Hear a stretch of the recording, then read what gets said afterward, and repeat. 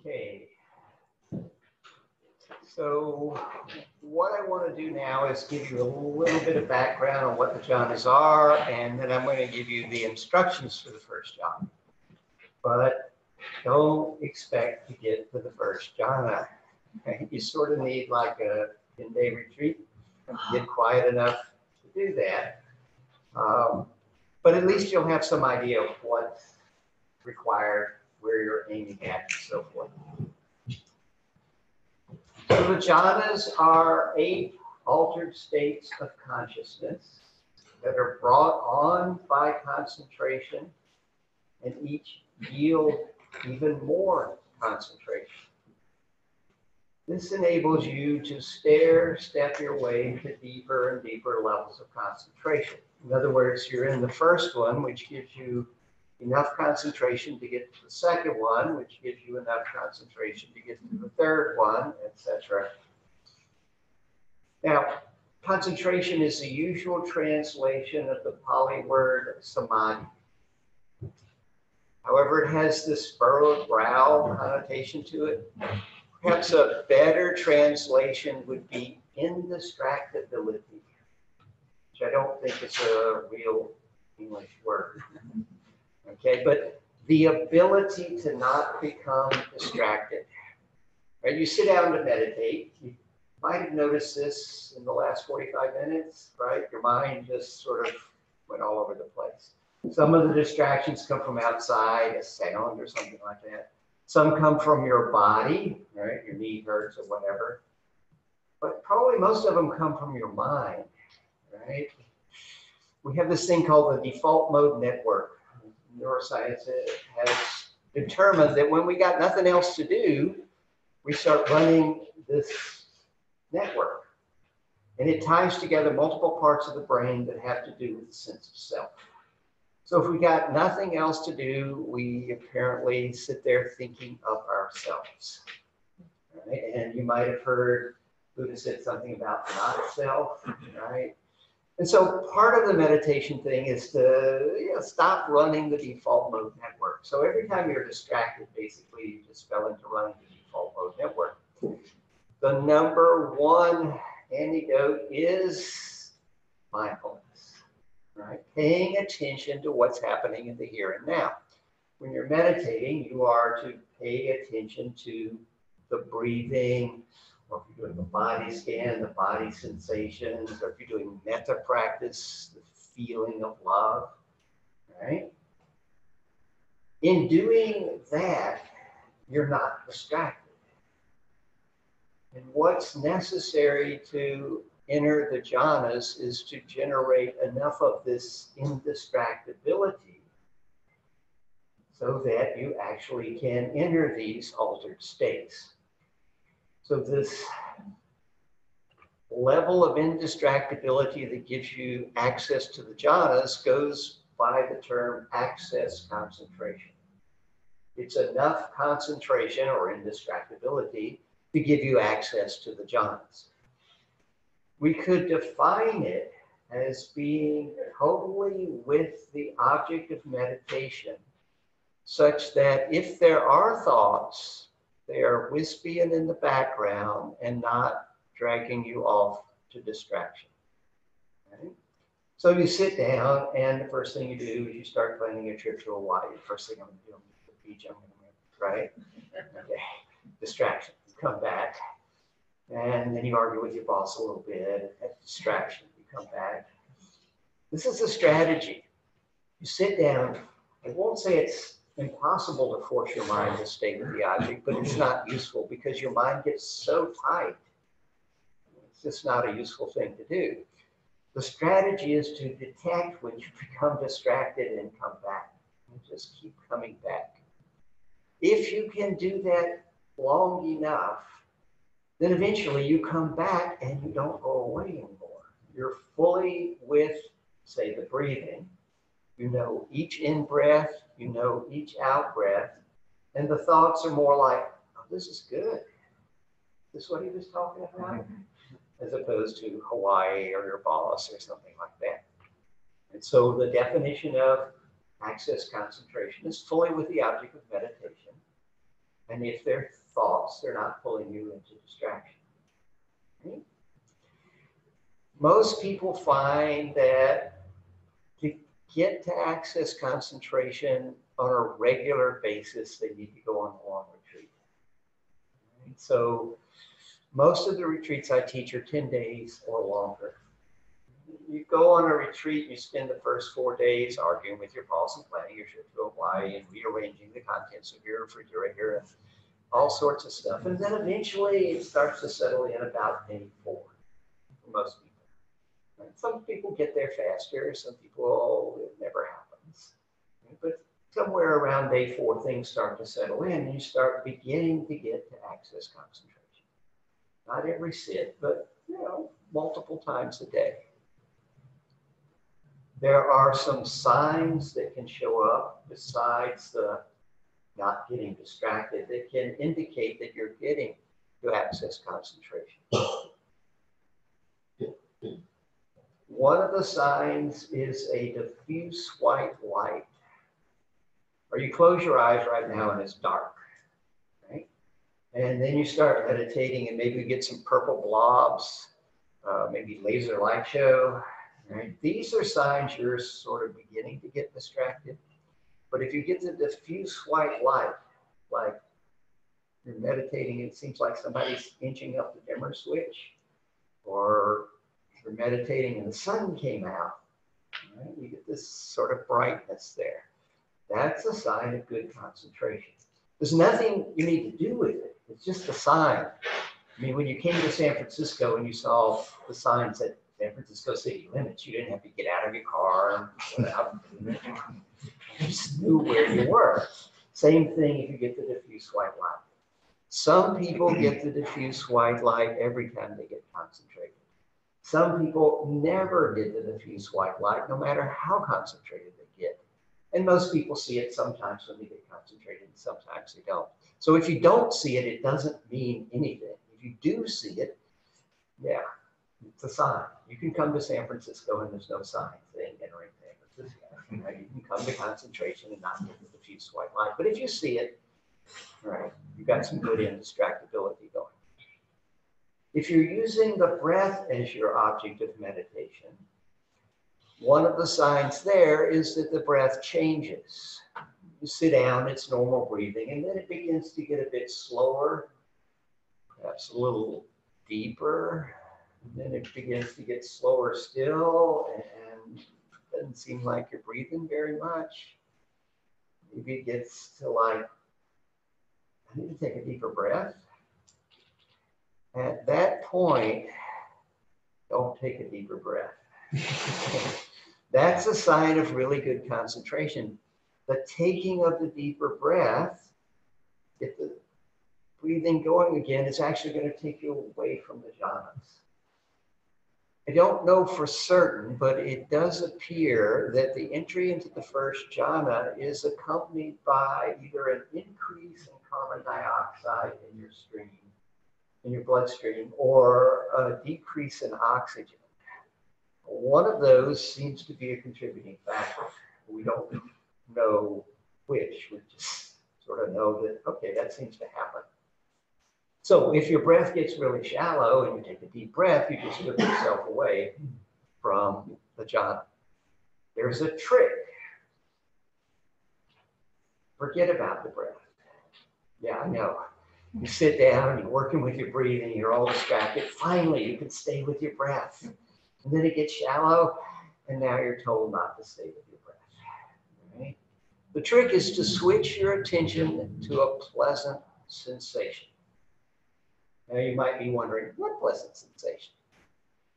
Well, if you can smile when you meditate, put a fake smile on your face when you start, by the time you get to access concentration, the smile will feel genuine.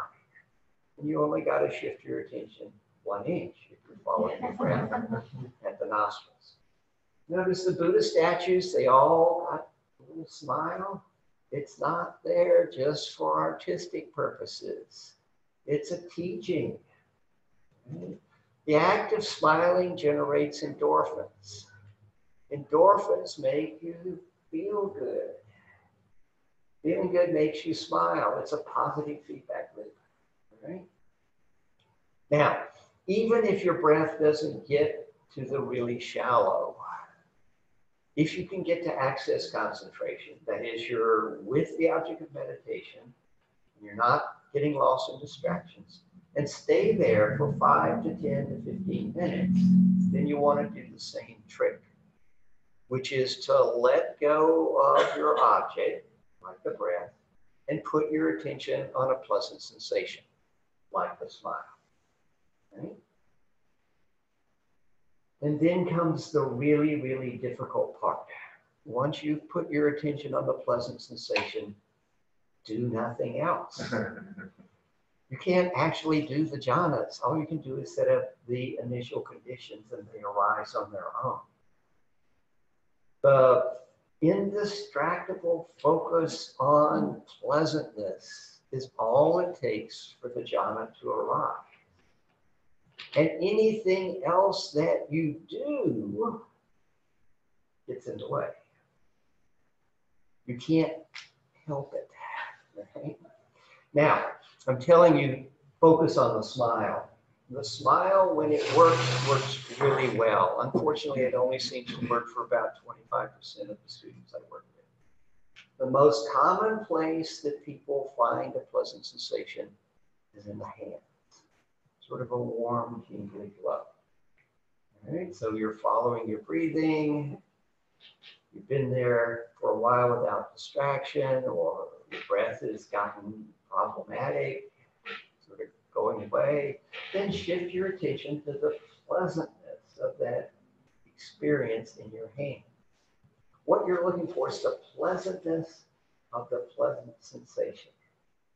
So it's not where it is, or how strong it is, or how long it's been there, or whether it's increasing or decreasing. It's just the fact that it's pleasant.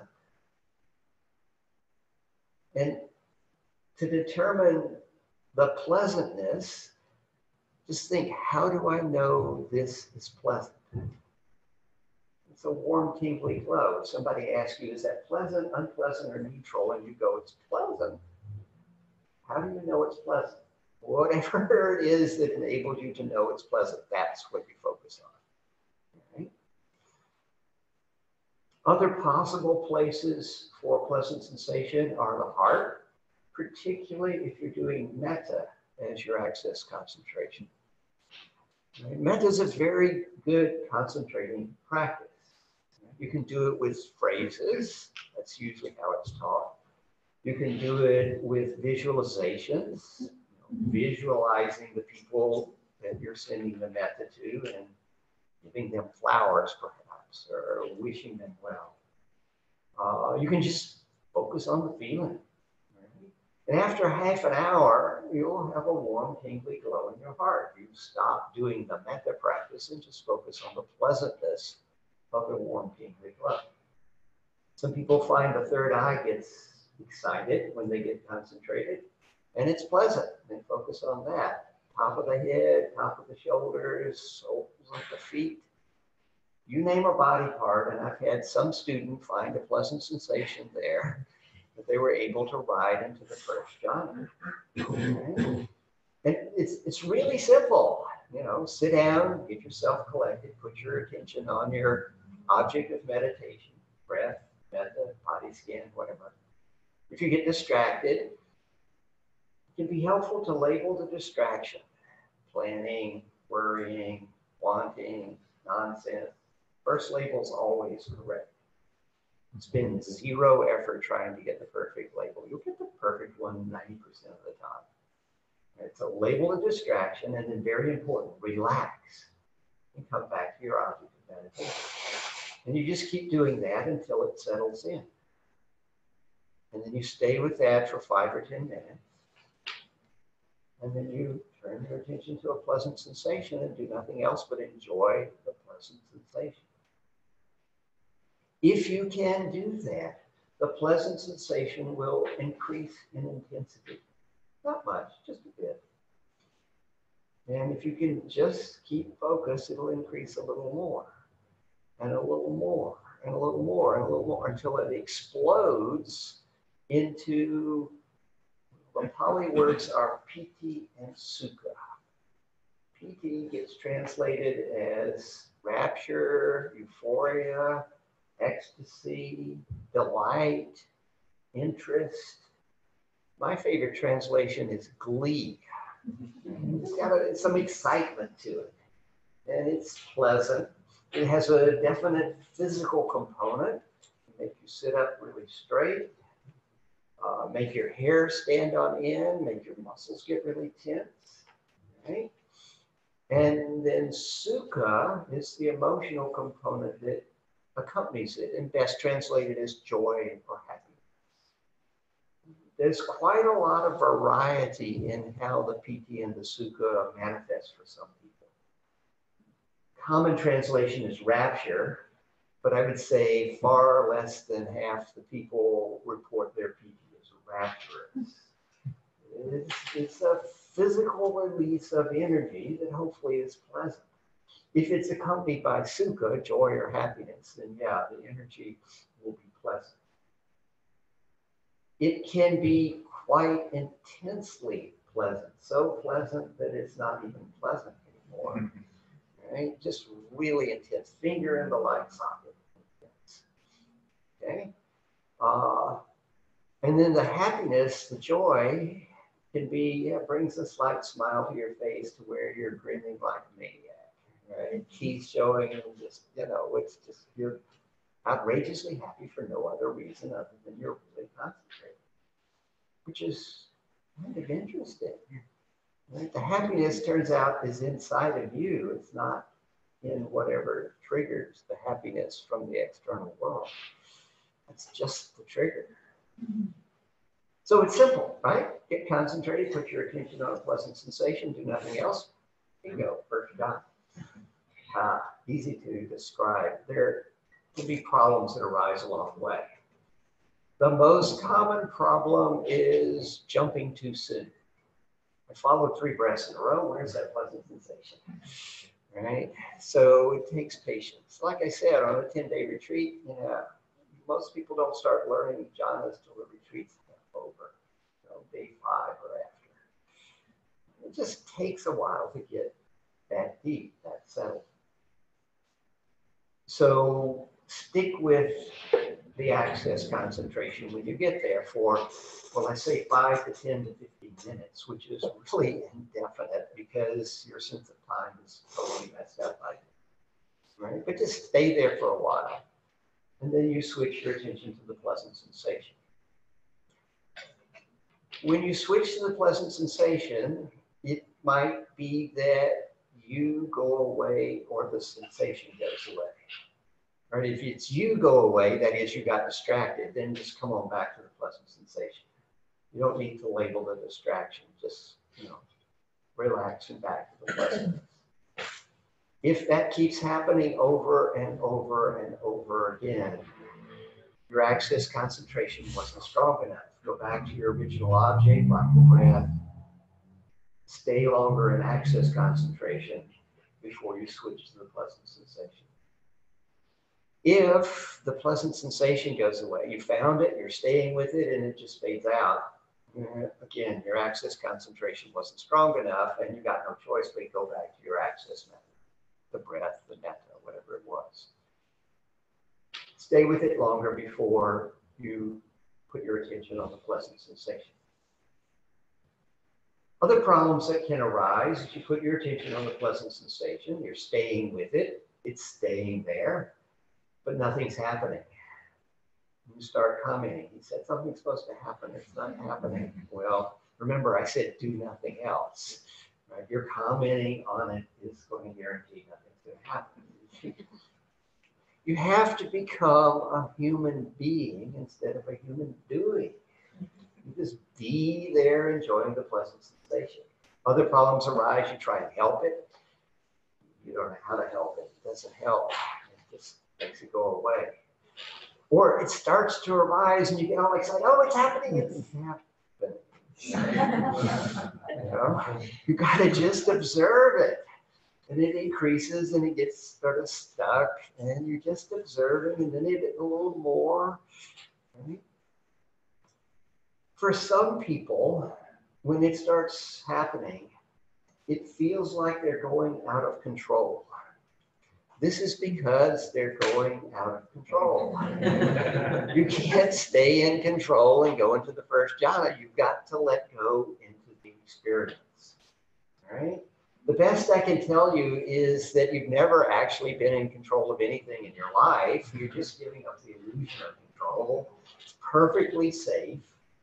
Right? I mean, the Buddha recommends the jhanas all over the place. You know, he was kind of watching out for his disciples.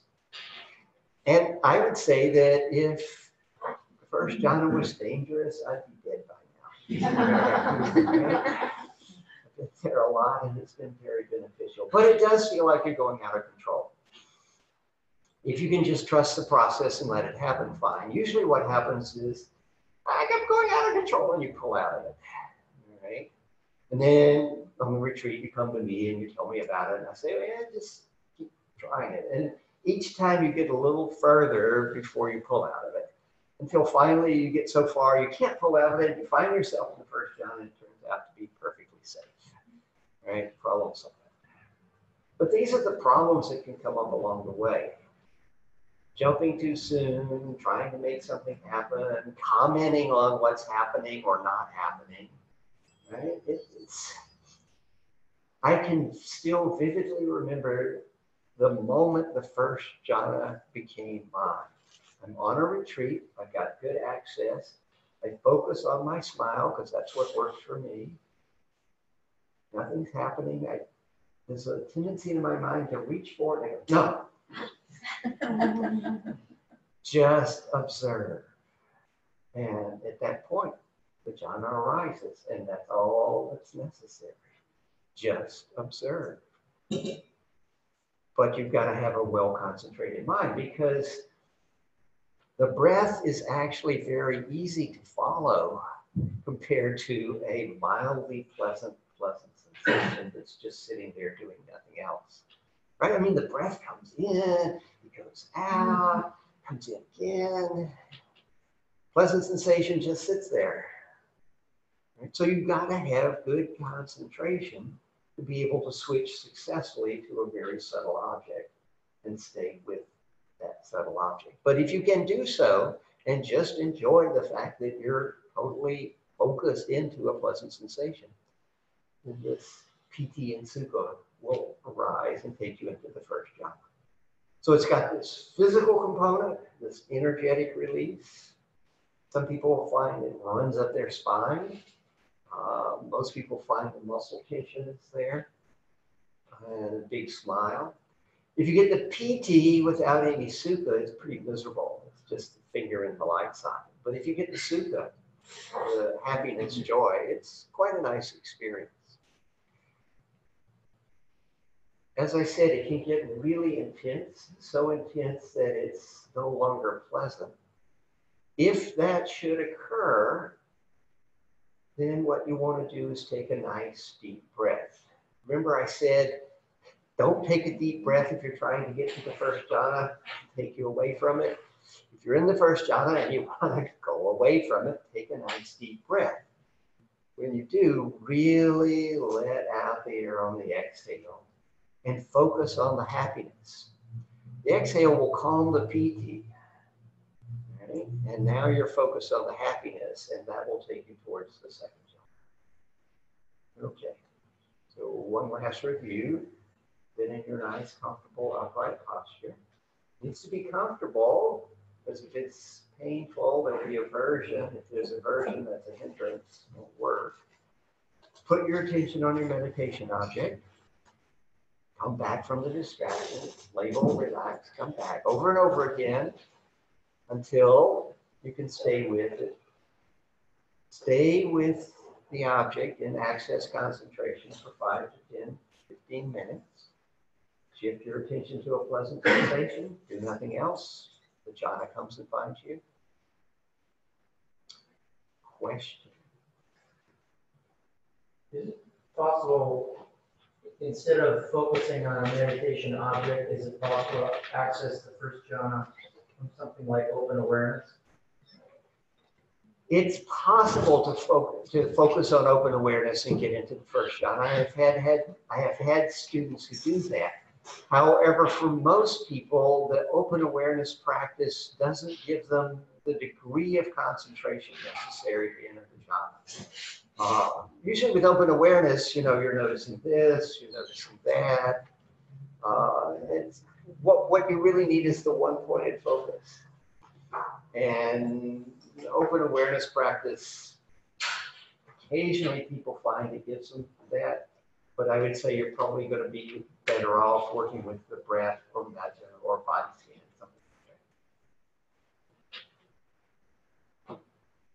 something. For those of us who had a very difficult childhood and suffer still from complex PTSD, Mhm. entering the jhana is very difficult. The brain is wired slightly differently in that the default mode network has a really tight grip.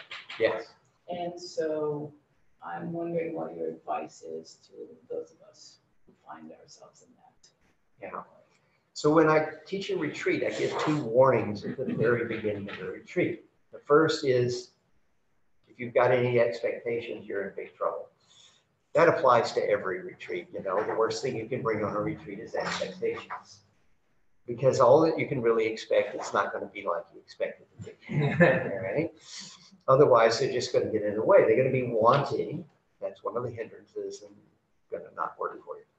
The other one is if you have any unresolved psychological issues, they're likely to come up.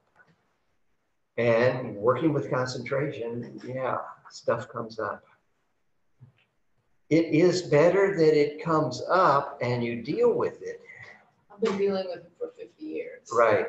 And for people that aren't traumatized such that they're dealing with PTSD for 50 years, then sometimes they can work through it. You know, it comes up, they have an interview, we talk about it, they deal with it and keep going. For people that have chronic PS, PTSD, uh, jhana practice is probably not going to work simply because once you get quiet enough, stuff is going to start showing up. The best thing I can recommend for that is working with trauma therapists, somatic experiencing. I've been there, done that. Yeah, that's, that seems to be the best thing. And then you can try and see what happens. The stuff will come up. The question is, are you able to set it aside enough to enter the job? There seems to be some correlation between dissociation, which is a major way of dealing with trauma when Yes. child, and entering into a jhana. Yeah. And that, that that sort of association seems to be, at least for me, a part of the issue there. Yes. Uh, one of the ways of dealing with PTSD is to disassociate. And entering the jhanas is very similar to disassociating, but it's not the same thing because you are totally present with a very tiny amount of what's going on. Right. And part of what you're present with is not under your control. I mean, you've you've aimed at the pleasant sensation, but what the pleasant sensation does is not under your control. Mm. Whereas the dissociation, usually you you find something you can cling to and just stay with it. So yeah, it's really difficult for people that are dealing with PTSD to get into the jhanas. It's not impossible. It's just a lot more difficult. When I started teaching, the biggest disappointment of all that I found was how many people had terrible childhoods. You know, it was just, it was frightening. Uh, I'm a computer programmer, you know, so it's like, uh, I don't want to fix those bugs, but that's the biggest failing of Western civilization. You know, well, except maybe for the climate disaster that's unfolding. Right? But from a psychological standpoint, yeah, it's, it's really a shame. The Western civilization does not do a good job of raising. I may have missed this because I wasn't here last night, but could you provide a little context about this practice and why we're doing it? Okay, so why bother with this? All right, so the Buddha's teachings could be divided into three major categories. Sila, Samadhi, Panya. Ethics or morality, Samadhi, concentration or indistractability, and Panya, insight, wisdom. And his basic message is clean up your act, learn to concentrate, use your concentrated mind to investigate what's actually happening. Right? Normally, when we look at the world, we look at it in terms of can I eat that? Will that eat me? Well, we get a little more sophisticated. All right. But it's basically is this something I want to get or is this something I've got to protect myself from?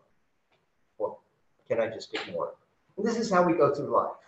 I want to get it. I want to protect myself. I can ignore this. Well, despite what it looks like, I am not the center of the universe. Right? It's a lot easier to see what's actually happening if you can look from a less egocentric perspective. Entering these jhanic states uses up all your bandwidth you don't have any bandwidth left over to generate an ego. It's basically like you told your ego, sit in the corner, shut up, we'll get back to you later.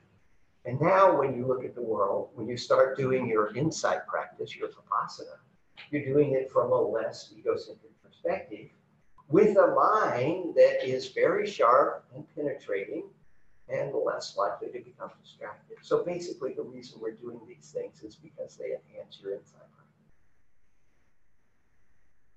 The first long retreat I did was a one week retreat followed by a one month retreat with my teacher, Ayya Khema. And I had learned all eight jhanas by the end of the one week retreat. I had sat with her before and learned some of them, picked up the rest of them. So now I had a month to play with them. And I'm having fun playing with them, running them up and down and so forth for a week or so. And then I says, okay, now you got to do insight practice after the jhanas. My response was, but it takes me so long. And she said, do them faster. Now, Ayya Khema was not someone that you argued with. It was, yes, ma'am, I'll, I'll go try that. she was a German Jewish Theravada nun uh, she was your favorite Jewish grandmother, and she was as German as you could be. so I, I, went off and I did the jhanas, and I started doing my insight practice, and I was completely blown. In the six years practice before that, the amount of insight I'd gotten was equivalent to getting behind the wheel of a car and figuring out if you push this lever up, it blinks over here, and push it down, it blinks over there. It wasn't a lot by the end of that month, I had taken the car, backed it out, driven it around the block. You know, hadn't been on any freeways, but the amount of insight that I got in that month was literally life changing. Doing the same practices I've been doing for six years. It's just that it's so enhanced that you have a concentrated.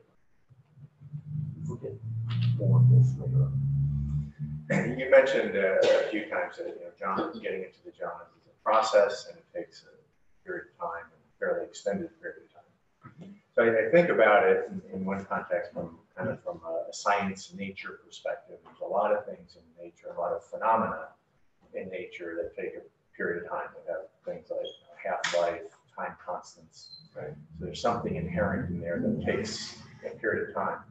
And in nature, when you when you understand that from a scientific perspective, you can kind of under ah, that's why it takes so long. Maybe there's other ways to get there faster. Mm -hmm. So I'm wondering with the jhanas, it's the mind, probably a lot more complex, but is, is there any kind of scientific perspective on why it's taking that long? And are there ways to speed it up a bit? Yeah. Why it's taking that long is because we are the progeny of creatures that had to pay attention to their environment in order to not get eaten. If you fixated on the berries and didn't see the saber-toothed tiger, you didn't reproduce. Right? So evolution has driven our minds to have the default mode network. It takes care of us, looks around, checks everything out all the time. So what we're trying to do actually goes against the stream of evolution here. Right? We're trying to find a safe place where we can completely ignore the saber-tooth tigers out there and get very focused. The shortcut is to go on a ten-day or longer retreat, right? Where you've got a lot of time to practice uh, not getting distracted. The way to get to the jhanas is the same way you get to Carnegie Hall. Practice. Right?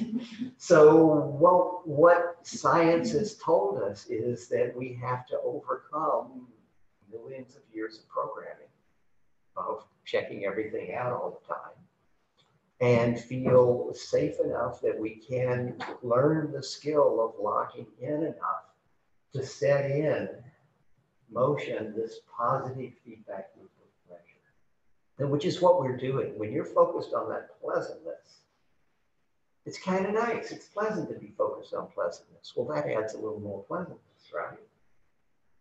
And, and adding a little more pleasantness, that's even more pleasantness. And adding, oh, right? You see, you're setting up a positive feedback loop. It's like I got the microphone. and I held it up to the speaker, it made that awful noise. What's happening is the ambient noise in the room is going into the microphone, being piped through the amp where it comes out louder from the speaker, goes back in again, gets pumped up some more, it makes a horrible noise. We're trying to do the same thing, only with pleasure instead of noise. You're focused on pleasure and enjoying it, which is enjoyable, which adds a little more pleasure, which so the best that I can tell you is, yeah, I've played with this a bunch. I've watched myself get into it. This is scientifically about the best shortcut I can give you for learning the jhanas. Which is to go on a 10 day or longer retreat where they're being taught and play with it. Or go on a 10 day longer retreat where they're not being taught. And I did write a book. Good luck. Um, once you learn them and learn them well, then yeah, it's possible. You don't need a 10 day retreat. You just need a daily practice that, yeah, kind of high quality. So you stay in shape. You know, let's say you want to learn, you want to learn to run a marathon. You got to do a lot of work first, right? And then you run your marathon. You go, wow, I did that. And you go home and you sit on the couch and eat pretzels, watch TV, and then you try to run another marathon. It doesn't work. Right? You got to stay in shape. Same thing when you're learning jhanas. You got to stay in shape by having you know, reasonably good daily practice. And then the jhanas are fairly accessible. Maybe not every sit, but on a fairly regular basis. So, yeah, best I know, set up the optimal conditions, which is a long period of time where there's just not many distractions and play with the instructions until you figure out how to do it. Mark your way in. Okay, this is how I follow the breath. This is what the pleasant sensation feels like. This is what it's like to focus on it. This is how the jhanas arrive. Take that home with you and keep your daily practice. If we take the breath as an object, um, which part of the breath do we have to focus on? The inhale or the sensation of the? The best place to focus is where you feel the tactile sensation the strongest. And what you're focusing on is the tactile sensations at that location. I find that it works best if you can focus on the breath at the nostrils, either just inside or on the area between the nose and the upper lip, wherever you feel it. Okay? And you just put your attention there. Now, if you're used to following your breath at the belly, that will work. It doesn't work quite as well because it's a grosser movement. The difficulty of following the breath at the nostrils is that it's very subtle. But if you can succeed with the subtle, you've gotten more concentrated, which of course is what you're after in the first place. So wherever you feel the breath the most for the tactile sensations, put your attention there and pay attention to the sensation there. That answers the question. Yeah, both incoming and outgoing, touching on, touching beneath the nostrils. Right. Find a place where it's the strongest, and you're just always looking to notice what you can there. So you'll notice the in probably stronger than the out. And sometimes when it gets very subtle, you have you have trouble, say, picking up the out, but you still know the in. You just keep your attention at the same location, even if you're not noticing the out.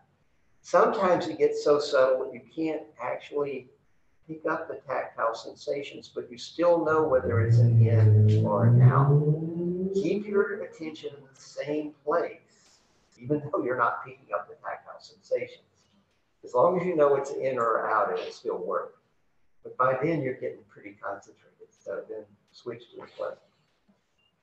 Um, can you talk a little bit about when you're in that deep absorption state, um, where there's no feeling?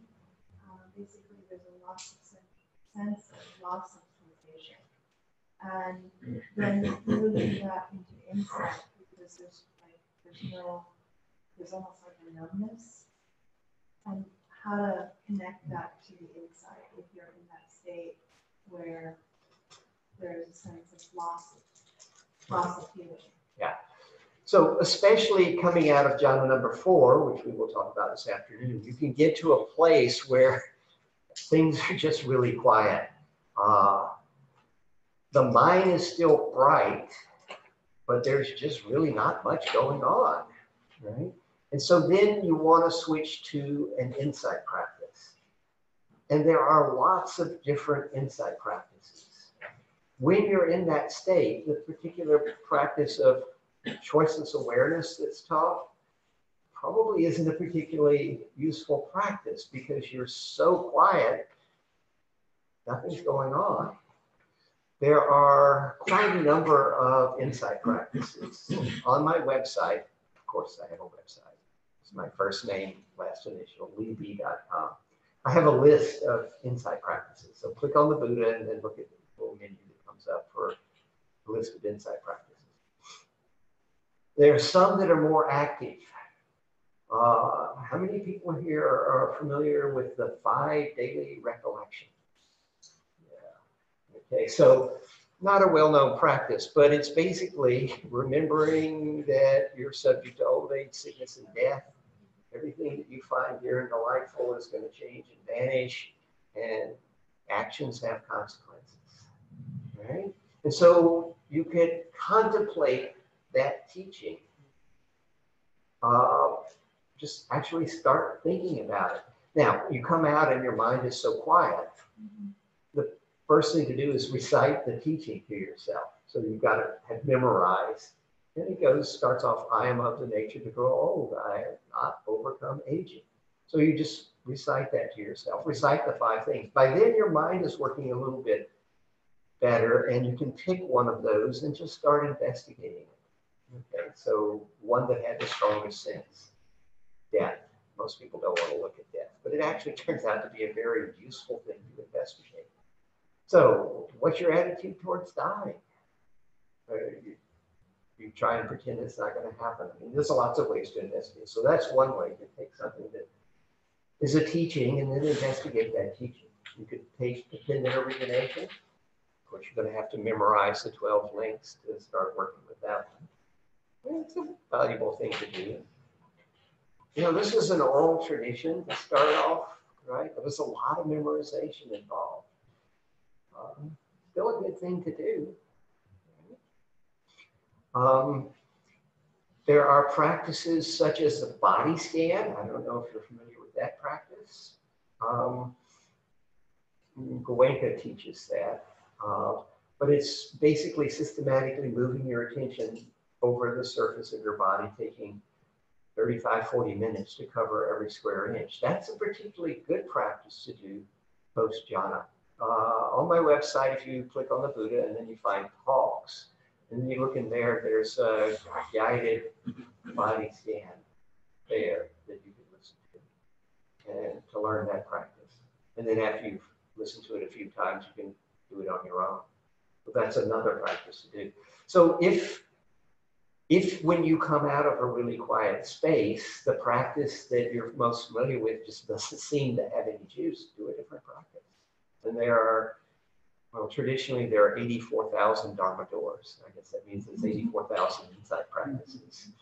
Uh, you know, I've probably done, I've probably spent time doing a dozen of them fairly extensively, you know, at various times. So you just find something, get three or four of them you like to do.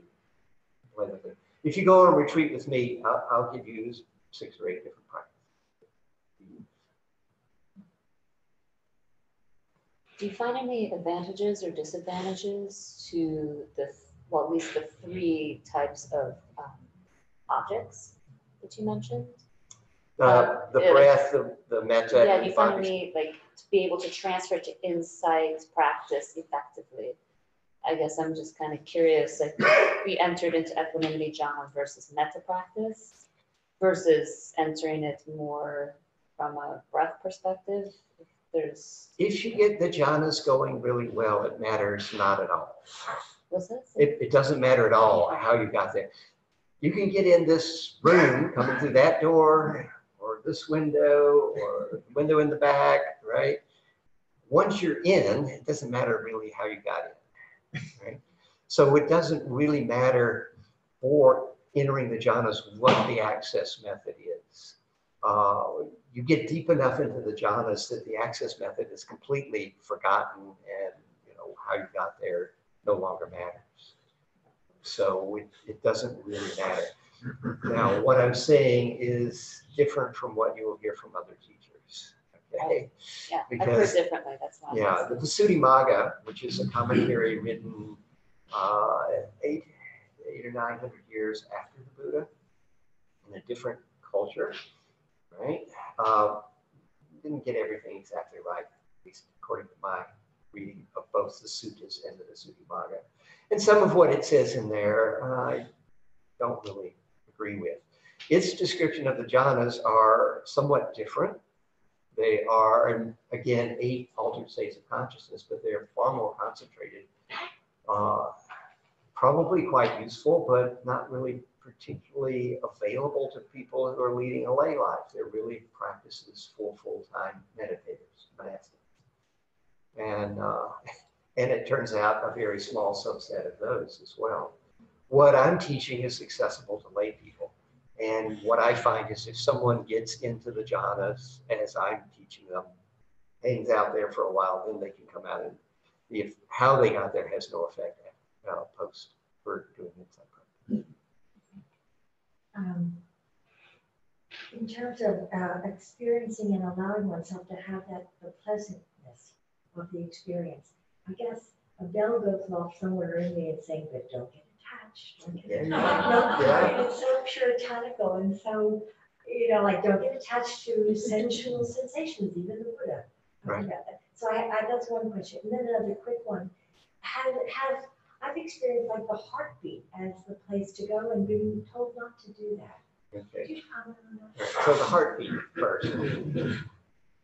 There, so a a student came to me right before retreat and says, why can't you use your heartbeat as an object of meditation? I was like, I don't really know. I've certainly had a lot of people say, don't do that. So, Yeah. so I started researching it. And what I came up with, all that I could find was that if you use your heartbeat as the object of meditation, either you start messing with your heartbeat and it gets weird and that freaks you out, or you don't start messing with it and it still gets weird and it freaks you out. So it doesn't seem to be a useful thing. Uh, some of the people were warning against it because observing it will make it change and so forth. Other people warn against it because it changes all the time anyhow, and you never knew that, and now it starts to worry you. So it seems not to be a valuable thing because it's just a little too weird. You know, one thing I heard about that was that a lot of uh, Buddhist monks that did maybe have that ability could actually, that's how they could actually plan the moment of their day. And they could literally stop their heart from beating. Right. Because there were stories of that, when many, eight or nine died all at once and they couldn't figure out how that happened. So um, maybe that's also, it's a, it's a dangerous tool. Right. It doesn't, it's, it's, no one recommends it. It's Yeah. highly not recommended.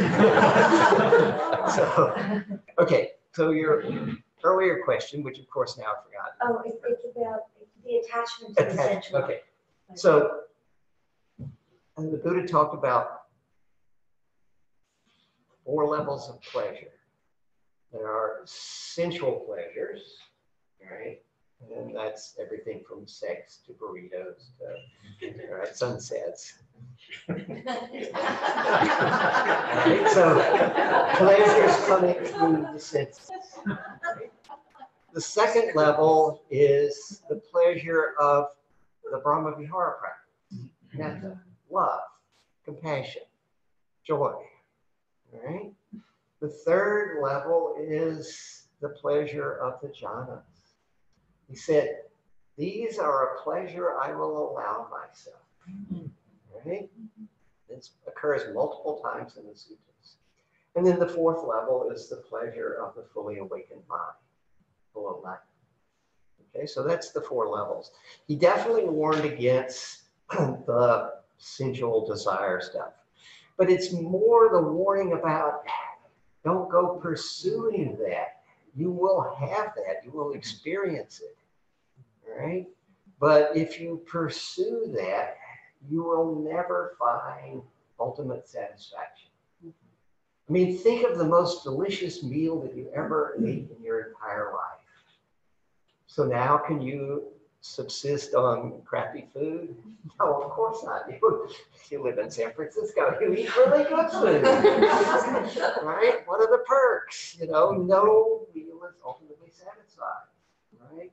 Think of the most gorgeous sunset you ever saw. When it was done, did you go, wow, that was so good. I never want to see a sunset ever again. No, of course. You're back the next day to try and see another one. Right? So we- that's what he's warning against. Right? It turns out, though, that in the sutras, multiple places, he talks about the progress of pamojja, piti, tranquility, sukha, concentration. Pamojja is often translated as gladness or worldly joy, right? And that's what the pleasant sensation is. It's uh, it's not the the spiritual joy of sukha, but it's it's pleasantness, and from that arises piti. From the calming of the piti arises tranquility, and that leads to really deep sukha, which then can take you into deep states of concentration. So he spoke of pamojja frequently. So yes, there's a warning about not getting attached to pleasure. There's a warning about not pursuing pleasure. But he does talk about the necessity of actually having pleasure on the spiritual path.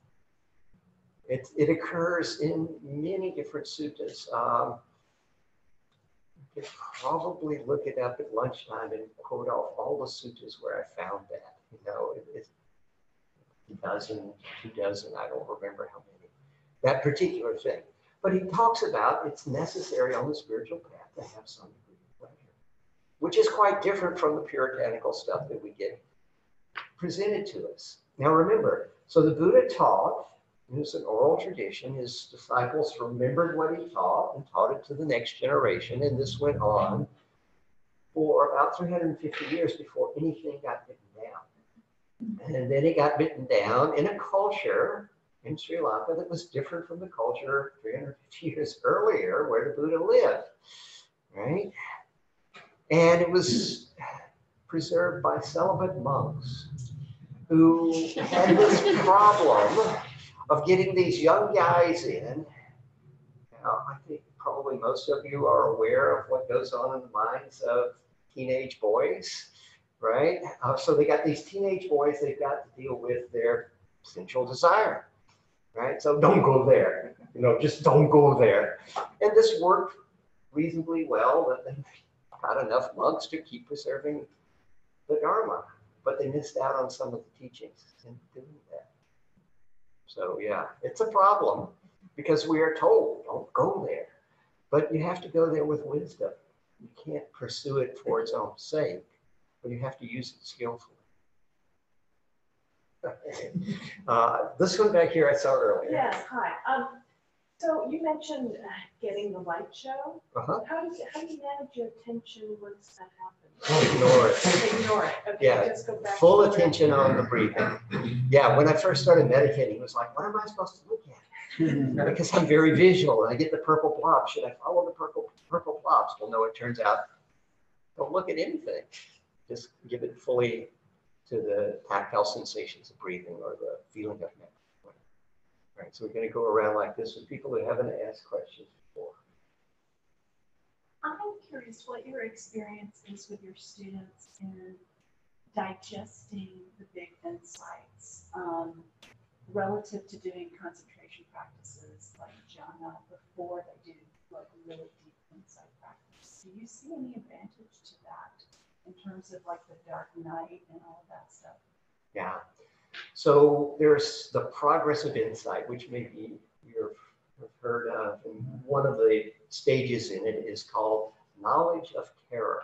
it arises once you start getting some of the deepest, more profound insights. Th- Those insights are insights into anicca, dukkha, anatta, impermanence, inconstancy, uh, unsatisfactoriness, and not self or emptiness.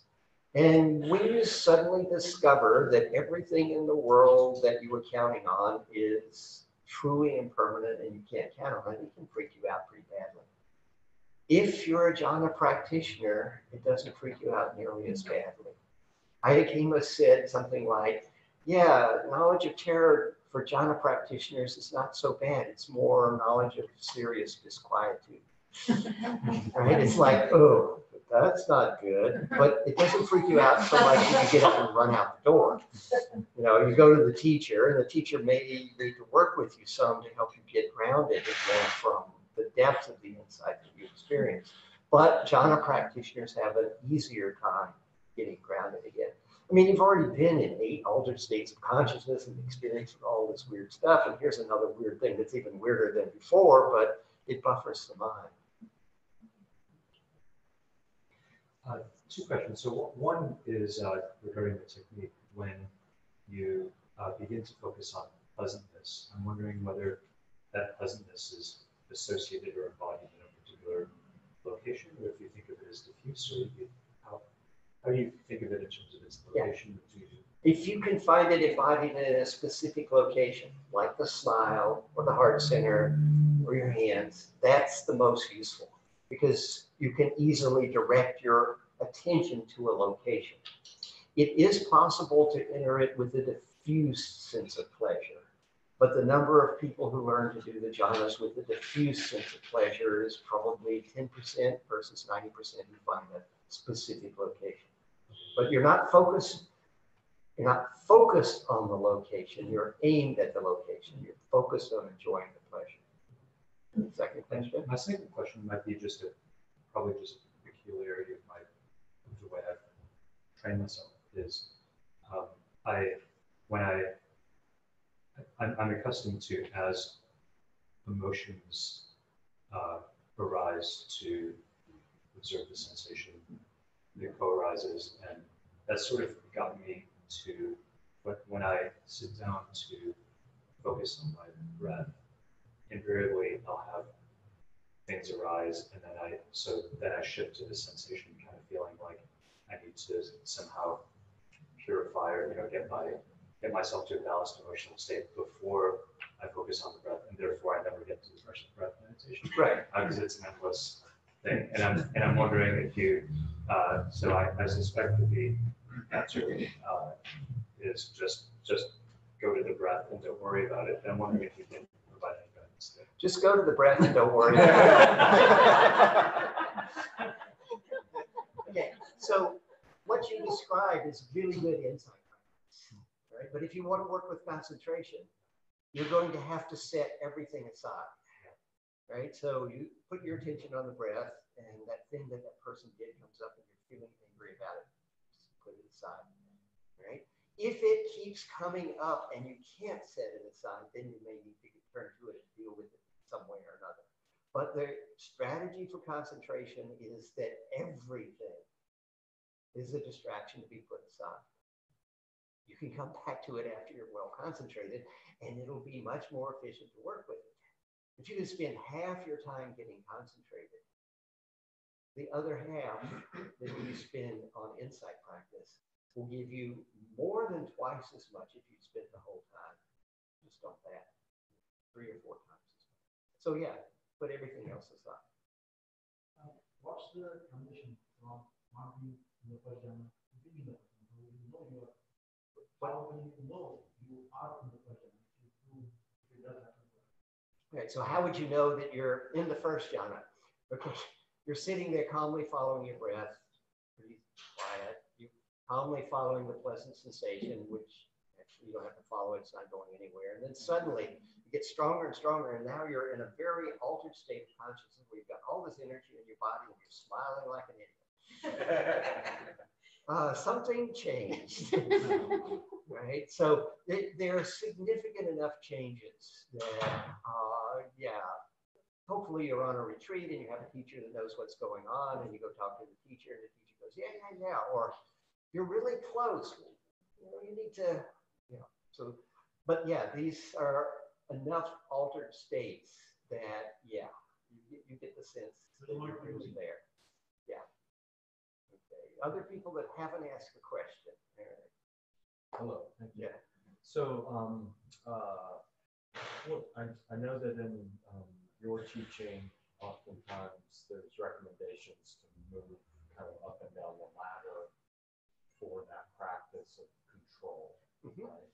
And then, uh, other, um, teachers, uh, acknowledge that sometimes it's about being in parallel as opposed to in series, where there's kind of a peeling away of you're in the first jhana, then there's the second joy, and then there's the third and the fourth. And it's actually that those others have fallen away as opposed to um, being behind you. Yeah. Series versus parallel. Yeah, I would not use series versus parallel. I would use intentional versus unintentional. Mm.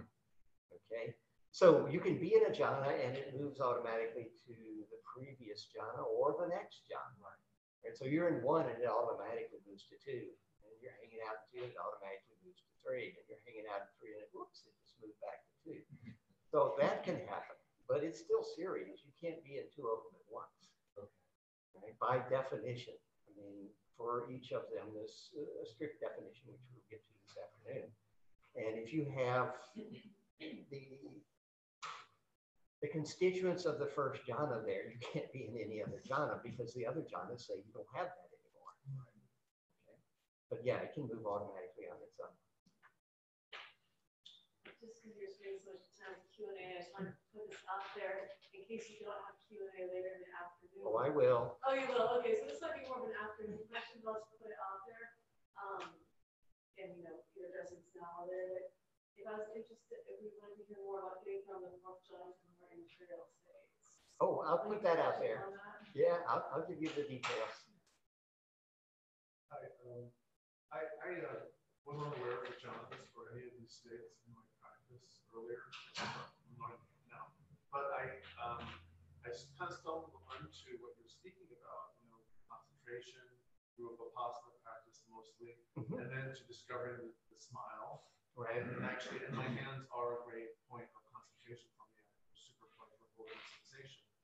And, and in using those, I, I, um, I found myself losing consciousness, so to speak, not passing out, but like actually, I found myself coming to consciousness, like not not being aware of anything, and all of a sudden being like where, and, and everything was actually black.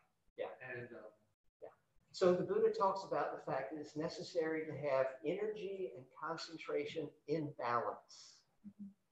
Okay? Too much energy and not enough concentration, uh, I think you're probably all aware of that, that's distraction. Right?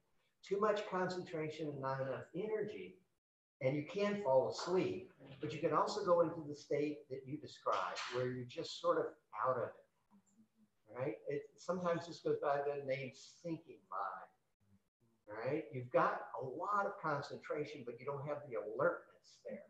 And the alertness is due to the fact you don't have the energy level to go with it. If you find yourself in that state, like to keep the concentration, so you've got to get your energy level up. Staying in that state is totally useless because, well, you're just not there. You can't get any insight and it's, yeah, the concentration's great, but it's not got the energy necessary. So pull yourself out of it immediately. Take a few deep breaths, which will sort of back off your concentration a bit. Hopefully that gives you a bit more energy and then go back into what you're doing. But you want to go into these states with as much mental energy up as possible and, and then see if you can avoid falling into the not quite asleep, low energy state. It's tricky. I know this state well because I accidentally spent a lot of time fooling with it before I learned that it wasn't useful. And then when I did, it's like, oh yeah, right, okay, I get it. So, and it was possible to, yeah, if I just started going that way, don't go that way. And just keep the energy alertness up. All right, anybody else who hasn't asked a question? Um, when you say, um, I'm sorry, go ahead. Okay, sorry. Uh, I have two questions. One is if you're going to talk uh, a little more, uh, if you could now or later about that actual moment of turning the attention toward the insight versus Yeah. experiencing jhana. And then second, if I have the opposite problem that that fellow in the red shirt has, which is not having ease in accessing my emotional body. And if, if that, if you could describe that insight practice, or maybe I need an interview with you for that, that might just be me. But uh, yeah, what, how, how does one go about doing insight practice on emotion? Okay, so in general, to make the transition from the jhanas to the insight practice, when you sit down, decide on the insight practice you want to do. Okay, I'm going to do a body scan. I'm going to do choiceless awareness. I'm going to do whatever. Right, so you sit down, you know what to do. Now, get concentrated. Get as concentrated as you can with jhana, eighth jhana, access concentration, whatever it is. And when it's time to switch to the insight practice, start doing the insight practice. It's just that simple. You don't need to make the jhana go away. It will fade out. It'll be there at first, right? So you're doing a body scan and you're in fourth jhana, which is quiet stillness.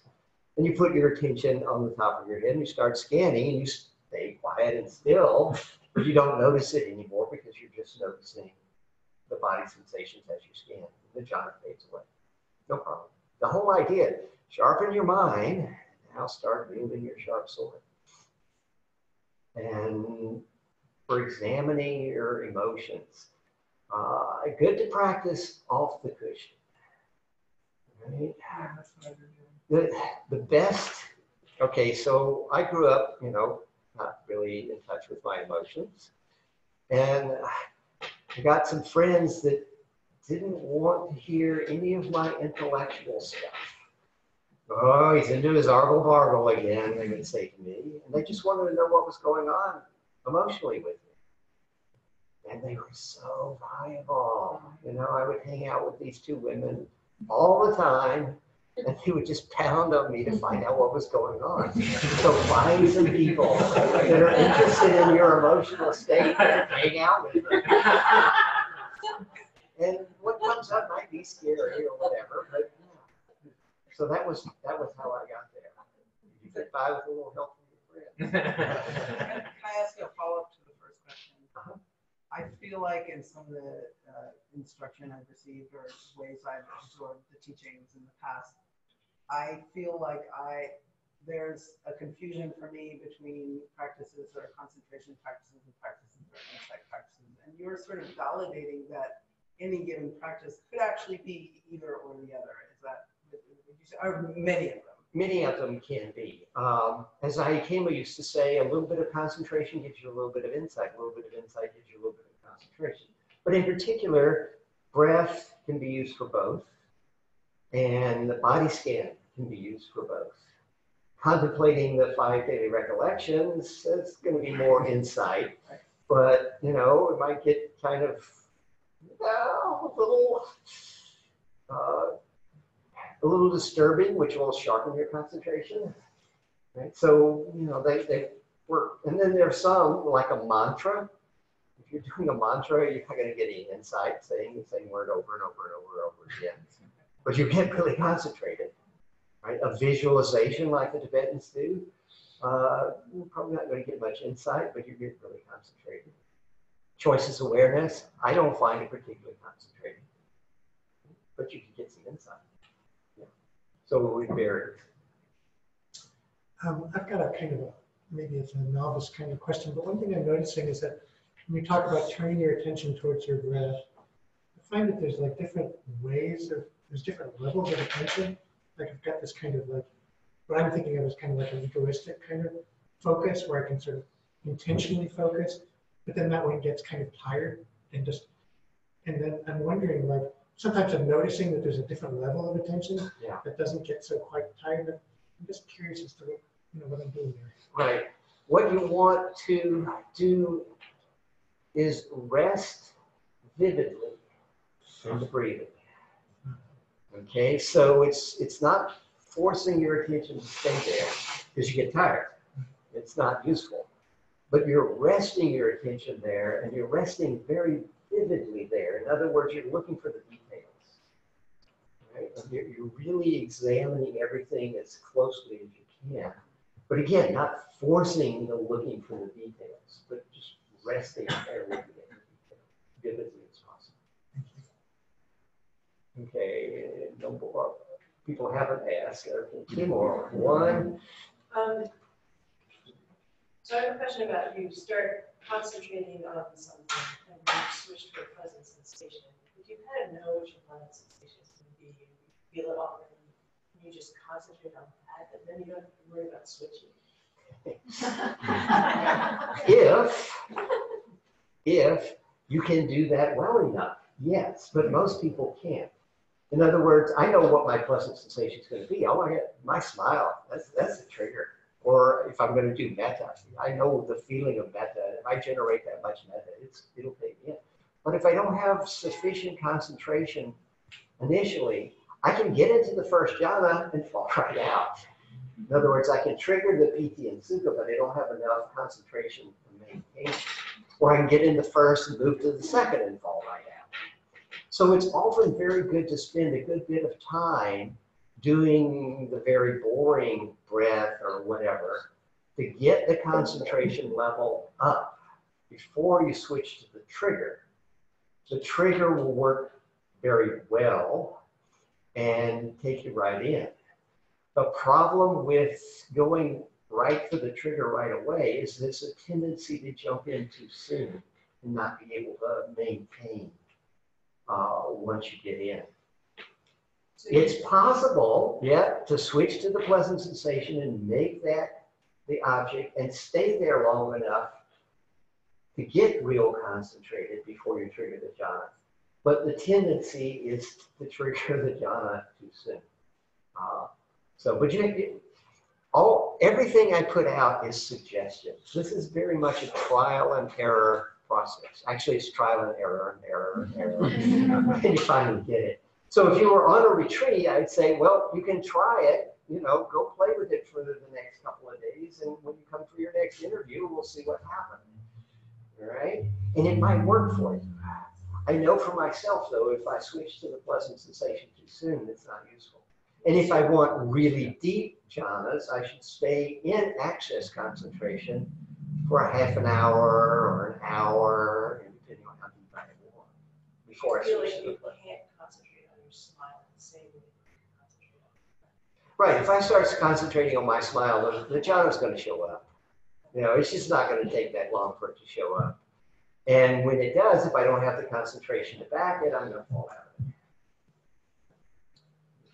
Yeah, is there any uh, guidance in terms of like an attitudinal preparation almost? See, I could just see how, just the attitude of willingness, right? Or Yeah. something along those lines. Willingness, curiosity, patience.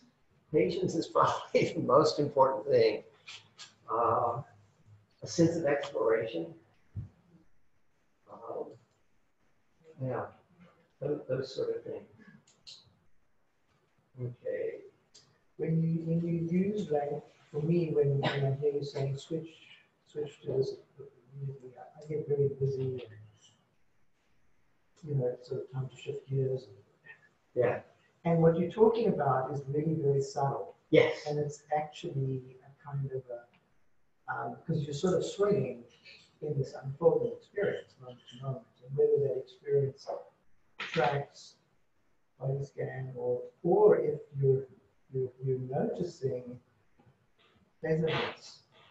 And there's a place where intentional focused awareness and awareness of sensation that is it negative or present, but it's happening very subtly and they really are kind of merging together experientially moment to moment. So the sort of discrete shifting is, is very subtle. Yeah. I'm just, it's So if you're with the breath, your focus is the tactile touch sensation, mm-hmm. not the pleasantness of the touch sensation. Mm-hmm. Okay, it's just the touch itself. There may be pleasantness. If it's pleasant, it's pleasant. If it's pleasant already in your heart or your hands, you know, you're with the tactile and everything else is there. And now you make the shift and it's, it's simply a shift. But now you're noticing pleasant. It's not like, okay, I got to stop the nose. and Let's see. It's just, it's a really subtle shift. And you're right. And only now what you're, you've gone from one pointed focus on that tactile sensation to the one pointed focus on pleasant. And it's just, you know, you move the telescope just slightly to, to see what you're looking at. Okay, other questions, anybody? Can I ask you about Vitakka and Vicara? Uh, This afternoon. This afternoon. Okay. So, um, you know, when I think about this practice, in some ways it seems like a preliminary practice uh, more enhanced mindfulness insight practice, and yet it's not usually introduced um, to, you know, people as they're taking up the practice initially. It's often introduced later on down the line as an enhancement to practice. Mhm. Um, but, you know, if it's so conducive to a more enhanced insight practice, um, why is it not more commonly introduced earlier on in the progress of? People need to be able to get to access concentration before it's introduced. So to come on a retreat with me, you need to have sat two one week or longer retreats. That's a requirement. Okay, that's the prerequisite. I figure people who have sat two one week or longer retreats have been practicing enough that they probably have the skill to get to access concentration. When I first started meditating, I couldn't follow my breath. You know, that first 10 day retreat was like, oh my God, here we go again, 45 minutes of boredom. You know, and then we're walking, and all right, that's okay. Now I got the 45 minutes of boredom. I didn't have the, the I didn't have the skill to be able to get to the jhanas. I find the students who learn the jhanas the easiest and do the best are people that have been practicing for maybe two years, been on two, three, four retreats. They haven't learned any bad habits. in other words. right? And they come in and, you know, they've got enough skill to actually do quite well. I've had a few students come in and, you know, they just did two retreats and they've been practicing for nine months and they come in and boom, they're right there. So it, it can be introduced like that. But since the jhanas are seldom introduced at all, and there's all this other practice given, and the jhanas are sort of skipped. Uh, unfortunately, people wind up doing lots of years of practice before they ever hear the word jhana, and then maybe even longer before they ever try and experience. it. Don't get me started on what's wrong with teaching of Buddhism in the West. I don't have enough time, and I'll get myself in really big trouble. You talked a little bit about um, having to go on retreats to experience jhanas, jhanas being useful, and like how after you experience all the jhanas, then you want to do insight. Um, I guess I'm curious about the kind of intersection of how useful it is to go on a retreat if your daily practice isn't like two or three hours a day, so you're like maintaining that jhana, you know, because like lay people don't have that kind of time. Um, Minimum useful daily practice, forty-five minutes, five days a week. That's the minimum. to maintain the jhana, Uh, to maintain the jhanas, you'd like to do a little more than that, okay? but just to be useful for a retreat to be useful to maintain the skill. If you're coming on a retreat to learn the jhanas, you want to do an hour a day, six and a half days a week. Right? So pretty much, you know, every day. Right? Uh, and then you'll be set for learning the jhana. When you go home, you can probably go back to your 45 minutes, five days a week. And it, it's going to depend on how well you know them and how good your daily practice is. Some people can get by with, you know, 45 minutes, five days a week. Uh, I find for myself, I come back from a retreat and my access in my daily practice starts to fade out. I don't hit it all the time. Uh, I came up, my teacher said that you need an hour in the morning and an hour in the evening every day. Now that's what she told me, not what I managed to do. But I find if I get a second sit a day, the jhanas are there almost every time. In other words, that first sit, I'm taking out the garbage. And the second sit, okay, there's enough garbage out of the way, I get into the jhanas. Uh, but, you know, I found I could maintain them fairly reasonably well. Uh, the daily practice, you know, and not worry if I had a dental appointment, I didn't sit today or whatever. And then uh, sitting in the evening with a group a couple times a week. But I could, especially with the group, I could access the job. So, and yeah, I never did two or three hours of practice. At all. Just a quick question, because I think you mentioned this in your book too. Um, outside of Theravada Buddhism, there's a term called Kundalini. Is, do you equate them as similar? And it just seems like there's all these other kinds of traditions that, where that's kind of their goal or their aim. Yeah, the piti energy I talked about in other traditions, it goes by the name of Kundalini energy. It's used a bit differently. Okay, you're supposed to play with it some more. I, I, I don't really know. I haven't done Kundalini yoga, so I don't know. But it's the same energy. And talking with students who have done Kundalini yoga and who are skilled at the first jhana, they're like, yeah, yeah, this is what we did in Kundalini yoga. So it's the same energy. There's also the Tibetan Tumo practice, the mystic heat. Again, it's the same energy. Uh, I talked with a student who was practicing the jhanas and who had done Tumo practice, and he's like, yeah, it's the same energy, except that the piti energy, which often shows up for most people as sort of vibration, sit up straight, muscles get tense, can also show up as heat. And Tumo practice is to use that energy and make it manifest as heat, which is a valuable thing to do in the winter in Tibet.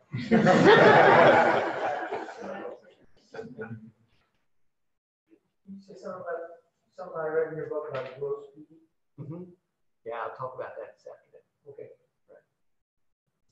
Um, I've entered the jhanas through, um, contemplating the course. And I just thought that was such a strange juxtaposition. Yeah. And I wonder if you could talk about that. I was shocked, I was surprised. It wasn't my plan Yeah. for that to happen, and it just happened. And I thought it was such a strange and interesting thing. Yeah, it's talked about in the Visuddhimagga. One of the practices that can lead to jhana is contemplating a corpse. So, uh, in doing so, it's going to really focus you, right? Okay, it's like uh, it's the great matter of life and death, as they say in Zen tradition, right? And suddenly, the great matter of life and death is right in your face. And so it can concentrate your mind quite strongly. Uh, strong enough so that if there is a flicker of pleasure that happens to come through, it can blast you right into the jhana. You're not going to get the flicker of pleasure from the corpse itself. You're actually going to get it from some instability in your concentration practice. But that's okay, Good.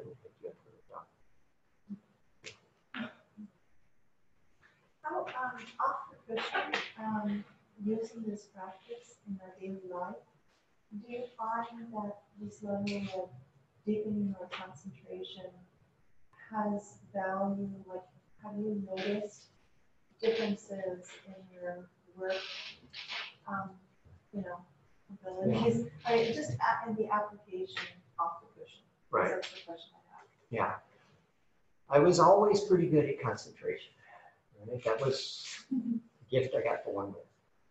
And I worked as a computer programmer, which is a, you know, real concentration exercise. Did it enhance my programming? I don't know, because I didn't have a, a, a twin that didn't concentrate the control. you know? But I was quite good at my job. Uh, and I took a, a concentration test online, which I can't find anymore. I wish I could.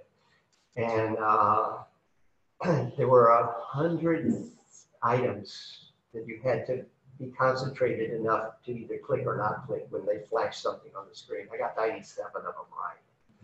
So my concentration level is quite good. And I'm sure that it did enhance my programming ability. And, and I wrote a book, you know, I hate writing, but I used to do it. So, Uh, enjoyment, I mean, I'm just thinking about the application, because if you're experiencing pleasure, for example, in the in the first jhana, that you would be able to transfer that state of concentration when you work, where it was pleasure. Like, to, to see the benefits of that I don't know that the pleasure transfer. Okay, so there's the three types, the greedy type, the aversive type, and the deluded type. I'm a greedy type. I've been, I've been playing with pleasure a long time. I remember sucking my thumb. It was all about pleasure. All right, so uh, I could do the pleasure thing already. That, that wasn't a problem. Um, but the concentration skill, you know, yeah, that enhanced. And yeah, the, the ability to concentrate in pleasurable situations certainly. Um, the Greek types find it easiest to learn the jhanas because they're familiar with pleasure. I say focus on pleasure, and they're like, yeah, I'll do that. The aversive types benefit the most from learning the jhanas because they finally get a chance to play with pleasure in a way that they never usually play with it. And deluded types either find the jhanas very easy or very difficult. Now, these are generalizations, but that's sort of what I found over the years. And so for an aversive type, the jhanas, the fact that they're experiencing pleasure like this in a way that they don't usually do, can be very useful. Uh, but since I didn't have problems experiencing pleasure before, it didn't really enhance my ability to experience pleasure. But it definitely enhanced my ability to concentrate. Concentrating in pleasurable situations, yeah, enhances. Have you found that, um, is there any, like, downfall of practicing of concentration? Is, for example, I had an experience occasionally when I come back from a retreat and my mind's concentrated, that emotion that I have, good or bad, it's, it's amplified. Mhm. Like, when I get angry, I get really, really angry. Right. Yeah, uh, concentration, right? So it's one pointed. It allows you to really put all of your energy into one thing, right? So you come back, back from a retreat and you have this capacity to put all of your energy into one thing. And if the one thing is being angry, yeah, you're, you're getting fully there. And you're not so perhaps given to suppressing what's going on. You're right there fully with it. Do I find that to be a disadvantage? No. I actually find that uh, what I need to do is explore what it's like to be angry. Why am I getting angry? What is what are the triggers about this? In other words, yeah, it's more in my face what I've got to deal with. The other thing I would say, when you come back from a retreat, you are quite sensitive, and you can easily more easily be triggered to go quite angry because let's face it, it's crazy out there. Have you noticed? As you come, you go to a retreat and you're in a very sane environment. There's not much going on. There's good food and hopefully people telling you some interesting, useful things. And you come back here and it's nuts. I came back from a month-long retreat and I had had surgery on my shoulder and was on disability. Nice, you know, for a month while I'm on disability and uh, come back, see the doctor, and it's like, yeah, okay, uh, you need to start back to work part time. So we worked out what I was going to do, and I go back and I tell the HR person, and uh, she says, "Oh yeah, um, the insurance company called, and this is your schedule." And it was not what I, my doctor and I had worked out, and I exploded. And the poor HR lady, she was just reporting what the insurance company said. I had to buy her a plan. but I was so sensitive there that you know I just totally reacted to the insurance company in a totally inappropriate way. You know, because that's what happens when you come back from a retreat. You're you're blasted with all the insanity of the current culture we're in. Side note, the insurance company wasn't paying my bills. I had to pay the bills and sue them. And they still wanted to run my recovery. Yes. You. Okay. Um, one, so a lot of times, I'll just ask both questions to begin with. One was a lot of times we might hear, okay, develop, you know, a certain amount of concentration after a certain point, you know, then turn to, uh, insight practice. I think I might have heard you say, just develop whatever degree of concentration you can, whether that's small, medium, large, for lack of a better word it. And, and then you can practice turning to insight practice wherever you are. That, Yeah. I said get as much concentration as you can. yeah. If you can get to the jhanas, get that. If you can't get to the jhanas, and I'm assuming most of you are probably not jhana practitioners, a few of you I know are, but get as much as you can and then turn to insight. And if as much as you can get is access concentration, get that. And if it's third jhana, get that. If it's seventh jhana, get that. And then turn to insight practice. Yeah. Great, thank you. Um, the other thing is, um, oh yeah, I think that you said, so if you can't kind of go from, you know, your access concentration along, along, along, um, fine.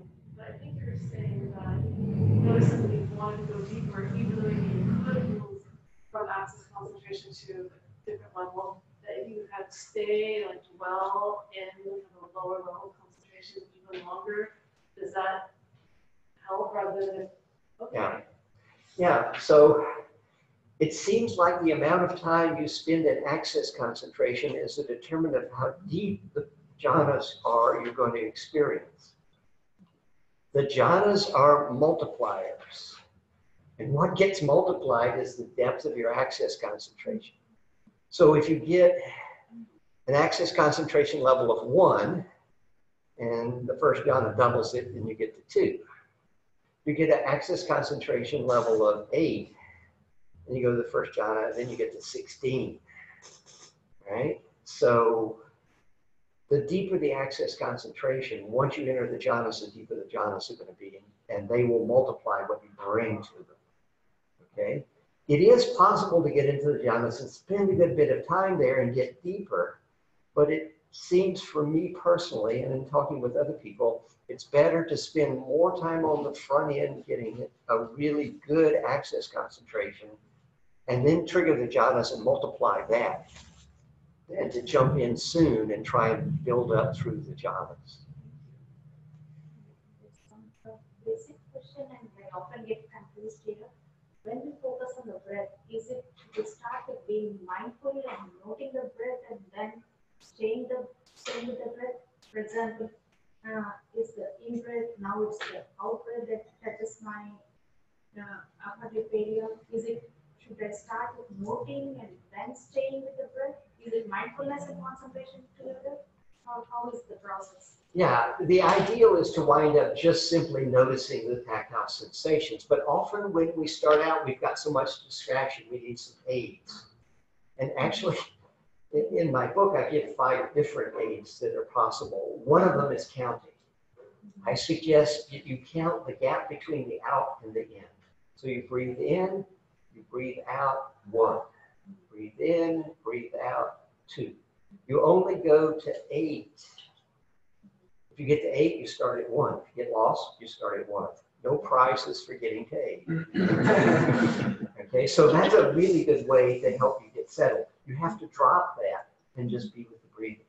You could do with a, a, a label like in, out, in, out. Personally, I don't find that works quite as well as the counting. The counting is the one I find works the best. Um, you could use bu, do, if you wanted something other than in, out, peace, love. Um, Another one is to look at the parts of the breath. Can you notice the beginning of the in-breath, middle of the in-breath, end of the in-breath, gap, beginning of the out-breath, middle of the out-breath, end of the out-breath, gap. Not, not note them, notice them, identify those parts. If you try and label it, it goes way too fast. So those are things you can try. But the idea with any of these aids is drop it and now you're just with the tactile sensations of it. And when you can stay with that without getting distracted, then you're at. All right, last two questions, which is time for lunch. I wanted to ask you if you have any suggestions uh, for the difficulty of maintaining one's awareness of the tactile sensations of the breath versus a thought of having tactile sensations. Yeah. So it's a very, very tricky little thing that I find myself drifting from what I think are having the actual feeling, the actual tactile sensation into, it's just a thought. Right. Yeah, it, it is tricky. And when you find you're in the thought, just look a little more carefully and see, okay, can I actually feel the tactile sensation? And so it's like you're on the tactile sensation, now you're on the thought. Now just come back to the tactile sensation. But don't make a big deal about it. It's just it's just like no, look a little more carefully. It's it's it's just a little bit of a push to look more carefully at the tactile sensation. But I know exactly what you're talking about, and I find myself all the time doing the same thing. And it's like, no, actually notice. The last one before. I noticed in my practice that um, I, I really love the, I really enjoy the pleasant, and I really do a damn good job at keeping away from that comfortable and powerful. And it's soothing and calming um, of the asana actually does a good job at what I've come to see as a, in some ways, quite a big bypass on the emotional stuff. Stuff that I can avoid Yeah. and distract from. And um, listening to talking, uh, um, I, I can see how that can could be for me actually. To watch for that can be very seductive to the nice and uh, you know the bypass of the discomfort. Yeah, you don't need discomfort. You don't need to get upset if it's slightly discomfort. Right? You don't need to go searching for perfect pleasure. Uh, you know, just get get comfortable enough that your body's in a position that you can leave it in for the length of the sitting without having to move. That's the idea. And it's going to be slightly dis- uncomfortable after a while, but you know, just hopefully concentrated enough, it's not a big deal. But yeah, if you go always looking to have it pleasurable, you know, never, it's never going to be good enough. Okay, one last one because we have two minutes. Yeah. I don't know if you've switched this already, but I, I also sometimes when I get lost along ways, rest in the power of the Sangha. you know? Yeah, that can be helpful. There's, there's lots of things that can be helpful Yeah. along the way. But yeah, the fact that you guys have this group is fantastic. I'm, I'm, I'm very impressed and really appreciate it. Uh, so yeah. All right, so it's almost twelve thirty. Uh, I suspect there's something unique in this neighborhood. Or maybe you brought something to eat.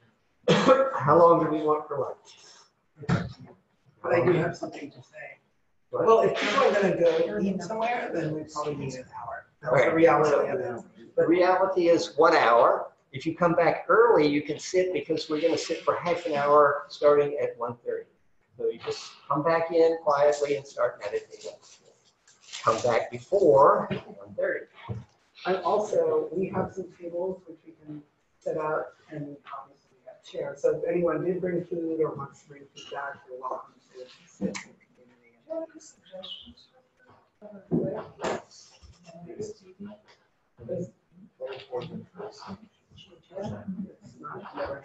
Yeah. This is, this is, I don't. know.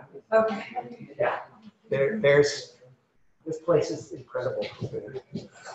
Yeah. All right, so I'll see everybody at one thirty for a half hour sit.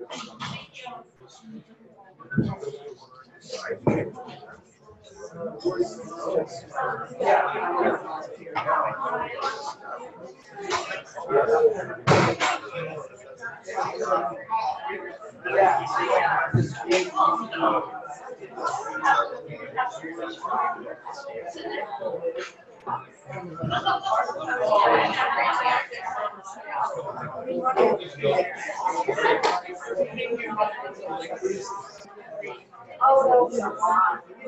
的好的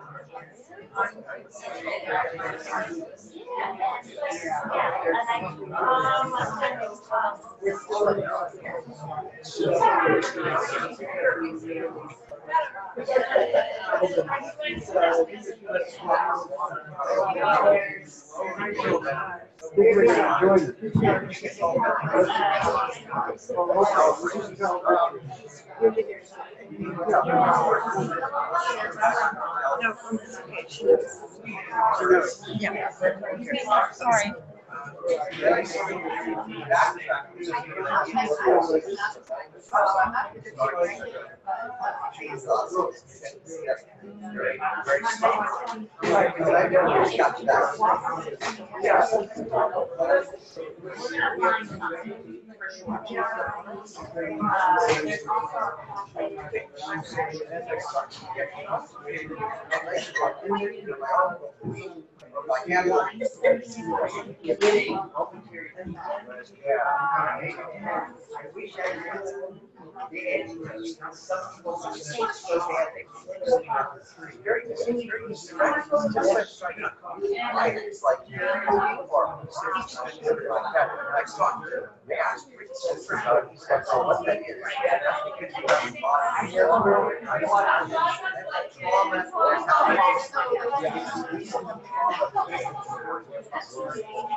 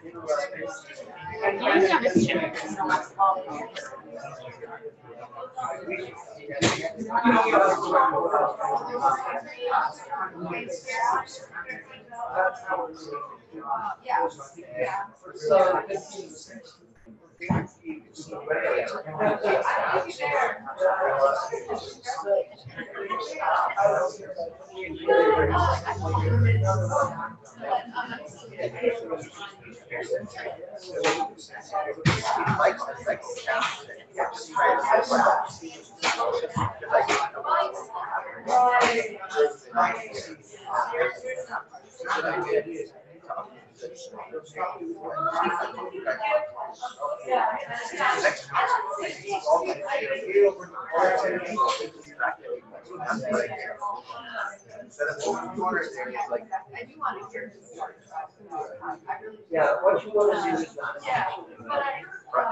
Okay,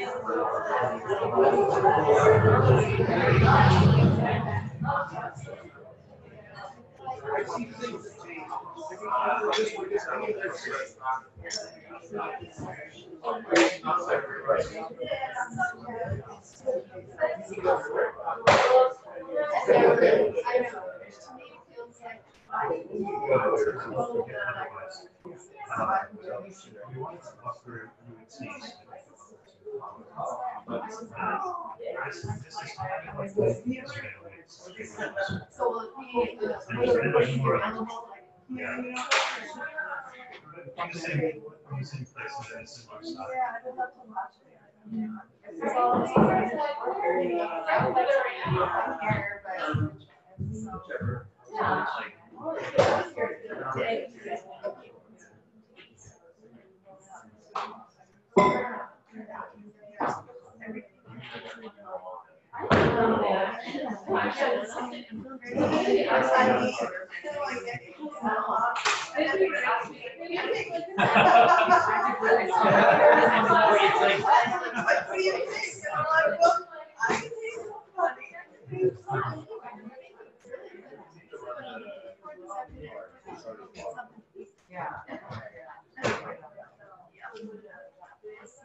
Funny. Yeah.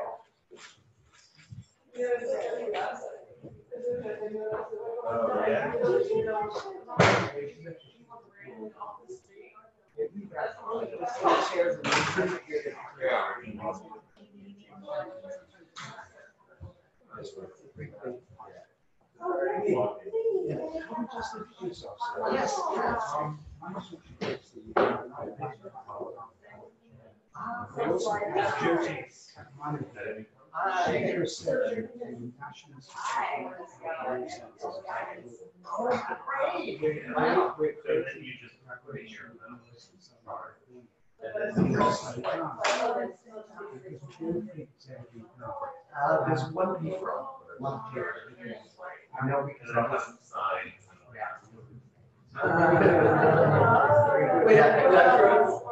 was.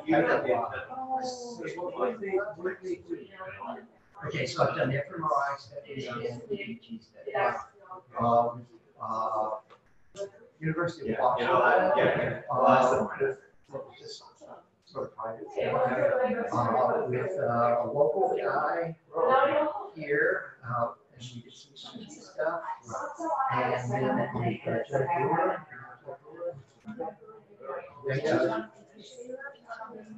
Uh, I know, I know we have done this. Uh, so I did, uh, was uh, director of.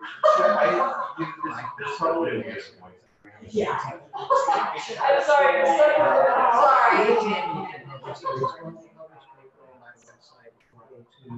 I don't know, but I say, I see,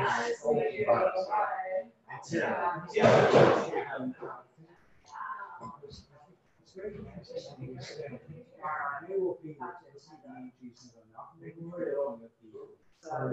it's not my Maybe the scheme resistance to EEG will perhaps. Scheme resistant was gonna be the next thing we were gonna do at University of Washington. Yeah. My student who was the GT, set it all up, got brain cancer. Yeah, exactly. Right, perfect opportunity, right? What is it, an opportunity? Very, the pictures we have of the fMRI.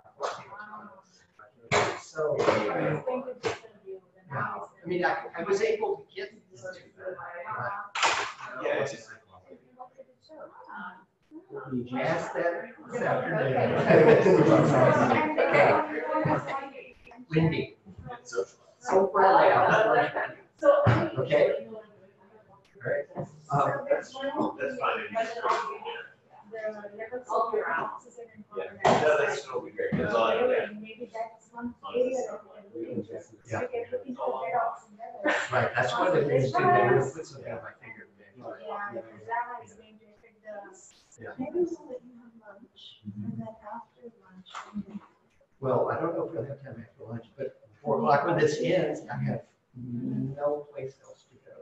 go. I can wait, my next event is five P M. Oh, great. Yeah, so we can talk.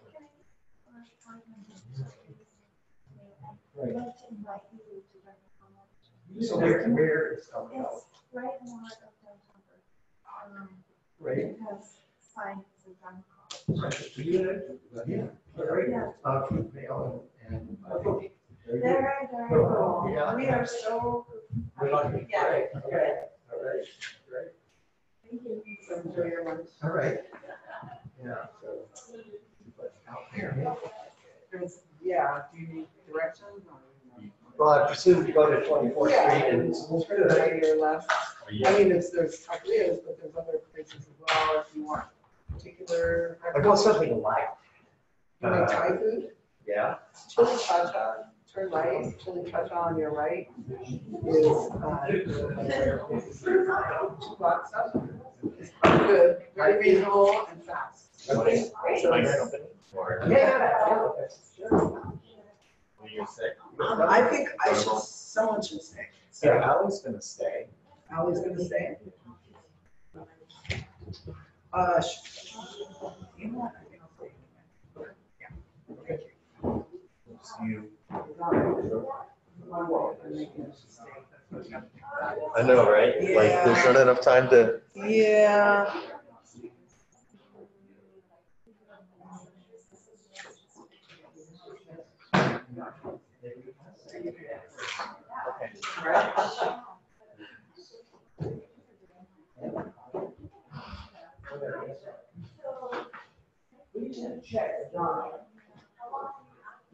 Yeah, fine.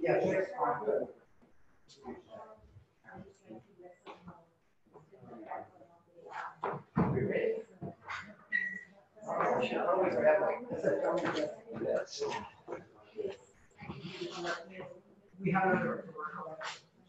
So I'm on there. One of the. Oh,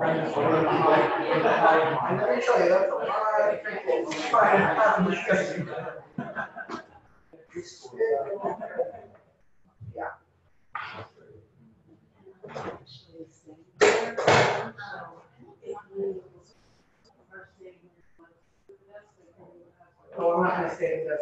Oh, okay. Oh, no, I am gonna stay. Oh, okay, oh, okay, awesome, okay. Yeah.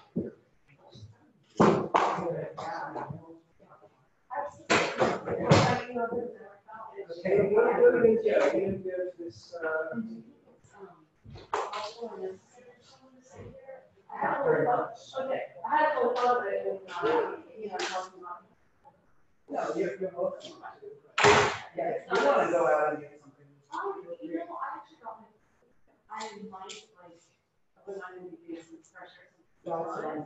One, one of the take turns. That sounds great, that sounds great, yeah. Do you wanna go out first? For me, it doesn't matter if I'm out for half of it or just ten minutes. Yeah, let me go for a ten minute walk. And take your time, Okay. take your time, like, Okay. really, I'm just wasting my time Okay. getting here, I want to be, I'm just hanging out. Yeah. If I get any pressure or whatever, that's a bonus, but I'm not. Yeah, it's the fresh air just. Yeah, yeah.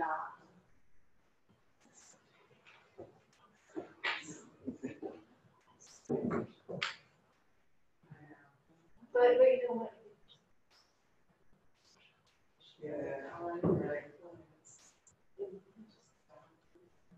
Yeah. There's just so much concentration Yeah. there. And in addition to that, there's Thought everybody so would much bring the else lunch. saturation. Right, no, I'm, I'm really. I'm used to making my lunch because I work in an area where there is no place to go eat, so.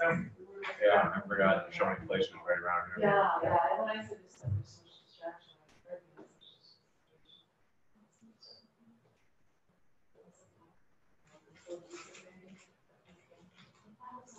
Uh, Like, breakfast, everything was awesome. Yeah, yeah, yeah. It's pretty good. Yeah, yeah, You know what I yeah. But it's like, they're just so much. Yeah, yeah. Get it out of here. I'll see you Yeah, okay.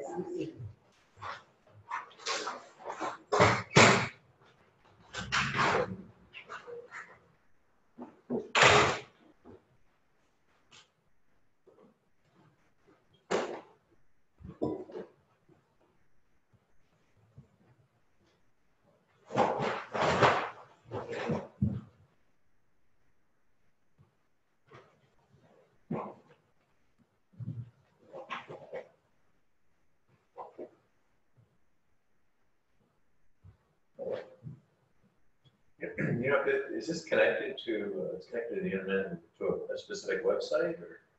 I really don't Oh, know. Okay, I thought you had set it up. I don't know, um, so I'm technically volunteering, but I know very little. I I think they put some of their, um, I didn't, I didn't know they would do this, but some of their, um, Dharma talks, they put on YouTube, I believe. So I don't Maybe know. this- if- this- Yeah, the sure. collective, so I would guess that's, you might ask the people who are sitting Yeah. at the desk. maybe.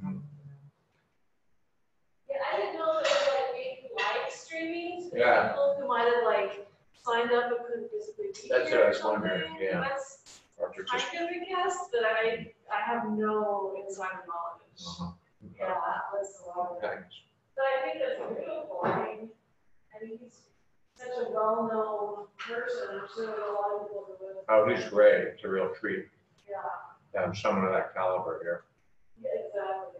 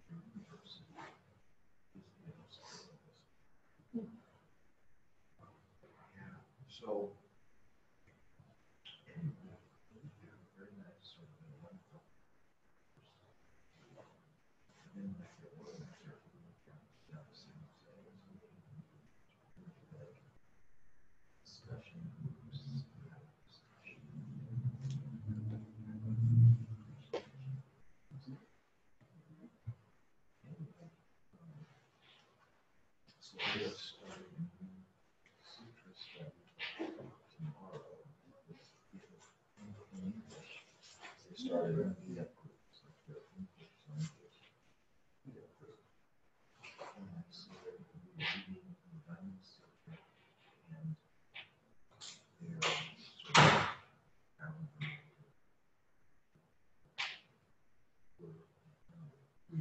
Sort of like.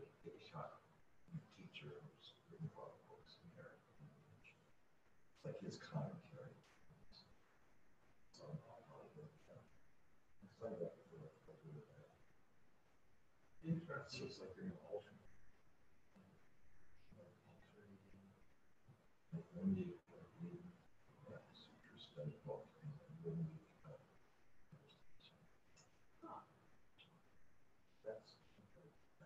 What, what time is? Uh, it's pretty early, it's like 10.30. That's early.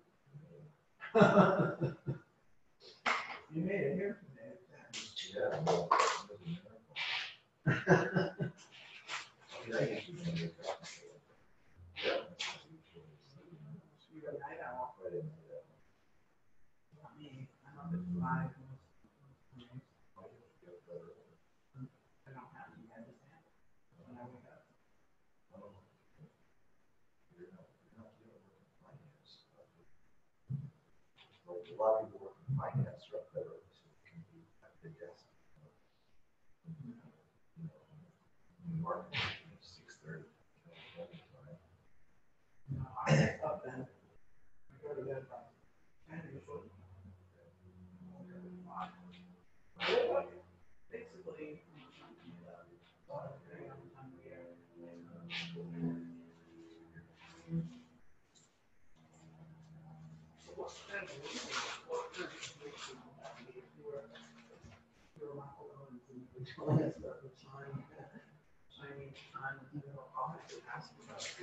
So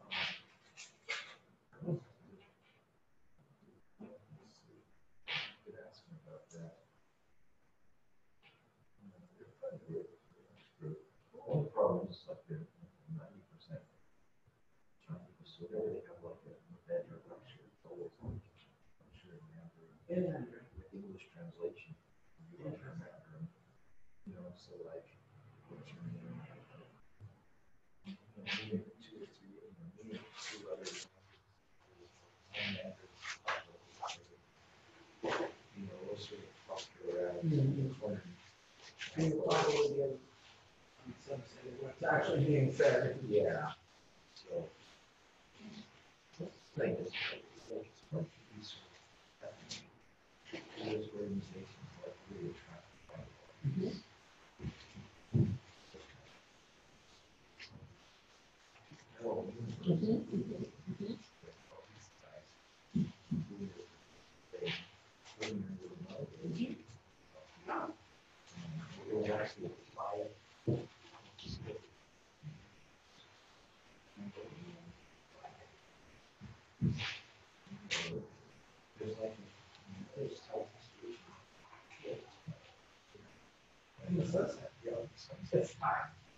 Yeah. It's history.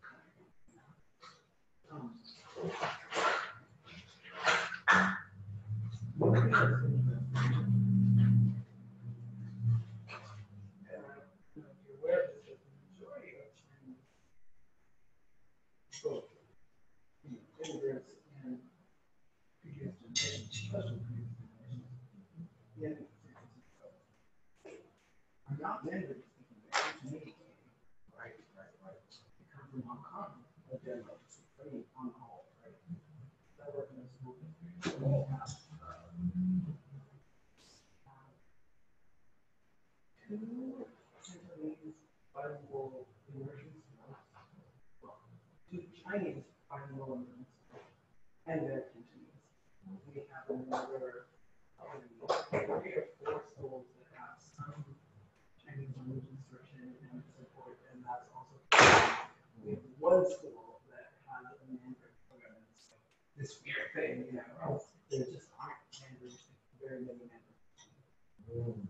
uh. So it's interesting that this temple is Mandarin. Oh, yeah. Yeah. Yeah, well, now that I think about it, it kind of makes sense because like if they're from, like if their lineage is mostly from Taiwan? Taiwan is Mandarin. It's kind of like, it's funny because it's like if you go over to China itself, it's like there's a lot of, there are a lot of Cantonese speakers over in China. But- Oh, yeah. But, Majority but, are but, but, but, yeah, exactly, but as a fraction of the pop- whole population. Yeah. You're like a little minority, so it's like, you know, we're sort of seeing, you know, sounds, some very distorted, kind of the. Yeah. Real proportion of Mandarin versus Cantonese in the world. Right. And there's some disagreement in the school district about these federal programs, because on the one hand, you know, people are like, well, is cool because that's our language, and on the other hand, it's like, the useful language you have in the world is not Cantonese, it's Mandarin, if you're talking in terms of like, you know, what the majority of people, it's not. Right, the vast I don't know what it is, you know, it's like ninety to one Mandarin. That sounds about right. Well, I think, yeah, I mean, in fact, I think it's eighty percent Mandarin. But then it's like, there's Cantonese, that's another ten percent, and then there's a few other little local languages. that are a few percent each, but, uh, And then, you know, the Chinese government is like, they're really pushing. It's like, you know, even down in the Cantonese areas, it's like, you know, government policy is, you know, more, kids are learning Mandarin. Well, I mean, that has its pros and cons. Well, fine for children who are Mandarin, that's the official language of the country, and it's not fine when it's a nation, Right. you know, let lesser. of other subcultures.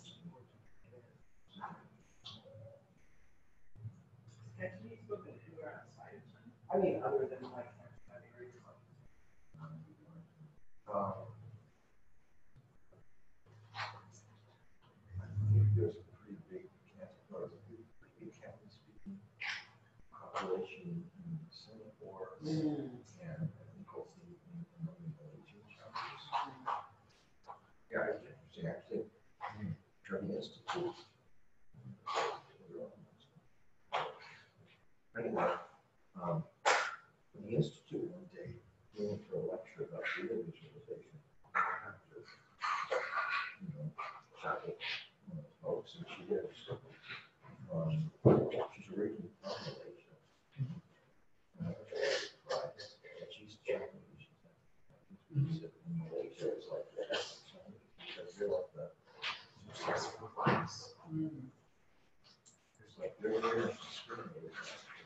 it's almost like, you know, their roles is a fundamental issue. They're trying to ethnically relate this to be, you know, to get an advantage. And she, you know, she said, well, you know, my family just got fed up with being like penalized for success. So we came, you know, we came to the United States where, you know, success is actually appreciated.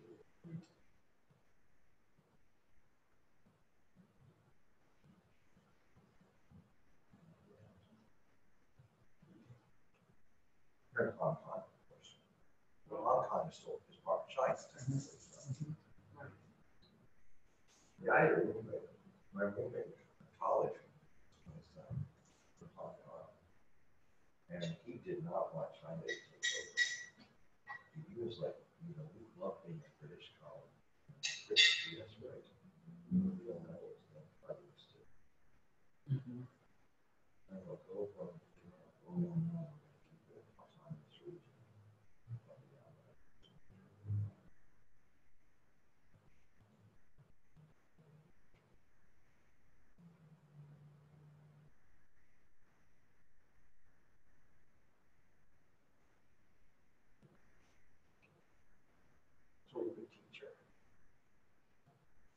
Um, I'm no longer a classroom teacher. I was for a long time, but now I work in the, um, district curriculum, in the math department, so I work curriculum. uh, Oh, you're a competition.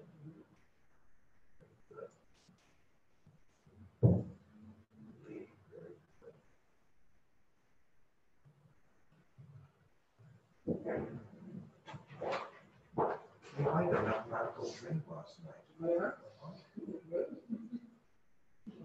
dream, I learned a super way to multiply two-digit numbers. That's. Yeah. What was that? So the trick is, instead of multiplying it out.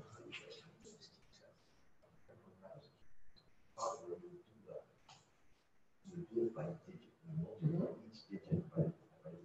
and then you're multiplying it. You know, you have to carry a certain number. So what was the dream? So the it was basically just multiplying one digit by digit instead of having, instead of um, two partial sums to add it. You had four. You're, you're. That seems, that's, that's. that's how they teach it. Really? Yeah, I mean, people learn, you know, there's more than one way to do it, right? It's not like one way, but, um, the, the best way in my, in my, pedagogically, in my opinion, five times three, five times twenty, four times three, I'm sorry, forty times three, and forty times twenty. So actually, thinking of it as zero thinking of the, this as what is twenty plus three, forty plus five. And then picking each combination, five times three, five times twenty, forty, forty, forty. And if you do this part in your head, right, like I did here, and you think about you're, you're basically, to- if you compare this to probably what you were talking about, the traditional algorithm, which is fifteen, and eleven, Exactly. three, right, two, eight, nine, right? Yeah, that's how we were talking. Right? This is, this is, what- this is what like- I dreamed up last night. This is so awesome. This is like, this is the extra work involved. This is how much extra pen strokes it took. Yeah. So it's nothing. It's like no cost. And it's so much more clear what it is I'm doing compared to this. Yes. And so the, the focus of our, uh, of, you know, improving the pedagogy for both students and the teachers is to take the mystery out of mathematics. It's not, it's not a bunch of like tricks, smokes and mirrors. It's just this thing. You decompose the numbers, you multiply them and you recompose them. And that, that principle, decomposition, operation, recomposition, that applies to everything. Yeah. So if you get that principle, then this is just a variation. You know, So that's. you dreamed, you I- you dreamed a wonderful dream. I, I did. and I can't wait to tell my colleagues. Yeah, you know, it's, it's funny, because this is how we were taught when I was Yeah. a kid. It's like, do you guys still do the, the yearly testing? There's still testing, unfortunately, but it's changed. When I was a kid, there was this thing called the comprehensive test of basic. Yep. And you guys had. Uh, CTBS. Yeah, so for a whole week, No, for a anyway, whole week, yeah. we wasted the whole week. Yeah, doing this yeah, bullshit test. yeah. And you always had this section of mathematical computation. Yeah. Yeah. Right, every different thing, right. It's evolved. Anyway, I, at the computation from the first time. Mm. I need this to sell, I got, I got some material, so Mhm. I to do pretty well. Mhm. this stuff. Mhm. Like, I always get confused, I, Mhm. you know, you there's multiple choice answers were always set up to make sure you a choice, or you know, not to screw up. And it's the kind of thing some people can do quite easily, and others can't. And it's a very, it's a tiny sliver of the world of mathematics. And yet Right. it got all the focus. And there's emphasis on speed, which is Yeah. bullshit. Like math has nothing to do with speed. And, um, yeah, And back in my day, Yeah. it was like, you couldn't use a calculator Right. calculators. Right, are evil. Evil. Right. They were. Right. they were- awful. they were Awful, they were heretical. Right. Um, Yeah. But, then of course we got the concepts. That's- I was great at that. And now, I mean, I make my livelihood mathematical Mhm, concepts. mhm, mhm, mhm. Well, I mean, think about what any professional mathematician does. It's And concept. it's concepts, it's not this, it's concept. So, yeah, Wow. that's hilarious. I can't wait tell my how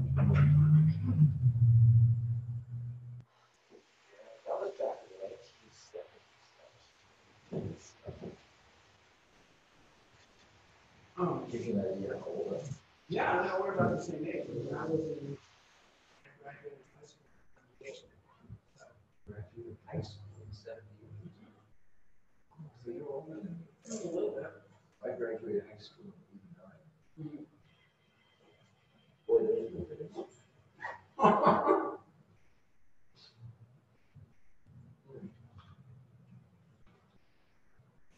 Those were good days. Do you remember when, when there were, when there were like smoking sections in high school? Dude, where did you grow up? East Bay, year round. Castro Valley. Yeah. I remember I was, in- I was up to the high school for some kind of, I don't know, gifted and talented, you know, day or something like that. You know, while I was in middle school. And it's like, they had like this designated smoking area. Mhm. And it was like all outlined with white stripes. Mhm. And it was so funny because a lot of the students, you know, it's like, you know, you smoke kids, that's the place to go. And it's like now, I mean, it, it probably, you know, you sticker, keep right off the campus, right? That's really funny. Yeah. Like, that was. Nineteen eighty-four, or something like that. Still like designated smoking, designated smoking area for kids. Wow. I just heard that part, I mean, I, I've actually been intermittently hearing of everything, Why but, don't you come um. over and you Oh, no, can this hear is, some more? no, this is actually perfect, because like, I actually really like just having a quiet time where I don't have, I'm such an extrovert, that it's just nice not to have to like interact, and at the same time, I've been ben- benefiting from like the ebb and flow of conversations, so I can like, enjoy just kind of hearing some, it's like a background lullaby kind of thing. But, uh, as you're, so, not trying to overhear, of course, we're in the same room, so, you know, my ears work. But, um, as you talked about a smoking section, I hadn't thought about that, but yeah, I graduated around the same time you did, give or take. And, um, we absolutely had a smoking section in our school, and So- nowadays you would never have that. I mean, that would be absurd. Bizarre. Yeah, that's great. Yeah, things were really different then. Oh, mm-hmm. you used to junk food they served at schools too. Mm-hmm. Mm-hmm. I remember when I was in high school, it was like, you know, it was, you know, like in the cafeteria, it's like, they had a salad bar, which actually I frequented pretty frequently. Which is why I have, which is why I have an adult impulse, I get vague. I got lots of good fruits and vegetables for a critical period, it was like, okay, you know, line one hamburgers, line two hot dogs, Right. line three fried. Right. Right. It's like, wow. And They had like milkshakes, those were weird mass milkshakes, they were like psychedelic milkshakes. Like you, had- you had this, I don't know what you had in those milkshakes, for me, It was bad. if you had those milk, if I had a milkshake, it's like that night I'd be sort of spaced out. I don't know what was in them, but it was like, I couldn't concentrate, I'd be sort of like in this dizzy, dreamy state that whole, that whole night. I don't know what was in those milkshakes, but I'll tell you, it wasn't good. How many milkshakes were you grew up? Oh, you're talking to me? Oh, how are milkshakes, right? You know, I'm not a milkshake person, so I have no idea. Yeah, I don't know. I, I was not a military person either. I thought they looked pretty weird. They had these weird, they had like these weird ice crystals in them. Mm. And maybe whatever was in those ice crystals spaced you out the night after. I have a feeling I didn't really have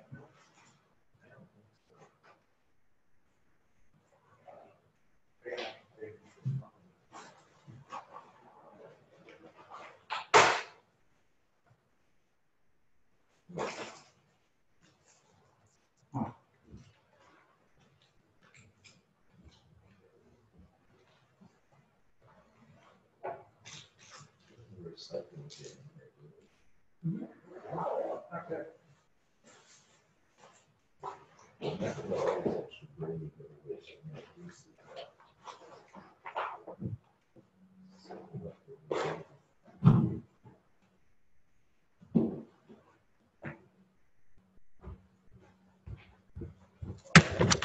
Okay. How are you? Good, how are you? Excellent. Are you missing something? Yeah. I don't know where I left it. I'm gonna go for it. It's a pen. You need a pen? No, I, I think I found where I'm looking for. Thank you.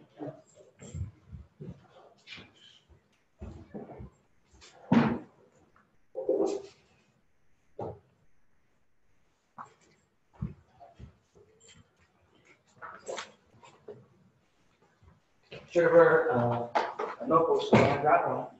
Walgreens, and rightfully titled Free Your Mind. That's hilarious. Free Your Mind. Wow. That's amazing. That's really, really funny. I know him. For it. So this is again. Yeah. Thank you you. have a friend, right? That's right, that's right, yes. How did you find Dave that? is my neighbor. What? Dave, the guy you were talking to, Oh, he, he's my neighbor. oh, so you're friendly. Yeah, Yeah, so he, he actually put up some flyers in the building, uh, where, I- where we live, and he, um, that inspired me, so, oh my goodness, that- that's such a fun, and very, uh, thing to do. So here I am, and I said, oh my goodness, that's a good thing, yeah. But are you a meditator? I'm a Meditator for It's just like, years, but, but, but I, I, I'm familiar with Vipassana, I'm familiar with technical meditation and all kinds of varieties. Uh, But, you know, I can't consider I know much about this line of of meditation, I find it very. So, uh, I, I, I, I was exactly, quite ecstatic yesterday, when I was just listening. Uh, Sounds good. Sounds good. You want to? I. Yeah, yeah. I came here from Fremont. Really. So. Please do all the meeting. I think he's gonna. Talk my Yeah.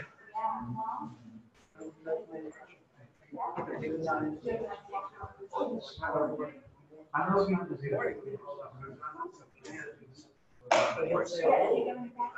But he'll say,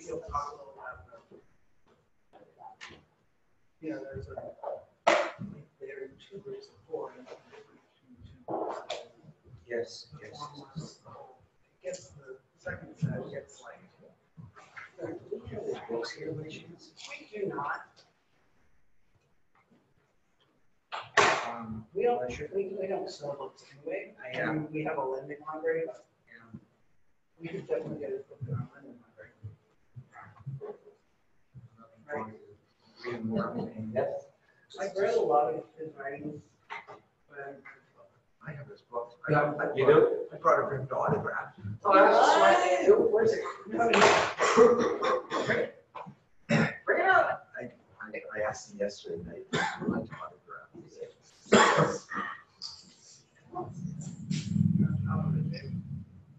You know, I got, um, I bought Ajahn Brahm's book, and he came and lectured here in early two thousand fifteen.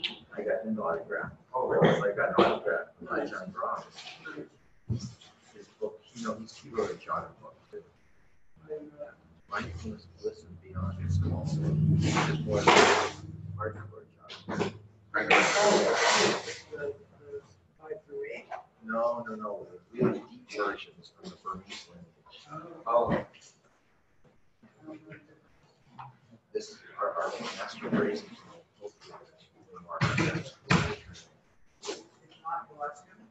Well, yes, please. Well, you ask him. No, no, no, you're the one who brought it forward. You know what the question. Dave said. Exactly. Yeah, you need to try- I mean, I have another question actually I don't want to ask too many questions. I want to get through all of this material. I feel like we we just sort of were on schedule already. But did you ask any questions this morning? No.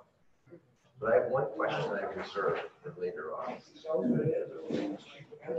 Yeah, I'll tell you what it is. So when you, you watch that YouTube video or when students do like, a- like, or YouTube videos, they do a walkthrough of the doggies. Well, it's very weird. Because they're like doing this travel log sort of thing. Now we're at number three. which is my review.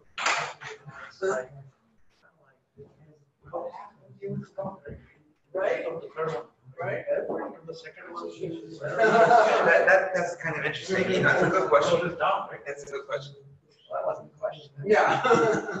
So, anyway, at one point, because both of them are third level functions, there are additional five additional correspond to the five instead of like five sharp units in the model. At your third level, you also get.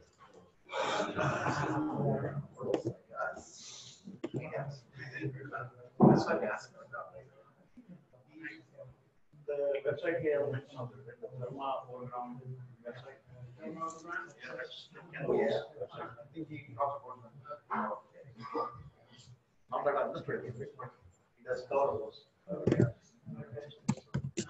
That's the purpose first, simplest one. I mean, the thing is, I don't know, you know as a mathematician, the number of cosmos, are they countably infinite or uncountably infinite? In other words, are the aleph zero or aleph one? Have you been, were you here for the, for example, in class where he talked about the actual numbers that correspond to all of the Well, words like. Oh, yes, yes, yes, yes, I remember Okay, that. So, so.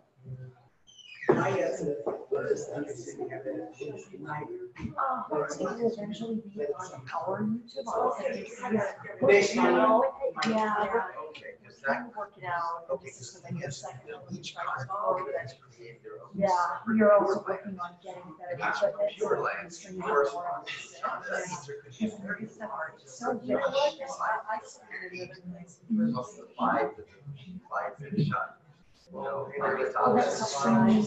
Yeah, it's a straight line, which is- Yeah. Um, Yeah. Okay, so I didn't- Yeah. Yeah, it's a. Yeah, they used to be lower, they, So like these And, guys. and, you know, they've got their reasons that they're doing it. It's understandable. Um, so most likely. to have it a library like. Right. And then a channel. Yeah, it'll have to be in a library that they've approved, but I can't see why they wouldn't. And then we're also we're looking Right. at now we're in talks with Zenner Wow, that is- has oh formed out of. But it's like, in other words, is there a, is there one And they're talking about instead of equipment. integers? Or is there a that right to the real numbers? So they can pay that pictures. But they're like, yeah, you have to, you don't have to pay like that. Like, do. So. Yeah. From like, start working that out because as we have access to more instructors, we can offer, you know, like, providing the technology more. Technology faster. And then we can just, get around their, stuff. Trying. Almost like we're- trying, trying. You never know. Everything does, yeah. Try and move this closer. It's just the sound isn't so good. Okay. Well, maybe that'll help.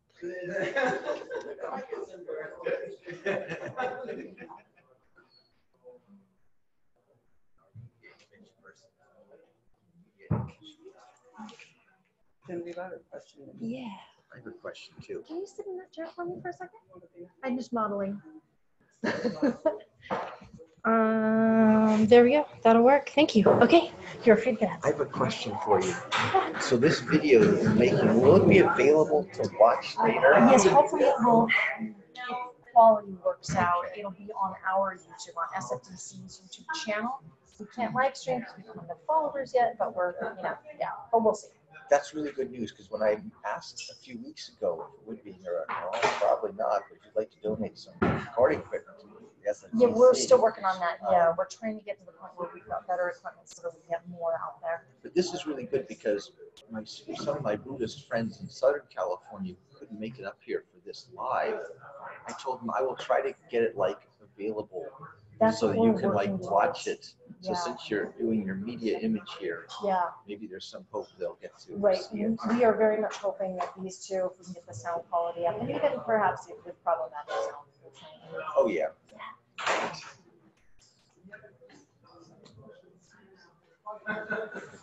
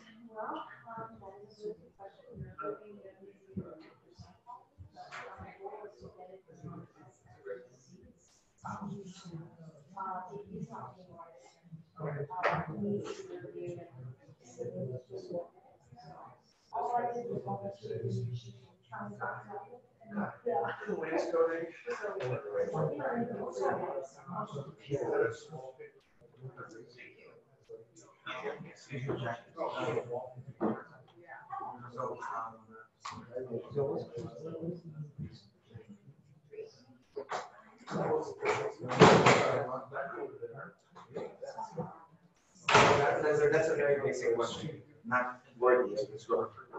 Well, I know it's not a very basic question.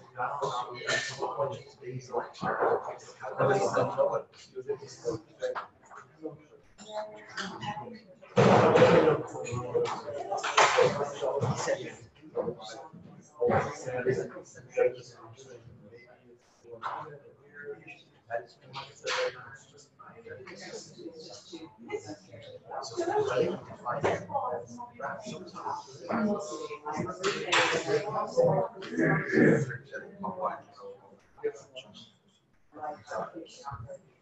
one of the.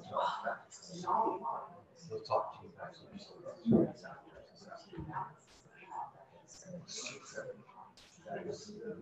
happiness.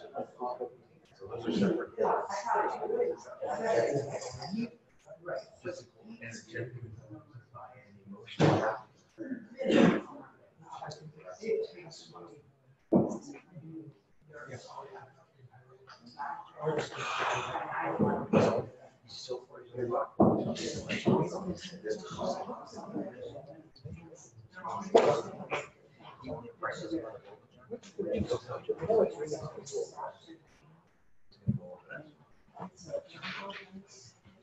You could ask him though. You want to ask him to.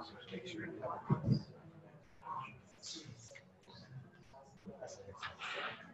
Particular questions.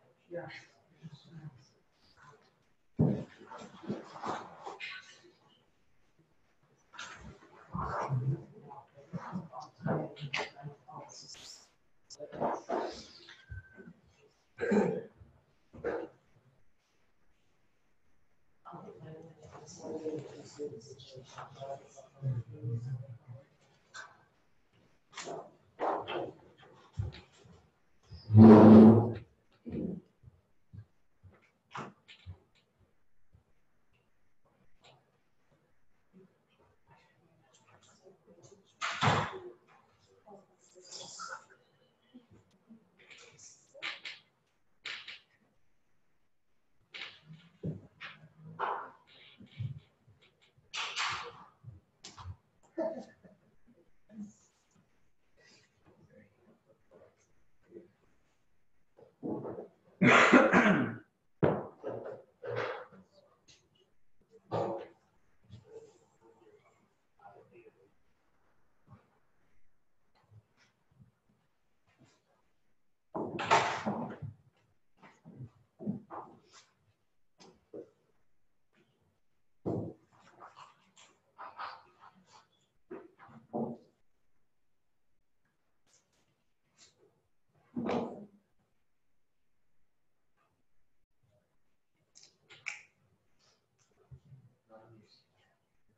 Gracias.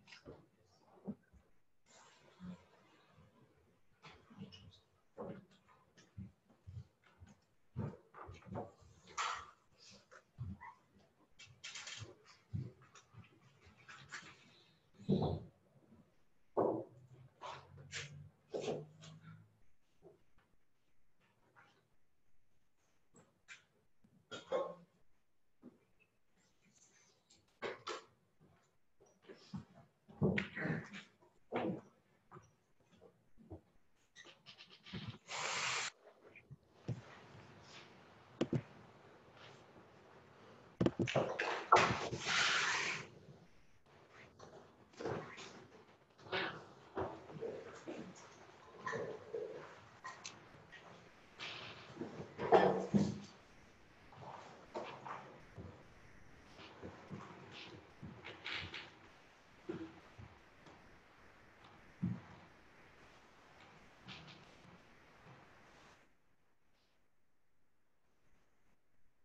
mm -hmm. you.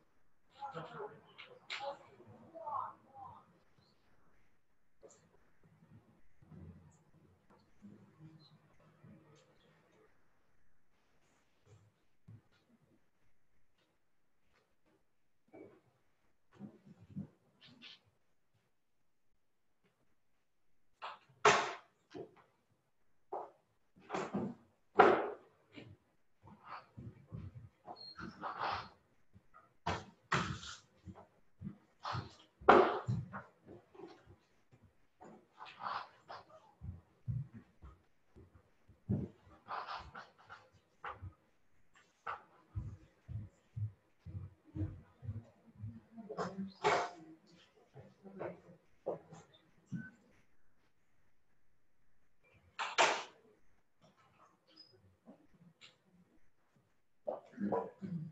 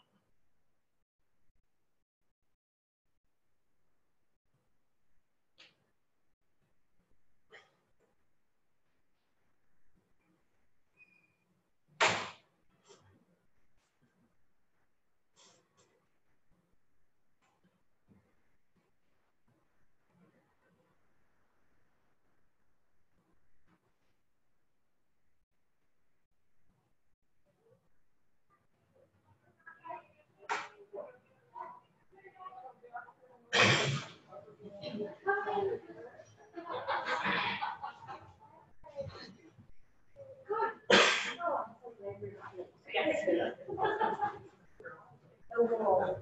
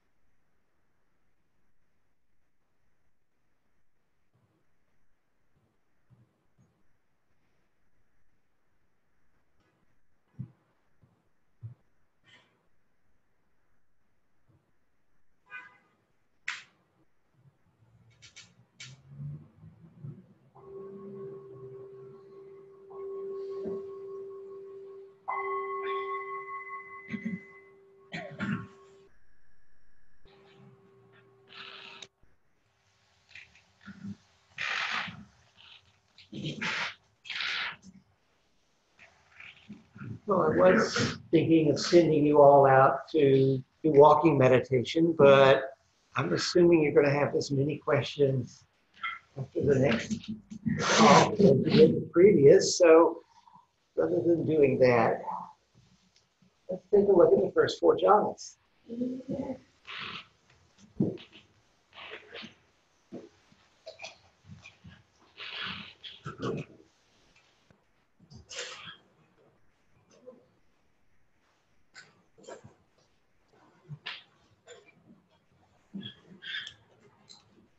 So the jhanas appear frequently in the suttas. Uh, they're in half of the long discourses. They're in a third of the middle length discourses. And the connected discourses is a whole section on the jhanas, plus they're all over the place. They show up in the numerical discourses. Uh, clearly, they were a very important part of the Buddha's teachings. But everywhere they show up, it's almost exactly identical. Occasionally, you'll find something that has a little bit of extra thrown in, but mostly it's exactly the same thing, the same stock phrase. This makes sense. It was an oral tradition. And so you're learning a sutta, and you get to the jhana part, and you say the jhana thing. You learn a new sutta, and you get to the jhana part, and you say the same jhana thing. So whatever the Buddha said, it all coalesced into this, well, they call it a pericope, Scott, uh, a, a stock phrase. So, quite secluded from sense pleasures, secluded from unwholesome states, one enters and dwells in the first jhana. Secluded from sense desire, secluded from unwholesome states is the abandoning of the five hindrances. Wanting, not wanting, too much energy, too little energy, doubt. Usually it's given as sensual desire, ill will and hatred, sloth and torpor, restlessness and remorse, skeptical doubt. Right? The method we're using to abandon the hindrances is generating access concentration. If you're at access concentration, you're not getting distracted. If you're not getting distracted, you're not falling into any of the hindrances. Okay? So get to access concentration, and then one enters and dwells in the first jhana, which is accompanied by vitakka and vicara. Okay, those words have been, well, discussed a lot. Vitakka means thinking, and vicara means something like turning things over, wandering around, taking a look at, or examining, or pondering. Unfortunately, in the Visuddhimagga, which as I mentioned was about 800 years after the Buddha's death, they had changed what they understood the jhanas to be to such an extent that the words thinking and examining no longer fit. So rather than go, oh, I think we made a mistake, we're describing something that doesn't fit the description, they went, let's just change the description. Let's give these words different meanings. And so by the time of the commentaries, you find vitakka meaning initial attention and vicara meaning sustained attention. But that's never what it meant to the Buddha. In fact, vicara means literally means wandering around. Wandering around doesn't sound like sustained anything, right? But because of, well, right, so the Buddhist disciples learned the jhanas, and then they taught them to the next generation. And eventually, you got a bunch of guys out in the woods, no TV, no women, nothing to do but meditate, right? And whoever could do it the longest and strongest, that was the real thing, right? And they just kept discovering deeper and deeper states. You can actually see this happening just a bit in some of the later suttas and then a good bit more in the Abhidhamma, which began to be composed about 200 years after the Buddha's death. And then when, by the time we get to the commentaries, 800 years after the Buddha's death, there are eight completely different states that are quite different from what's described in the suttas. And the words vitakka and vicara don't mean there what they mean to the Buddha. But one, I think the Buddha knew what he was talking about, if anybody did. And two, what's described in the Visuddhimagga is only suitable for full-time monastics, and I don't see anybody looks like that in this room. So uh, I'm going to go with what the Buddha said. So, secluded from sense pleasures, secluded from unwholesome states, one enters and remains in the first jhana, which is with that background thinking that was there in access concentration, and is filled with rapture and happiness born of seclusion. Piti and Sukha. Piti, the physical component, Sukha, the emotional component. One drenches deep, saturates and suffuses one's body with this rapture and happiness born of seclusion, so there is no part of one's entire body not suffused by this rapture and happiness. This is an advanced practice. The first thing to do is to get into the first jhana the first time. And then the next thing to do is to get into the first jhana the second time, right? Which sometimes can be a little more difficult because you want it again, right? And then get in regularly and get in and now sustain it for five to 10 minutes, right? So get regular at getting in and sustaining. And when you can do that, then you can try and move the piti sukha feeling throughout your body. Most people find the piti arises sort of upper torso, neck, and head, maybe your entire spine or something, but definitely the upper part of the body. And uh, the, sukha, uh, the sukha is just, yeah, sort of in your face area. And so you want to drench, deep, saturate, and suffuse your body. So put your attention where you feel the piti sukha experience the strongest, and then move your attention to some other part of your body where you don't feel it. And it'll just follow right along. And then you move it to another part, lower through your abdomen, down one leg and down the other. And over a period of three or four minutes, you can get the feeling to be all encompassing. But it's an advanced practice. First, you got to get in, then you got to get stable, and then you can play with this.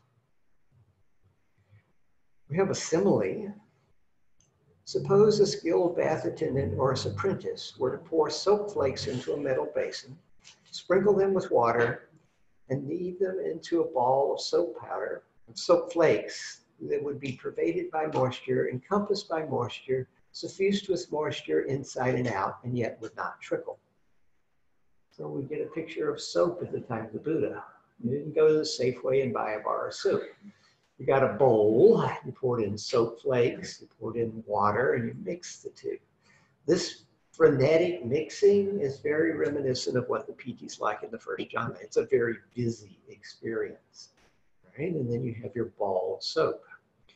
And the water pervading the soap flakes is like the piti sukha pervading your body. In the first jhana, you may not be able to tell the difference as this is piti and this is sukha. It's more of a piti sukha experience, but that doesn't really matter. You know, it's just this wow, different state. In the same way, one drenches deep, saturates, and suffuses one's body with the rapture and happiness born of seclusion, so there is no part of one's entire body not suffused by this rapture and happiness. Right? So five to 10 minutes is probably sufficient for the first jhana. Beyond 10 minutes, mm, probably not a good idea. Running all that energy, uh, oh, it does have a cost. It could leave you kind of jangly. It could leave you with insomnia. People who stumble into the first jhana, say in the sitting before going to bed, uh, they don't sleep well that night because it'll wire you up. And yeah, 10 minutes of running that energy is enough. But if the energy is really strong, which is what a lot of people find, 10 minutes is way too much. Maybe only a couple of minutes. If it's really strong, maybe only 20 or 30 seconds. Right? When you've been in it five to 10 minutes, or you've had enough because it's so intense, then the thing to do is to take a deep breath, right? Remember I said, don't take a breath if you want the first jhana. Take the deep breath. And in doing so, if this is the piti and this is the sukha, then what you're doing, you take the breath and you do a foreground background shift. Everything calms down, but the piti calms down much more. And now the sukha is much more prominent, the emotional state. Focus on the emotional state of joy or happiness and this will take you towards the second jhana.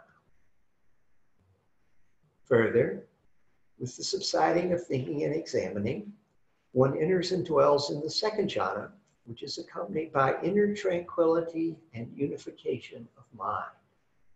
The inner tranquility arises from turning down the volume on the piti. When you're in the first jhana, tranquil doesn't, yeah, does not apply. It's, it's jangly. So you take the breath and it calms down. Now you have the inner tranquility. And the trick to make it the second jhana is to gain the unification of mind.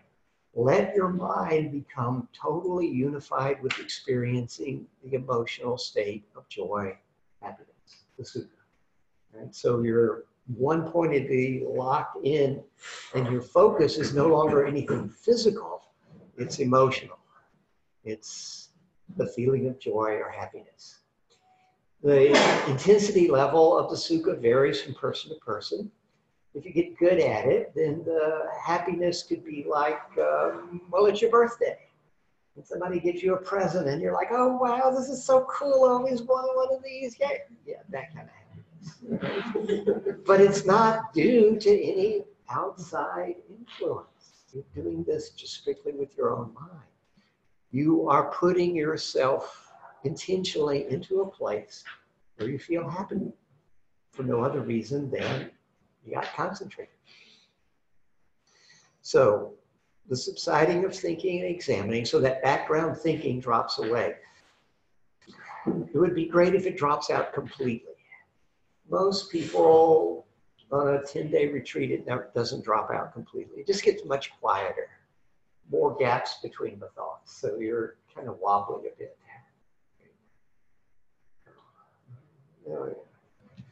I mean, it, ideally, you're rock solid. There's no thoughts, and you're just happy.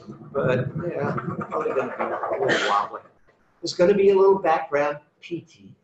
The energy's not going to completely disperse, but it's probably going to make you rock, sway, something like that, uh, rather than jangle.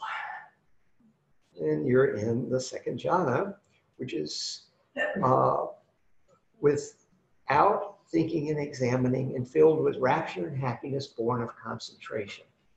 So the rapture and happiness of the first is said to be born of seclusion, born of secluded from the hindrances, or born of access concentration. And now it's from the concentration of the first jhana. So you have a higher quality sukha and a more smooth uh, piti. One drenches steep, saturates, and suffuses one's body with the rapture and happiness born of concentration, so there is no part of one's entire body not suffused by this rapture and happiness. Okay, so each of the first four jhanas seems like they're going physically down. So if the first jhana was in your face, the second one seems to be centered more in the heart center. Right? So things have dropped down a bit. And it's well, it's like the heart center is where it's the strongest. So you put your attention there, and then you just move your attention to your arms if there's no happiness down your arms, and it will follow right along with you, and then down through the rest of your body. But again, an advanced practice. First, you got to get in, then you got to get in and sustain it. Now, this is a little more difficult to sustain because your object of attention is an emotion which is very different from the breath or body scan or something like that. It's just a pure emotion. It's just sitting there. Maybe it's a little stronger, a little weaker. You know, it's not rock steady, but it, you know, it's not doing much. So a little harder to maintain. And for the second and higher, you could probably maintain these for as long as you wanted with no problem. Um, 10 to 15 minutes is good. Uh, I you know, you could do half an hour, hour if you wanted to. Probably better to do 10 or 15 minutes and move on, but uh, you can spend a while. We have another simile. Suppose there were a deep lake whose water is welled up from below. It would have no inlet for water from the east, west, north, or south, nor would it be refilled from time to time with showers of rain and yet a current of cool water welling up from within the lake would reach deep, saturate, and suffuse the whole lake, So there would be no part of that entire lake which is not suffused with the cool water. So the picture, a lake up in the mountains, no streams, no rain, but a spring. And the spring water completely permeates the lake, filling all parts of it, right?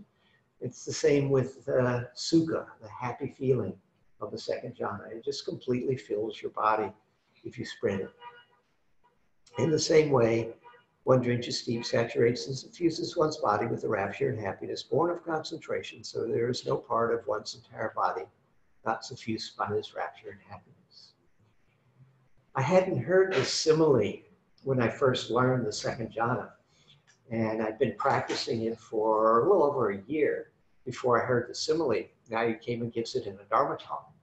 And after she leaves, I go running after her. Ayya Khema, I came. It's just like that. It's just like that. this really captures the feeling of the second jhana. There's this wellspring of happiness just coming out of your heart center. It's just bubbling up, and you're just happy for no reason. First jhana, you got a big grin, teeth showing. Second jhana, you got a big grin, no teeth. And you're just happy. Further, with the fading away of rapture, piti, one dwells in equanimity, mindful and clearly comprehending, and experiences happiness with the body. Thus one enters and dwells in the third jhana, of which the noble ones declare, one dwells happily with equanimity and mindfulness. So the transition to the third jhana is when the piti disappears. So piti predominates in the first with sukha in the background. You go to the second, sukha predominates, piti in the background. And the third jhana, the piti's gone, and there's just sukha. But the sukha actually is more transformed into contentment, wishlessness, satisfaction. Satisfaction so complete that if Mick Jagger had been practicing the third jhana, he wouldn't be able to sing that song. Right? You're just satisfied. One drenches deep, saturates, and suffuses one's body with a happiness free from rapture, so there is no part of one's entire body which is not suffused by this happiness. Now, for some people, the piti just fades out in the second jhana and they find themselves in the place that's very still. And the happiness has gotten a little calmer, more contented feeling rather than joyous feeling. And they just slide into it. But you can go there intentionally. Again, it might be helpful to take a breath and as you do, just really relax and turn down the volume on the happiness towards contentment. Just let the happiness, you know, sort of drift down towards contentment. It's a fairly easy thing to do. It may be helpful to remember a time when you were very contented. Say you had just eaten the perfect meal, you didn't overeat, you don't have to wash the dishes, right? A quarter second memory right? And you pluck the feeling of contentment out of that, right? So got the happiness, turn the volume down, there's the memory, there's the feeling of contentment, and now you're focused on the contentment. And then when you get skilled at it, again, you can do the same trick of moving your attention throughout your body. It's going to seem physically lower than the second jhana, maybe at the belly, Things are getting quieter and more still. Without the piti there, there's no sense of movement at all. It's just content. And that's it. Suppose in the lotus pond there were blue, white, or red lotuses that had been born in the water, grow in the water, never rise up above the water, but flourish immersed in the water. From their tips to their roots, they would be drenched deep, saturated, and suffused with water, so there would be no part of those lotuses not suffused with water. In the same way, one drenches deep, saturates, and suffuses one's body with a happiness free from rapture, so there is no part of one's entire body which is not suffused by this happiness. So the picture is a lotus pond with lotuses coming up out of the mud, but not above the surface of the water. They're not waving in the breeze, they're not bobbing up and down. They're just very still underwater. And they're isolated. right? This is the sense you're beginning to get in the third jhana. It's very still and it's somewhat isolated from the world around you. You're not quite as engaged as you were. You've really gotten deeper inside. Again, this is one that you could spend as long as you wanted in. 10, 15 minutes is what I recommend. Get skilled at it before you try and learn the next one. But if you wanted to spend a half hour or an hour there, it would be no problems. Uh, except you might run out of the neurotransmitters, whatever they are, that make the jhana, and then you just slide off into the next one. This is the case for all of them. So, the fourth jhana. Further, with the abandoning of pleasure and pain, and with the previous passing away of joy and grief, one enters and dwells in the fourth jhana, which is neither pleasant nor painful and contains mindfulness fully purified by equanimity. All right, so the first three jhanas are all pleasant, right? You got rapture and happiness, happiness and rapture, and contentment. And all of those are pleasant states. Right now, to move to the fourth jhana, you've got to let go of the pleasure. You don't want to go negative, so what you want to do is go into an emotionally neutral state. I find that the transition is fairly easy. In the third jhana, I've just got a wispy Buddha smile, right? All I have to do is put my attention on the muscles in my face and relax them. And the smile drops away, and there's a sense of dropping down. And I just go with that dropping down and ride it down to a place of quiet stillness. Fourth jhana is usually called the jhana of equanimity. But if I tell you focus on equanimity, uh, that's a little nebulous. Hmm, what are you going to focus on? But if I tell you focus on quiet stillness and you succeed, you will be focused on equanimity. Right? So that's what you're looking for. The transition does feel like it drops much further down. So first jhana hit, second jhana heart, third jhana belly, fourth jhana below the floor. Right? Again, it might be helpful to take a deep breath, and as you let it out, relax all the muscles in your face, and see if there's a sense of dropping down, and just ride the dropping down to quiet stillness. Ayya Khema said that it might be helpful to think of being in the third jhana as in the mouth of a well, a bit isolated from the world around you. For fourth jhana, let go and drop down the well. Now, the dropping isn't free fall, it's sort of drifting down. Okay, it's more like drifting to the bottom of the swimming pool. Right? It just, just goes down, down, down, and then eventually it settles and where it settles, you want quiet stillness. Another image that might be helpful, you're sitting in the mouth of a cave in the third jhana. In the fourth jhana, go deep, deep inside the mountain, and the cave goes down as well.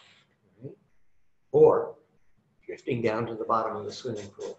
So let go into this sense of things going down and notice that you're emotional state has become completely neutral and you focus on quiet stillness. And when it settles, you've arrived at the fourth jhana. It says, it says he sits suffusing his body with a pure, bright mind. So there is no part of one's entire body not suffused by a pure, bright mind. When I first heard that, I was a little puzzled because pure, yeah, when your mind is that calm and quiet, it's really pure. But bright, I didn't get the bright because it was dark. I mean, you close your eyes, it's dark. And that's all I saw was blackness. And it was like, what's that about? Why does it say bright? Suppose a man were to be sitting covered from the head down by a white cloth so that there would be no part of his entire body not suffused by the white cloth. In the same way, one sits suffusing one's body with a pure, bright mind, so there is no part of one's entire body not suffused by a pure, bright mind. The picture is pretty clear. It's a guy sitting with a white sheet completely covering him, right? I could see the covering be the isolation from the world around you because you're really quite withdrawn at this point. well, why a white sheet? So I went, I came and I asked her about it. And she said, well, tell me what your fourth jhana is like. And I told her, and she said, that's fine. Don't worry about it. Okay. All right. It had to go in the I don't know bucket. I assume all of you have an I don't know bucket. Better have a big one. All right. So this went in the I don't know about it for 16 years. Right. And then I went on retreat with Pa Auk. Venerable Pa Auk is a jhana master from southern Burma who teaches the Visuddhimagga jhanas, much deeper states of concentration.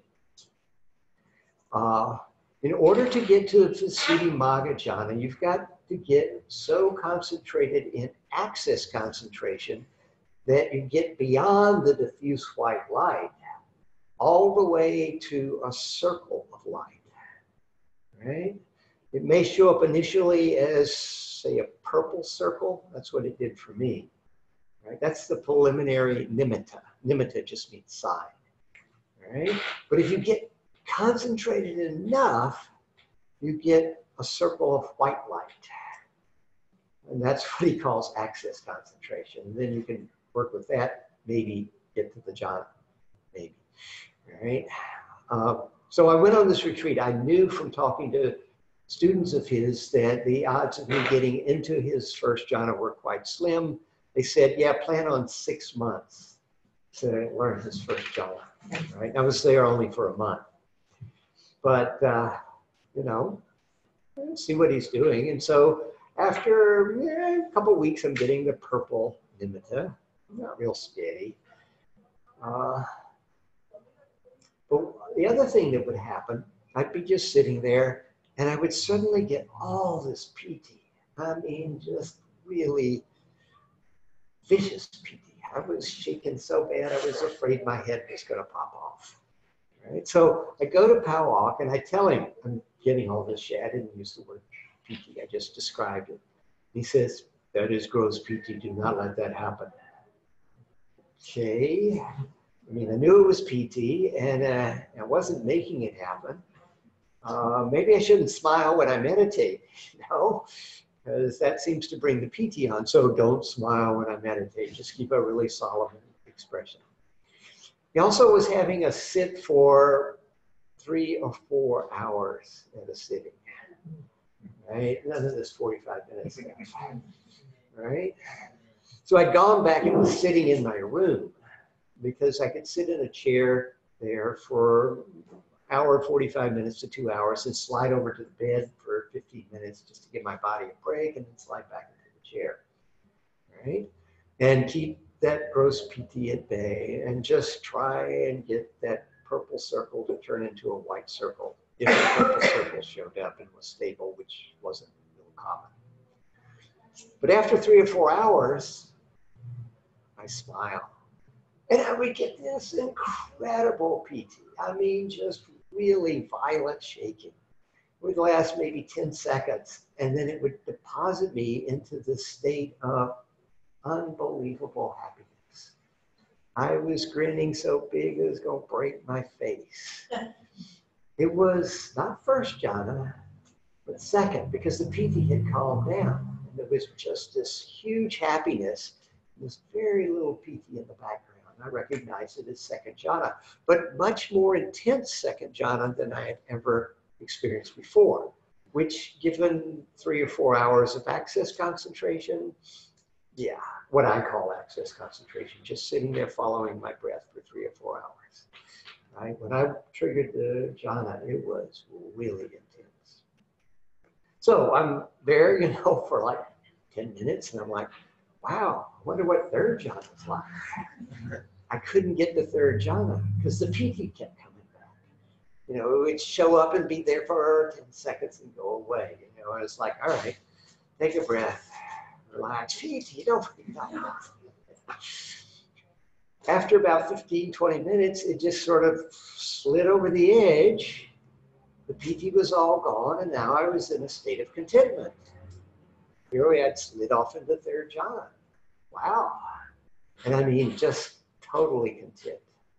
Never had jhanas this stable before. You know, my mind wasn't going anywhere. It was really quite remarkable. What's fourth jhana like? Okay, take a breath, wipe that smile off. I couldn't wipe the smile off my face. You know, I'd relax the muscles and the smile would come back. I'm stuck in the third jhana. Can't get out of it. But after, I don't know, another five or 10 minutes, again, there was this sense of just going over the edge. And this time it dropped a long ways down until it deposited me in a place of quiet stillness. Fourth jhana. Only this time, my visual field was bright white. It was just like if I went outside and sat in the middle of a field on a bright sunny day and put a white sheet over my head and opened my eyes. Oh, yeah, exactly what it says here. Right? So mm-hmm. clearly, although I had been doing fourth jhana before, I hadn't been doing it to the depths as being described in the suttas. I needed to spend longer in access concentration to get to that depth. And I find that I can get there with the white fourth jhana, basically if I'm on retreat. And I can't do that at home. You know, I've got to really get on a retreat, preferably a longer retreat, like a month-long retreat, and just work with it and get the concentration really up there. And then, yeah, then the fourth jhana will turn white again. So that's the four jhanas. Why bother? Well, when one's mind is thus concentrated, pure and bright, unblemished, free from defects, malleable, wieldy, steady, and attained to imperturbability, one directs and inclines it to knowing and seeing. One understands thus this is my body having material form, composed of the four primary elements, originating from mother and father, built up out of rice and gruel impermanent, subject to rubbing and pressing, to dissolution and dispersion. And this is my consciousness, supported by it and bound up with it. Purpose of doing the jhanas is to generate a mind that's concentrated, pure and bright, unblemished, free from defects, malleable, wieldy, steady, and attained to imperturbability, which you can direct and incline knowing and seeing, doing your insight practice. And what sort of insight practice? Investigation of body and mind. Uh, any of you ever heard of the Satipatthana Sutta? Right? There are 13 practices in there. Part one is body. Right? Part two is Vedana. Vedana are mind. Part three is mind states. That's mind. And part four is phenomena. But the phenomena that are described are mostly mind. The jhanas are a warm-up exercise for your satipatthana practices, your foundations of mindfulness practices. Right? Get your mind concentrated and then investigate body and mind. And Satipatthana Sutta gives you 13 different practices to use for investigating body and mind. Getting enlightened is difficult. You know, it's probably easier to cut this wooden table in two with a butter knife. It's going to be hard, right? I mean, you know, you can make a little dent right away, but to cut it in two with a dull butter knife, that's going to be hard, really hard. But if you get a whetstone, put an edge on that butter knife, you can cut a lot faster, right? It's gonna get dull, you'll have to sharpen it up again. Go back to cutting. This is jhana practice. It's just sharpening your mind so that you have penetrating insight. In the Tibetan tradition, they talk about Manjushri, the bodhisattva of wisdom. He's often depicted with a sword that he uses to cut through the bonds of ignorance. Jhana practice is just sharpening Manjushri's sword. Right? You still got to go wield the sword to cut the bonds of ignorance. And you don't want to make the mistake of just sharpening, right? Because if you do that, then eventually you got no sword left. So the whole idea is you sit down, you step through these states, getting your mind as concentrated as you possibly can, and then you step out and start doing insight practice. Yes, you lose this indistractability, this sharpness, just like you do if you're cutting something with a knife. It's okay. You started out really sharp, you'll get more insights. When it gets dull, then you go do your walking meditation. And come back, get it sharp again, insight practice. This is what the Buddha is laying out. This is the training for the monks and nuns. Lead a life that doesn't cause harm to yourself or others. Sharpen up your mind with jhana practice. Investigate the nature of reality. And as a side benefit, your ego, which I assume everybody's aware you have to make up, you have to think it up, emote it up, right? No bandwidth left for that while you're in these states, so it's out of the way. And when you're doing your inside practice, you're doing it from a less egocentric perspective, which is going to give you a much better chance of seeing what's actually happening. Question. I wanted so three questions there. Um, so Vicara and Vitakka aren't concentration.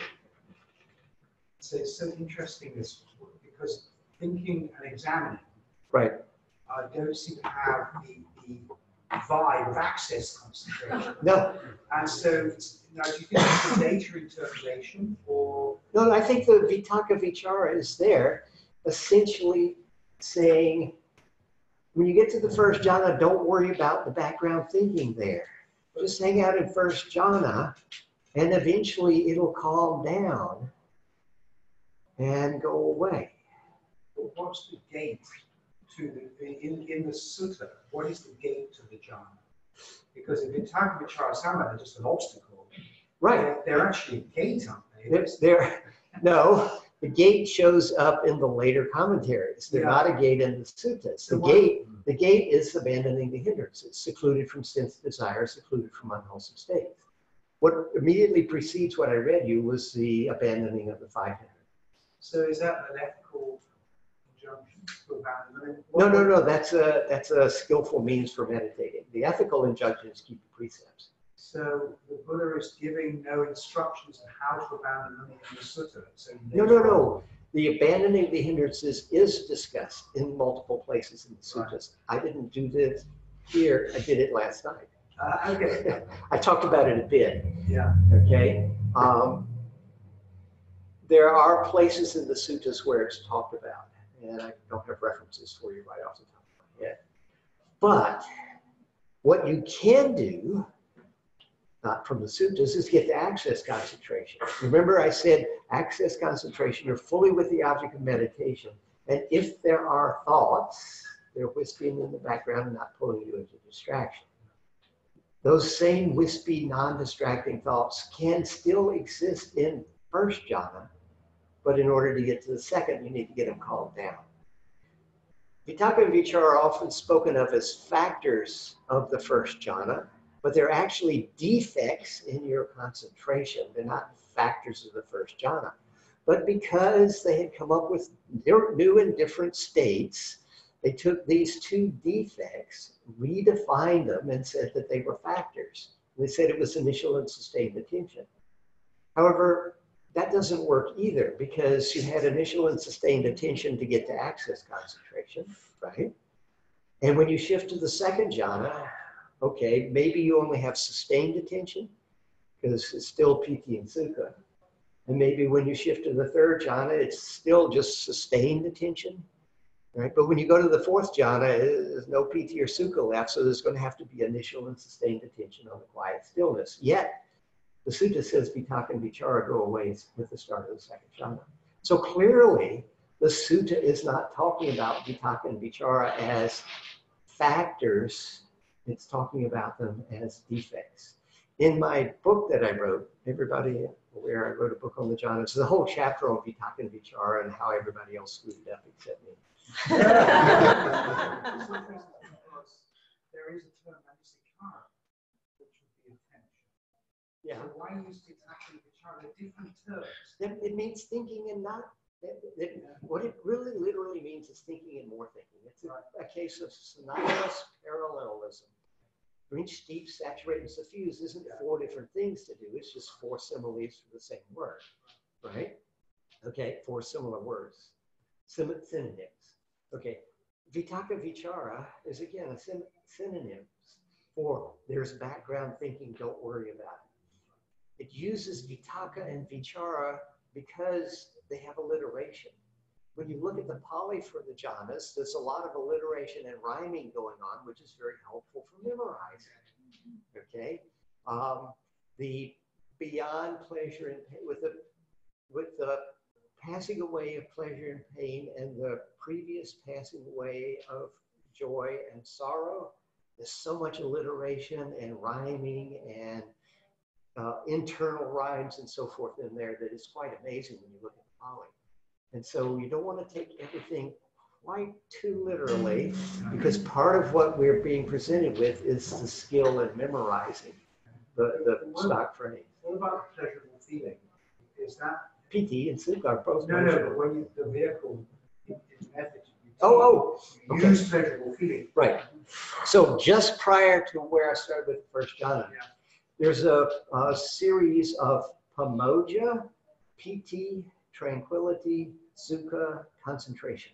Oh, All right. The pamojja is usually translated as something like gladness or worldly joy. And that's the pleasurable feeling that I'm telling you to focus on. Focus on some pamojja, Right. the smile, your hands, whatever. That will convert into piti. When the piti calms down, you'll have the tranquility. The tranquility can boost your sukha. Once you've got the sukha going well, you get the concentration. So that actually is there. Uh, it probably was a later insertion into the sutta I'm reading this from, but it occurs in lots of different places in the sutta. I mean, with kasinas, because I mean, a lot of people teach kasina, is that what you guys later? Yeah, kasinas are later. Kasinas are color disc, and you would use it for concentration. That's all they're good for. You stare at the color disc, say it's red, and when you close your eyes, you see a green one. All right, now you stare at the green one. If you can stabilize that, then eventually it'll turn into the nimitta, the power organ. But that, the uh, uh, nimittas, uh, the uh, kasinas only show up, I think, in two places in the suttas and only listed. All right, so this would be probably stuff, let's say, a couple hundred years after the Buddha when they were inserted. Now, my final question is, is the, do you think the jhanas in the Visuddhimagga, like, uh, are, are deeper versions of what you teach, or are they different versions? Different. They're different. They're different. In what I thought they were just deeper versions until I until I started walk, working with Pa Auk, and I actually did do another retreat with him and get to his first jhana. And as I'll talk about later, they are completely different in the sense that you have no awareness of anything. They are states of well suspended animation, basically. Right. So they are eight different states. In fact, I have discovered 38 different states that go by the name jhana in the various literature. You got sutta jhanas, you got the abhidhamma jhanas, which are a little different. And then you got the Visuddhimaggas jhanas, which are really different. Right? That's 25 states right there. And then you've got the Pure Land jhanas, and you've got the four stages of awakening, sometimes called jhanas. So that's 8 and 25. This is 33. And then there's the so-called ninth jhana, gets us 34. And there's four more jhanas I can't remember off the top of my head. In the Abhidhamma, they're glues.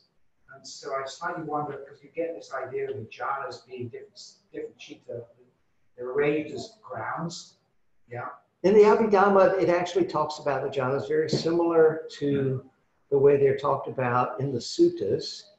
You can see it's similar states, but with more concentration because by then Vitakka Vicara has become initial and sustained. So it's more concentration by the Abhidhamma. By the So, Abhidhamma. because in the Mahayana suttas, it often says, the Buddha enters the samadhi of something. Yeah, now this Then he gives Mahayana. Teaching, you see, is, is that like a jhana? Do you think? Is that being- Well, now we're getting into the, the Mahayana and their understanding, which is quite different from the Theravada stream. Uh, and so I hesitate to try and match things over like that. Uh, I don't know enough about what uh, you're quoting from the Mahayana to really be able to say it. It's just the word samadhi and jhana the same, is that correct? For the Buddha in the Theravada, yes, but by the time of the Mahayana, I don't know how much divergence it was from, you know, some other idea of samadhi. Right. I'm curious about um, understanding jhanas as also a tool for purification, Mhm. purification of mind and body. Right. And maybe you can talk about the aftermath that comes after, like, do you see, Right. speaking from experience and like all the physical things that happen afterwards? Right. So, in order to get to the jhanas, you have to stop doing the impure stuff. So, just the practice of it, you're purifying just because you're practicing the jhanas. When you're in the jhanas, no bandwidth left over to do the impure stuff, right? You come out of it, your mind is so pure, right? So, the insight practice and whatever you do next is nice and clean. So, neuroscience tells us that whatever mental states you habitually hang out in, those are the ones that are going to show up more than likely. So, by hanging out in these purified states, you're reprogramming your brain to instead of think about all the impure stuff, you know, it's sort of like likes to hang out in this cool stuff. Long term, again, say noticing that whatever state you hang out in tends to be uh, what shows up. We have an emotional set point, right? And if it's over towards the right, that is more activity in the right prefrontal cortex, that's negative emotions. And if it's over towards the left, more activity in the left prefrontal cortex, that's positive emotions. And the balance between the two is your emotional set point. And it can be reprogrammed. So by hanging out in the jhanas, which are positive emotional states, rapture, happiness, contentment, equanimity, equanimity turns out to be positive, right? You're reprogramming your emotional set point to be more positive. The more positive your emotional set point, the less upset you are. And so the impure stuff that's associated with being upset, anger, hatred, etc., is just less likely to arise. So it has long-term purification for that as well. Now, this reprogramming yourself is probably a long-term project. In other words, you know, going on a 10-day retreat, learning some jhanas, you're probably going to need to do them for five years to get the reprogramming stuff happening. But um, so I've done a lot of meditation for science, you know, EEG and fMRI. And one time I showed up to meditate uh, with EEG, and they said, "Well, we don't, we're not really interested in jhanas here. We want to try and build a biofeedback machine for access concentration, and we've wired it up to try and detect activity out of the nucleus accumbens." right? The center of your brain. The nucleus accumbens is the reward center, right? So somebody says, "Oh, you did a great job," and you get that nice feeling because you, yeah, you did a great job, and they wreck it. That's your reward center pumping out dopamine and opioids, right? We know for sure that in the second jhana, they've got pictures of my my brain in second jhana, and they can see that the reward center is on overdrive right? I'm pumping out these neurotransmitters, particularly dopamine, which will break down into norepinephrine, and I think that's the piti experience, and opioids, and I think that's the sukha experience. So what they wanted to do was have me meditate and get to access concentration and see what goes on in my nucleus accumbens, and they had set it up so that they could detect that. And I said, okay, so make it beep in the background before uh, until I get it above the activity threshold, right? And then make it stop beeping, right? And they also had to rule out muscle tension, right? If you have muscle tension while you have an EEG, it just, you got nothing. You just got noise, all right? So I have to stay relaxed, which you can't really do first jhana and be relaxed because of the piti, right? So we don't have EEG for the first jhana because muscle tension just completely destroys it.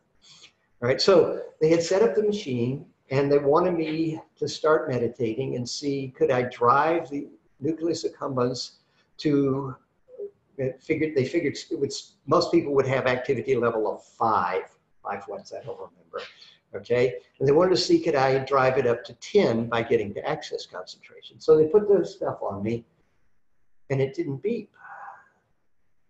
And they looked and my base state was 10 they had been fooling with other people to find out how it worked. And most people, when they just sit there, it's at five. And they have trouble pushing it up to 10. I'm sitting there at 10 without doing anything. Now, is this the result of my happy childhood? Is it the result of living in the Bay Area for 30 years? or is it the result of, at that point, having done a quarter century of jhana practice? I don't know.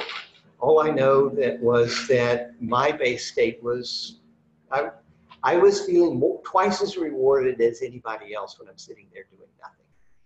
All right? So they had to put it up, you know, stop beeping at 20. And so I meditate, I get to access, it's still beeping. I go to first jhana, of course, beeping all over the place. I get to second jhana, it stops beeping. Third jhana, it starts beeping again, fourth jhana, it beeping. Third jhana still beeping. Second jhana stops beeping, back to access beeping. So it screwed up and invented a second jhana biofeedback machine. All right. Um, so they discussed it some more and decided to look for decrease in theta out of here, de decrease in gamma, I think, out of the sides of my brain. I don't remember what they were looking for, but decrease in selfing, basically. And we did that, and uh, definitely when I got to access concentration, it stopped beeping. In other words, I decreased that activity. And it stayed decreased all the way up to the fourth jhana and all the way back. And when I came out of access, it started beeping. In fact, I was in second jhana and intentionally distracted myself. And it started beeping and then went back into second jhana and went away. So, um, On this topic, I'm just fascinated because when I've entered certain states, I can sense activity in the brain. And I'm wondering, in paying attention to whatever we're paying attention to, has anyone ever talked about paying attention to actual parts of your brain for concentration before? people have asked the question before, and I know of no one talking about it, and I don't know exactly how what we feel correlates with what's going on. Okay, so I don't, I don't know there. You're going to need to talk to a neuroscientist and get some more information on that. But yeah, there's nothing in the literature or, or that I've ever heard about using the feelings in your brain as, as an object. Along those lines, can you talk a little bit about, um, or if you have any familiarity with transcranial direct stimulation? These ideas that somehow mechanically or materially you might be able to reach these levels of concentration. Yeah, And so If so, what might be lost by it, sort of? Yeah. So they can basically shoot electricity in your brain. You experience things. Uh, you know, I'm going to let them look at my brain, but I'm not going to let them mess with it. What's lost? Uh, well, you're not learning to do it yourself. Okay, you can get really happy if you smoke some pot, right? Uh, you know, that doesn't solve your problems. Might be better to solve your problems and then be happy. You know, it's better for your lungs and all sorts of stuff, right? Uh, so it turns out that, yeah, it's possible that they can induce things into your brain that can be positive states. It may have some, what I call postcard effect, right? How many people have seen the Taj Mahal? Oh, wow. How many people have seen a picture of the Taj Mahal? Okay. For those of you who have seen the Taj Mahal and a picture of the Taj Mahal, is there any similarity? No, not really. The Taj Mahal is absolutely mind blowing. But you see a picture and you go, wow, that's a pretty cool building. I want to go see that.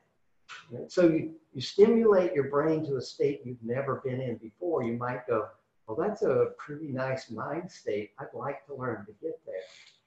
But getting there by stimulating it doesn't seem to really do anything except, okay, right now you're there, just like you smoke the joint and you're there. Better to learn to do it on your own would be my feedback. But it might have postcard effect.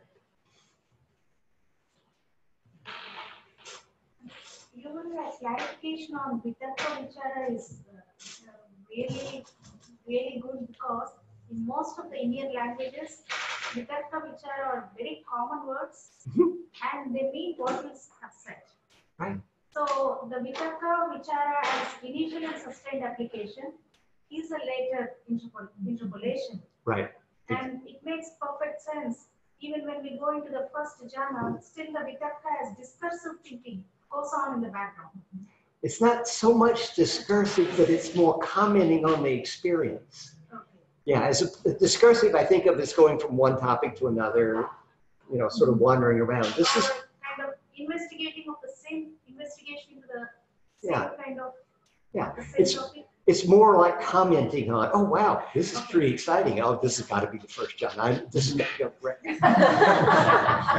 whereas second jhana, you're just like, wow, yeah, I'm just, So, So the vichara is the continuation of the same kind of wandering or ruminating or pondering over the same thing. yeah, exactly. So, yeah, that makes very good sense. Oh, good. I'm very, very happy to hear this. Yeah, in most of the Indian languages, the word means the same, Right, what you have said. good. But in the Abhidharma literature, a different definition is. Yeah, when you get to the Visuddhimagga and the Yeah. commentaries, they just, instead of realizing they'd gone down the wrong track, they just said, oh, let's just change the definition of the words to something they don't mean. My second question is when you say about insight, is it that we have to intentionally look into the impermanence of the phenomena, the transitoriness, should we focus on that or is it going to be uh, automatically we get to that point? It helps to look intentionally. So one of the practices that I give on the longer retreat, once somebody's gotten skilled with the jhanas, is, okay, I want you to pay attention to all of the arisings and passings that you can notice. All right, so sit down, run through your jhanas, then open up your attention while you're sitting there and just notice anything that arises and passes. It's going to be sounds, there's going to be body sensations, there's going to be your breathing, there's going to be thoughts. Bell rings, did you notice the arising and passing, right? You stand up, did you notice the passing of sitting and the arising of standing? Passing of standing, the arising of walking. Now do your walking meditation and noticing arising and passing. You're eating, noticing arising and passing. So it's very intentional at that point. Yeah.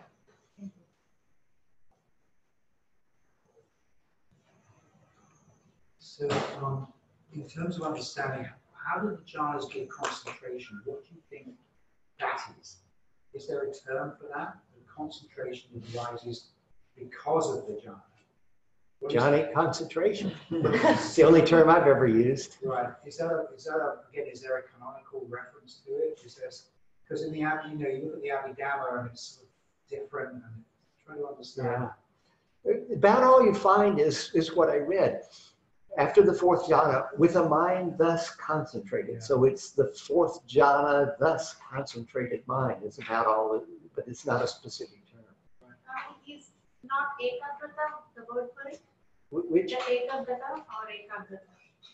The Ekaggata. concentration is not- ekaggata is, means one pointedness, all right? And it shows up in three suttas, okay? One kind of not really able to tell what's going on there or much about the sutta. The other two is very clearly pointing to the first jhana, and both of those suttas are clearly later compositions.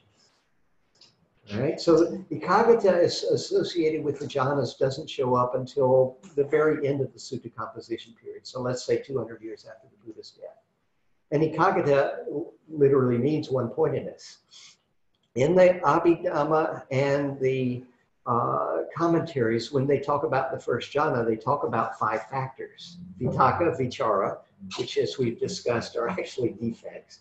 piti and sukha, and ekaggata, one point in this. But the word ekaggata doesn't show up in the suttas in relation to the first jhana, except in these two later suttas. One of them is Majjhima, I think it's 43.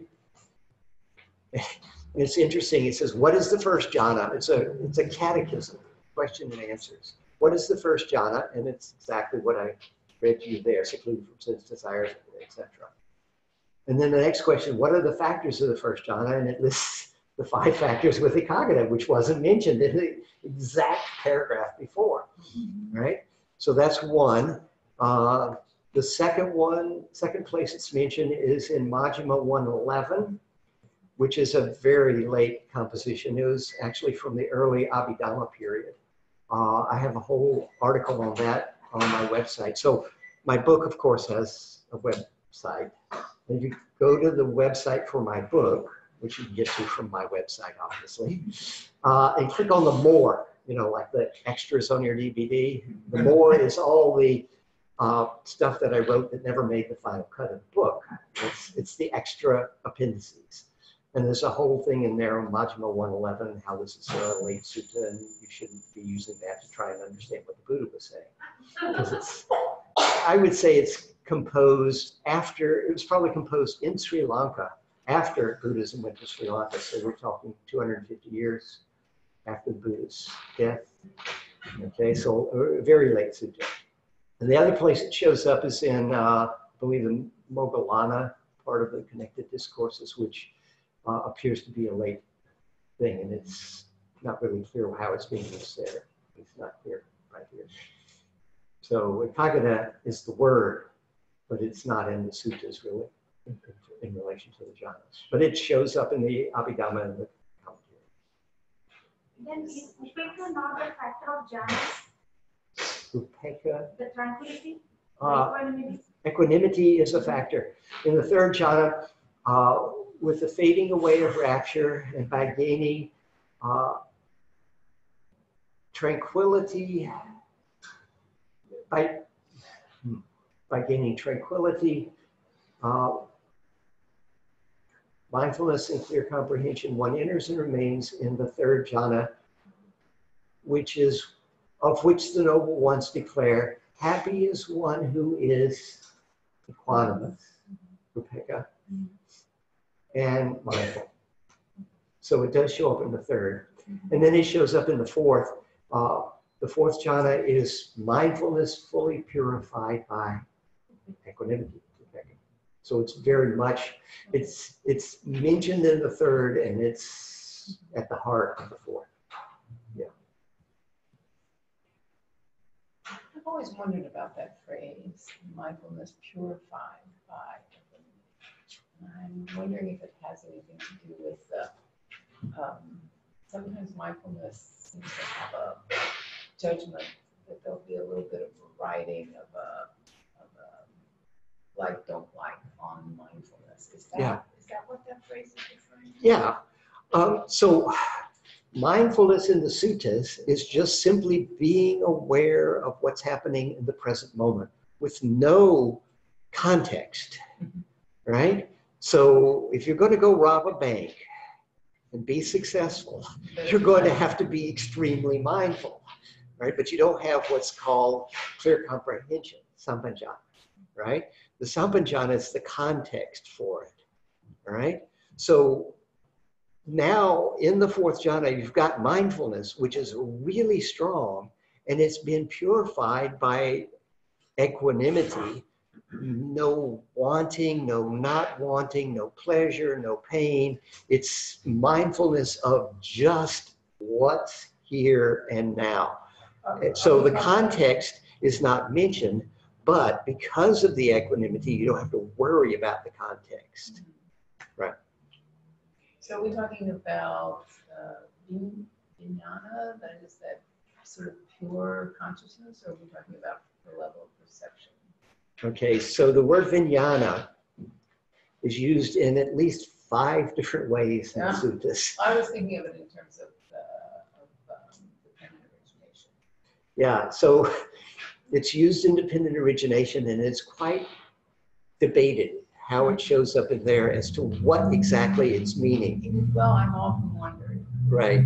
Uh, maybe I'll come back and do a day long on dependent origination here. Oh, right. And then we, then we can discuss that. Okay, right, because, uh, yeah, it, it, there's a lot to say. there. okay, be off topic. Right. Um, but yeah, the mind. So it says that, okay, with the mind thus concentrated, etc., one inclines and directed. This is my body, etc. And this is my vijnana. But it's using vijnana there like mind. So this is my mind, which is bound up with and supported by the body. Right? So that's one of the ways that it gets used there. Uh, and so in the fourth jhana, when it says uh, a state beyond pleasure and pain that contains mindfulness fully purified by equanimity, it's talking about a mind in the same way there, that your mind is fully purified, as opposed to some of the other meanings of vijnana. To get a sense of how easy it is or, or difficult to access the jhanas as described in your book, uh, is it your experience that they are only accessible multi-day retreat, secluded from your normal life? Or could Yeah. I, for example, as a layperson, do a self-retreat on a weekend, 45 on, 45 off, 45 on, like seven, eight hours? Yeah. There have been people who've learned the jhanas with their home practice, right? But of all the people I've taught, it's a small minority. You know, we're talking single digit percent, you know, 5%, 3%, 1%, I don't. It's not many. Most of the people that do that have a very good daily practice. Uh, I remember two people in particular who had a five hour a day daily practice. Okay, yeah, pretty easy for them. Uh, for most people, because of the crazy lives we lead, to learn the jhanas, it's necessary really to get away and go on a longer retreat. Once you learn them, yeah, you can bring them home and with a you know somewhat regular daily practice, keep them around. Particularly if you do on the weekend, if you do yeah 45 minutes on off, etc. Yeah, you, you can keep them quite well. But in order to learn them, this that it's tricky. Uh, I say you have to be crazy to want to teach jhanas because I go into a retreat, I count the number of people, I multiply by the magic number, which is a fraction, and I know about how many people are going to experience at least one jhana one time. And it's not 100%, you know? Uh, and, you know, first half of the retreat, nobody's going to learn any jhanas. I got to be patient. They got to be patient. It's, it's quite tricky. Can you describe the difference, especially when your eyes are closed, the difference between equanimity jhana and sinking mind? Alertness. When you're in the fourth jhana, you're very alert to the quiet stillness. And when you come out of it, you're bright, clear, sharp. Okay? Sinking mind, everything is just closing down, getting dull. And so it's a dullness feeling to it. With the increasing distractedness of our culture, do you see any impact in that on uh, the, the broad globalization, um, people's ability to access? Yes. Unfortunately, I'm not as good at the jhanas as I used to be. I used to have dial-up internet. You can hear the noise. So yeah, uh, it's it, it is. People learn at about the same rate as when I first started teaching. Um, maybe I'm a better teacher, but it hasn't made much difference because people are more distracted. Uh, so yeah, we're doing a very, very, very big disservice to our brains and our culture with our short-term attention span. It's it's quite harmful, I think. Um,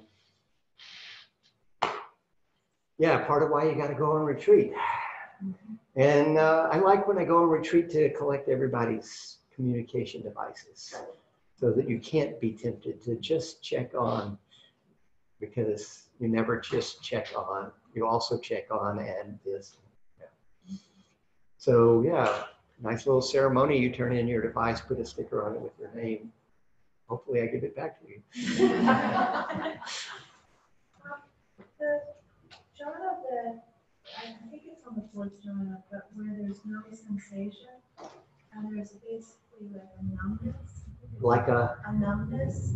it doesn't have to be. So it depends on how deep you are. It's not so much associated with the jhana, but the depth of the concentration. And the numbness would probably show up more because of a lack of energy in the state than the concentration. So when I was in the second jhana with Pa Auk, I was more deeply concentrated than I'd ever been in fourth jhana. Okay, my mind was that indistractable. I could actually take it to a distraction and it would slip right back, you know? Um, so it's the depth of concentration that determines really the depth of what's going on, not the particular jhana. But with good concentration at four, it's going to be better than the same good concentration at two, because you're basically just getting to more subtle. Does the, um, when you come out, um, do you still have that residual, um, non, you know, no sensation? And does that still sustain, you know, You may not have the no sensation sense in the fourth jhana when it's really deep, in that your energy level is up enough that there is very definitely the sensation of quiet stillness. And that's it. And when you come out, it's very clear. Okay? But if your energy level is down, then when you come out, it may still be down and it's kind of, yeah, dull. And so you want the energy level up. All right, I saw one hand over here, and then if we're going to talk about the higher jhanas, we're going to have to get it. Um, uh, there's been a lot written on psychedelics recently, specifically psychedelics as it relates to meditation, and in some cases specifically talking about jhana, the jhana states of consciousness as it relates to the psychedelic experience. Any thoughts on that and the validity of that in your mind? Postcards again. Yeah, it'll give you a sense that there's something else out there. But, you know, seeing a postcard of Michelangelo's David is nothing like walking into that room and seeing this marble statue actually breathing. I mean, he did such a good job. You can't actually see the movement, but you can see his breathing. You just can't get that from a postcard. The same thing with the jhanas. Going there on your own with your own concentrated mind. I mean, look, look at how old I am. I, mean, I was a hippie. You know, I mm-hmm. moved to San Francisco at 74, not because I was a hippie, but because I couldn't take the rednecks in the South anymore. But it, I did my share of, well, I did my share of pot and several other people's as well. And I did, did acid and coke and all that sort of stuff. I learned some stuff from it, but I learned a lot more from getting jhanically concentrated doing it. A lot more. Yeah. So yeah, postcard. All right. So we got to do the higher jhanas. All right. So coming out of four, you can go to insight practice or you can go to the immaterial states. They're not called jhanas in the suttas, they're called immaterial states. Uh, by the time of the Abhidhamma, they were just being called the eight jhanas as opposed to the four jhanas and the four immaterial states, which is kind of a nice way to uh, talk about all eight states. They certainly appear as a sequence of eight states in the suttas at times. Most often you find the four. Sometimes you find just the second four. Sometimes you find all eight. Sometimes you find seven. Sometimes you, yeah, it's all over the place. But mostly you find the four or the other four or all eight together. So these other ones are immaterial states. Notice in each of the previous jhanas we had drink, steep, saturate, and suffuse one's body, right? So that your body is filled with piti and sukha. So body awareness continues through all four jhanas in the suttas. But these immaterial states, immaterial, there's no body sensation. So the fifth jhana, by passing entirely beyond all bodily sensations, by paying no attention to the perception of diversity, seeing that space is infinite, one reaches and remains in infinite space. Right? So the first thing is you need a good fourth jhana so that when you come out of it, you can go beyond all bodily sensations. Right? And the method for getting to this space, infinite space is to find something that you can expand. What Ayya Khema told me was get in sense of the, the uh, sense of my body, my being, and expand it to fill the room. And then expand it to fill the building and then the neighborhood, and then the whole of the San Francisco Peninsula, and then out to the horizon and just keep going. It doesn't matter what you expand. It can be something imaginary like a balloon. It could be the sense of your being. But if you can stay focused on outward expansion, it's bigger, bigger, bigger, bigger, bigger. Eventually, a vast empty space appears before you. It's quite dramatic, right? I mean, you're just expanding, expanding, and suddenly, oh, uh, it's like you're walking across the Arizona desert. You come to the Grand Canyon, only there's no bottom and there's no other side. Okay. Before that, it was just cactus and sand, and then, oh my God, that's big. right? So this is the fifth jhana. It's called the, the realm of infinite space. It's interpreted to be an actual place by the commentaries. Uh, I don't think that's what the Buddha thought. Uh, the word that's used, it could be actually the sense of infinite space. Because the word that's used for realm is the same as for the eye, your senses. So the sense of infinite space. And you have no awareness of your body. It's just this big space. All right. It might appear as off-white, light gray. It may or may not have a horizon line. Or it could show up as black, but no stars or galaxies or anything like that, just big empty space. right? Get good at it, sustain it for five to 10 minutes, right? And then you can move on to infinite consciousness. And it says, by passing entirely beyond the realm of infinite space, seeing that consciousness is infinite, one enters and remains in infinite consciousness. Not a lot of instruction. the trick is to realize that you cannot be aware of an infinite space with a limited awareness. To be conscious of an infinite space, you have to have an infinite consciousness. Can you shift your attention from the space mm-hmm. to your consciousness of the mm-hmm. space? Can you become aware of mm-hmm. your infinite awareness? If you can make that shift, it, what it feels like is you turn back and you become absorbed into the space and you become this infinite consciousness. Your mind has suddenly gotten huge, right? You are now the infinite consciousness if you come from a spiritual tradition where the goal of your spiritual practice is union with everything, you're there. Except, of course, the Buddha wasn't teaching that. And uh, you haven't actually achieved union with everything. You're having a mental experience that you interpret as I have an infinite consciousness. Just like right before you had one, I'm perceiving an infinite space. Right? It's a mental state. It's not a an actual thing that's happening. Right? It's it's a it's a pattern in your brain. I've seen the pattern. Okay, they do the EEG, and I can see each of the jhanas has a different pattern that shows up. And this is just a different pattern. Right? If you get it really good, it may seem like there are other consciousnesses within that infinite consciousness. You know, dual consciousness over here, you more over there. It's not that you can read the minds of anybody else in the room. It just seems like that. But you got to have a really good sixth jhana to get there. I've only experienced that a half a dozen times maybe. Okay. When I get it really good, I'll get that. It's like, oh, that's good. right? But mostly it's just like, wow, look how big my mind is. Visually, not much to see. It's just dark. That's the way most people describe it. I'm describing it for a visual person. If you're kinesthetic or auditory, maybe you don't see anything at all. Seventh jhana is the realm of no thingness, nothingness.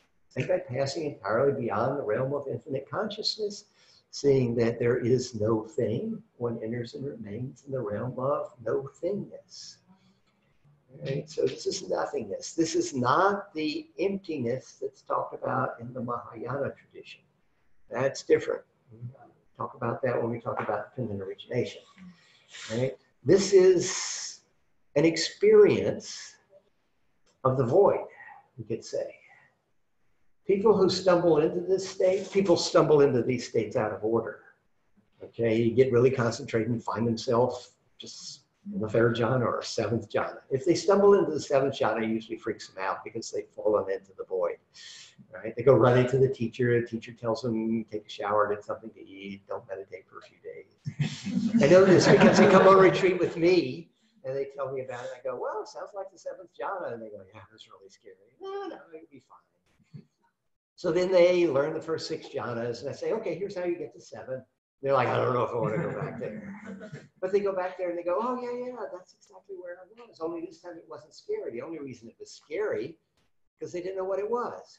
There's nothing to be afraid of. There's nothing there at all. It's like you go down into the basement and you hit the light switch and it doesn't work.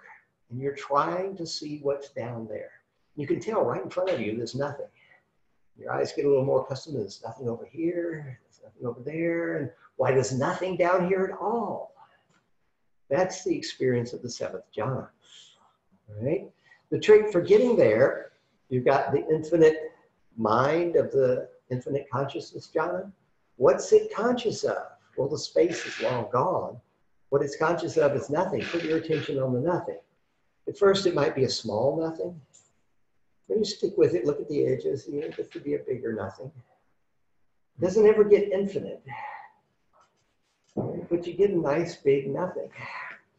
If you're visual, you'll see it as something dark, like black, deep purple, uh, dark blue, something like that. Or you might see it as, remember the old TV, you turn it to where there wasn't a channel, you got black and white static? Okay, can you imagine black and black static? Okay, you might see this sort of very fast moving little, not even specks. You can't even tell what it is. There's nothing there. So either just a big void with nothing in it or this static thing, if you see it visually. Uh, it's a great place to hang out because there's nothing to bother you. It's my favorite jhana.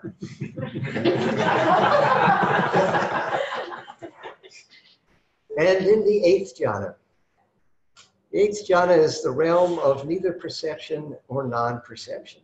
Perception is a translation of the Pali word sanya. Sanya is um, means the ability to name things, to identify things. People see the Buddha over here? See a, a figure?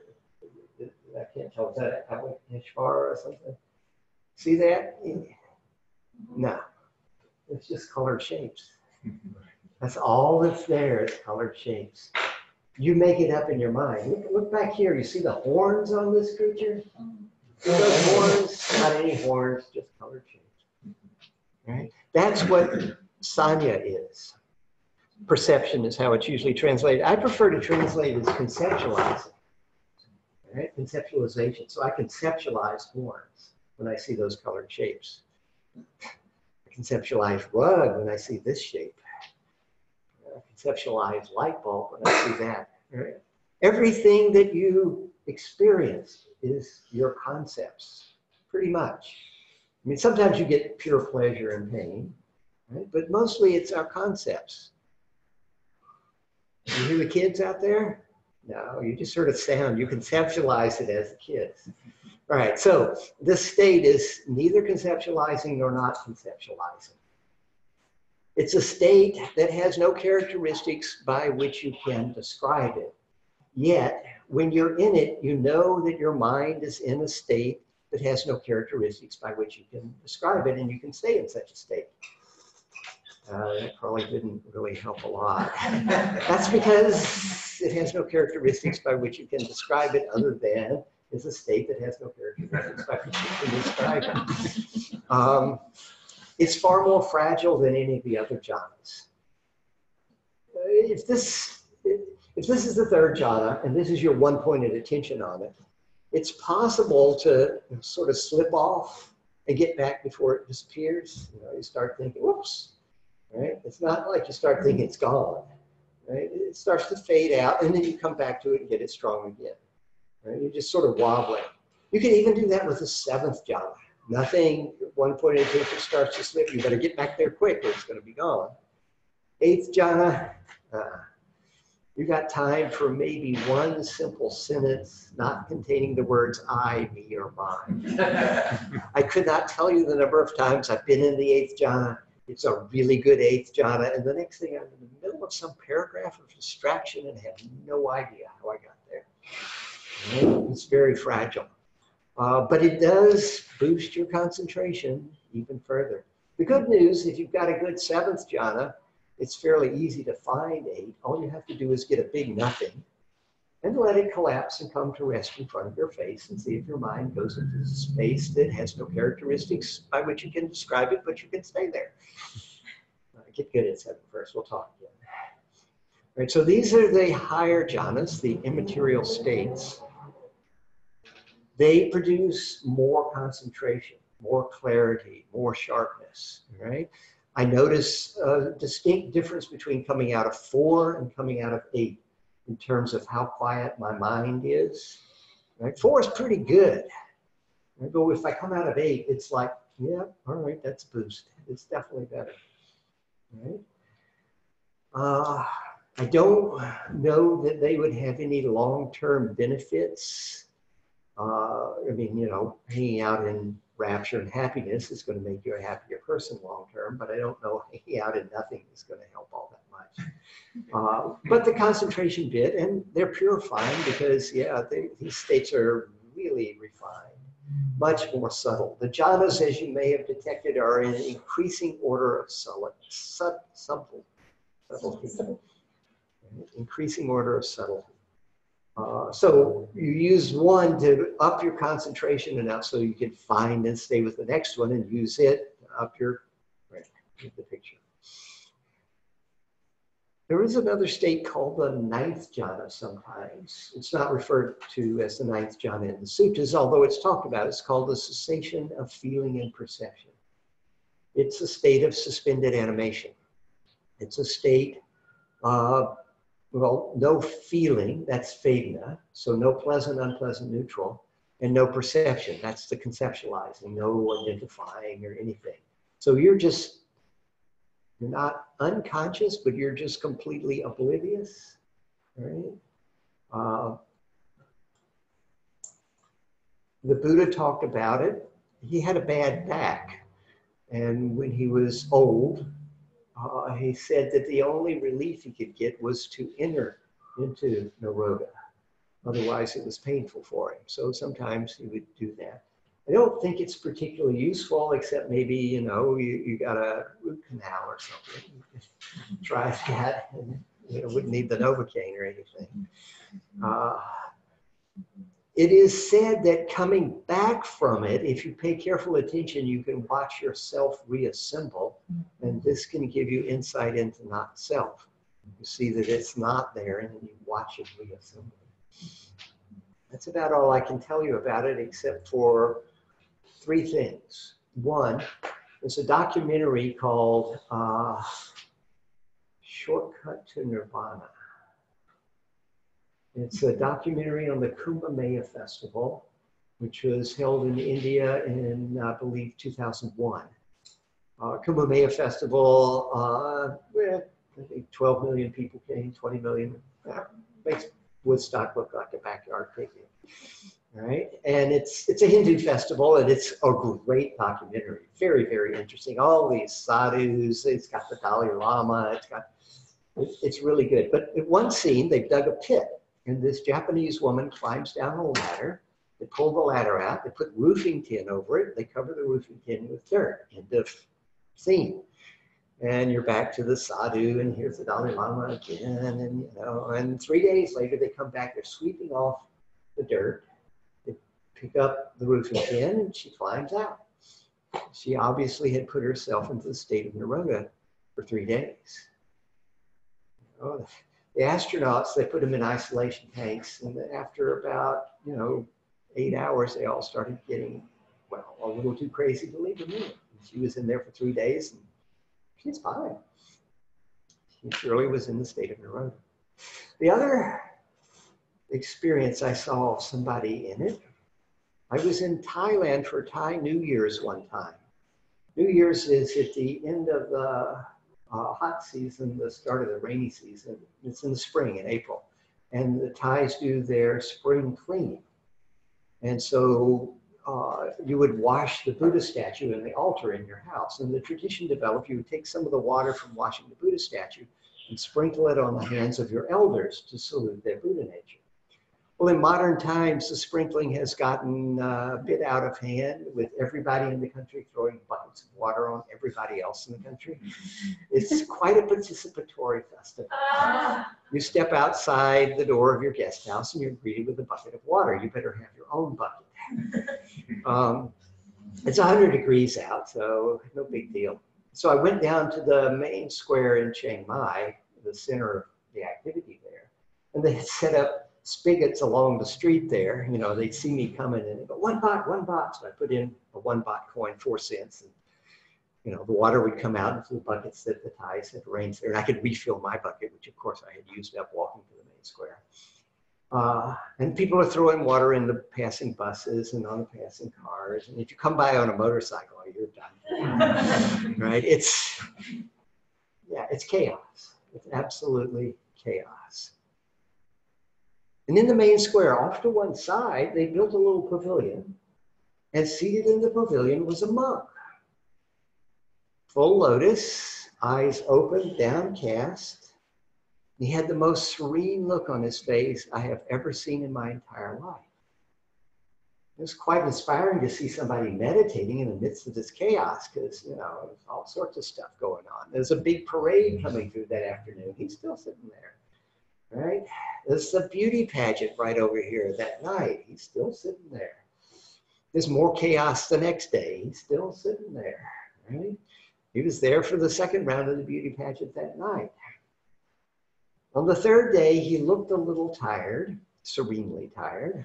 He was there in the afternoon when the biggest parade of all comes through. He was there that night for the finals of the beauty pageant. Never moved, never blinked.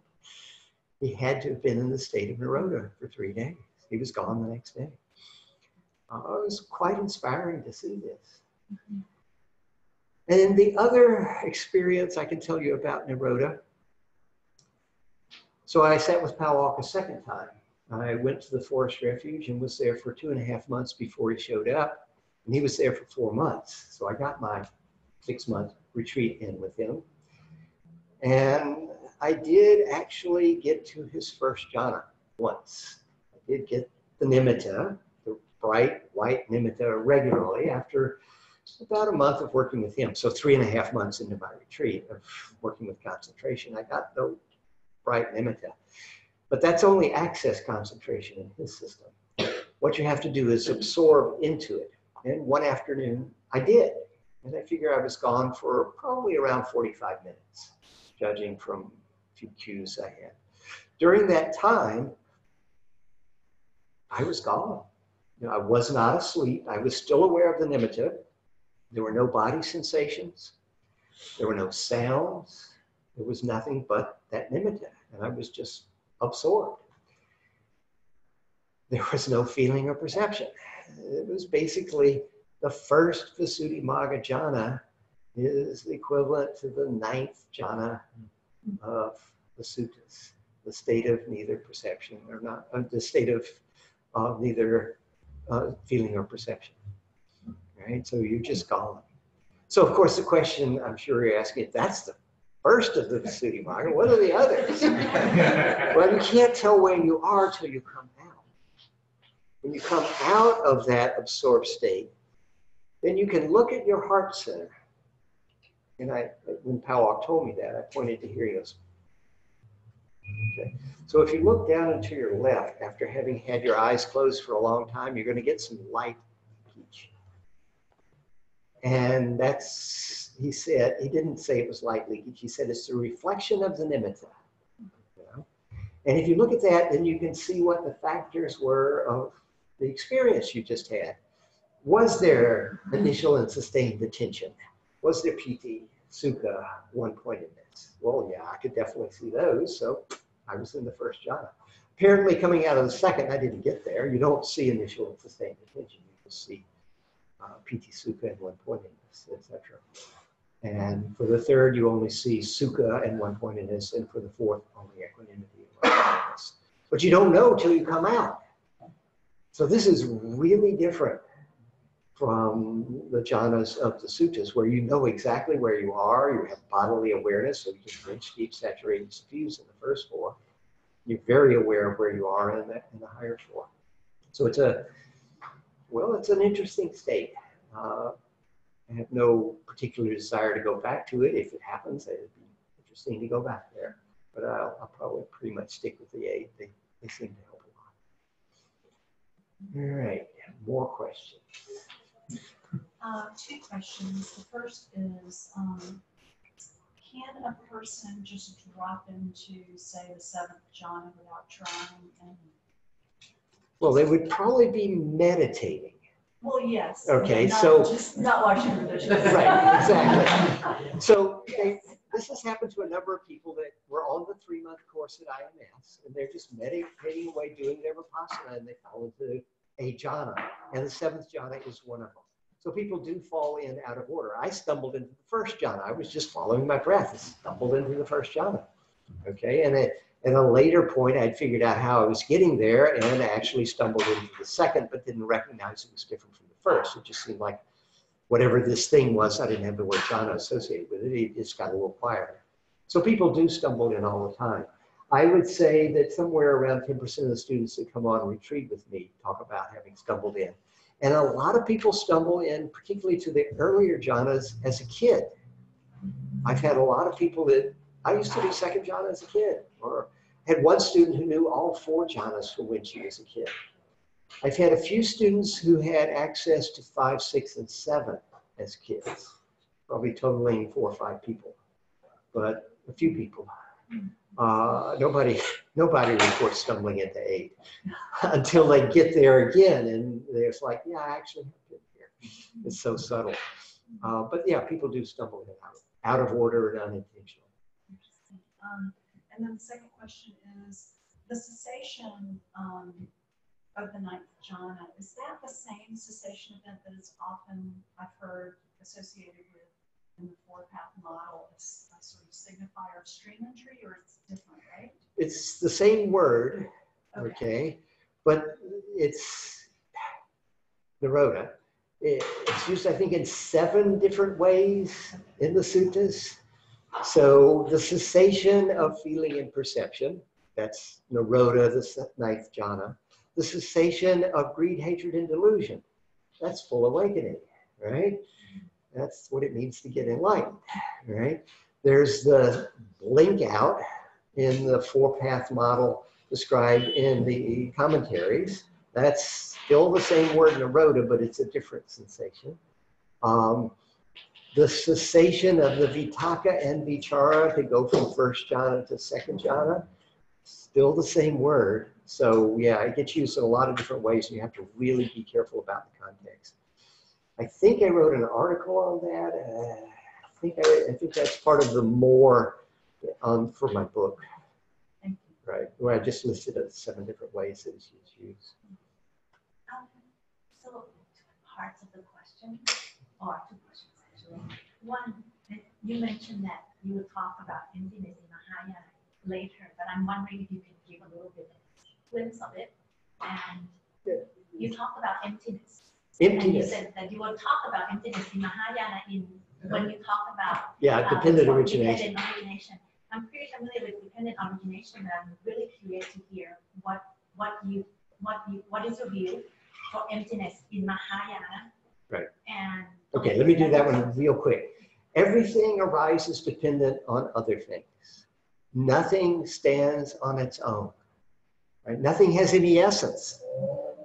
If I ask you, what is this, you're going to tell me it's a table. No, it's dead trees. No, it's carbon dioxide and sunshine and rain and minerals from the earth. No, it's a product of the Big Bang. They got twisted around inside a few supernovas and, right? Okay, everything is rises dependent on other things. That's the emptiness of the Mahayana and its relationship to dependent origination. And then, um, my understanding is that if you experience jhana, there's a residual that would remain with you after, after med- coming out from meditation. Um, in your experience, let's say, if you've been to first jhana, second jhana, you leave that, that state. Um, have you, what, what did you notice how long the, you know, extreme happiness lasts? Right, the happiness. depend- What, what, what does it depend on? Yeah, the happiness probably doesn't last that long once you get skilled at the jhana. Maybe the first time you hit it, it's like, wow, and it lasts maybe for a few days. So that's fairly rare. Usually it lasts for maybe an hour or two at the most for some people. Uh, what really strikes me is the concentration level. Right here, right now, looking at you, I can see the pansies outside the meditation hall where I learned the eighth jhana. Okay, the concentration level was so great when I walked outside and looked at those pansies. It was like, whoa, I never saw flowers like this before. And I have somewhat of photographic memory, and that's a picture that's in there, and I can draw it up anytime I want. So, what the real residual is the concentration level, which is you use it for your insight practice, but it might still be way up even when you go out to do your walking meditation the happiness, the rapture, they fade out pretty quickly. You want the rapture to fade out because it gets old really quick. The happiness, it doesn't fade to anything negative. It just comes down from where it was. And it's probably got a, quite a long tail on it where you're just in a slightly better mood having been in there. But it's not as dramatic as the level of concentration where you walk outside and the colors are more vivid and smells are more alive and things like that. Sir, can you give us a few remarks in the Pure Land jhanas? No. It's been too long since I played with them. I don't remember. But if you plug it into Mr. Google, he'll give you lots of stuff. But I don't remember enough about it. Sorry. Um, I'm curious about, uh, so entering jhanic states, you've talked about, obviously, it's to summarize it, it is, it is, uh, sort of, for lack of a better word, interesting in and of itself, and it heightens your concentration for insight meditation. Right. In addition, it seems to me that there are lessons in the jhanic states themselves as to Yes. reality, uh, you know. Yes. Yes. And so I just love to hear you talk a little about that. Well, I, you know, you know what a spoiler is? I don't want to give you the spoilers for the insights. No, but you've already uh, just comment on that, yes, there are. I mean, Yes, there are. That's all. Yes, there are insights associated with all of the jhanas. Okay, and by entering into those states, you learn some of what how your mind works. Just the ex- exploration itself gives you insight into how your mind works. Already mentioned, you find that you know the happiness doesn't have to come from outside. It's actually in there. You just got to learn to trigger it. You can trigger it without an external stimulus. That's pretty big insight, actually.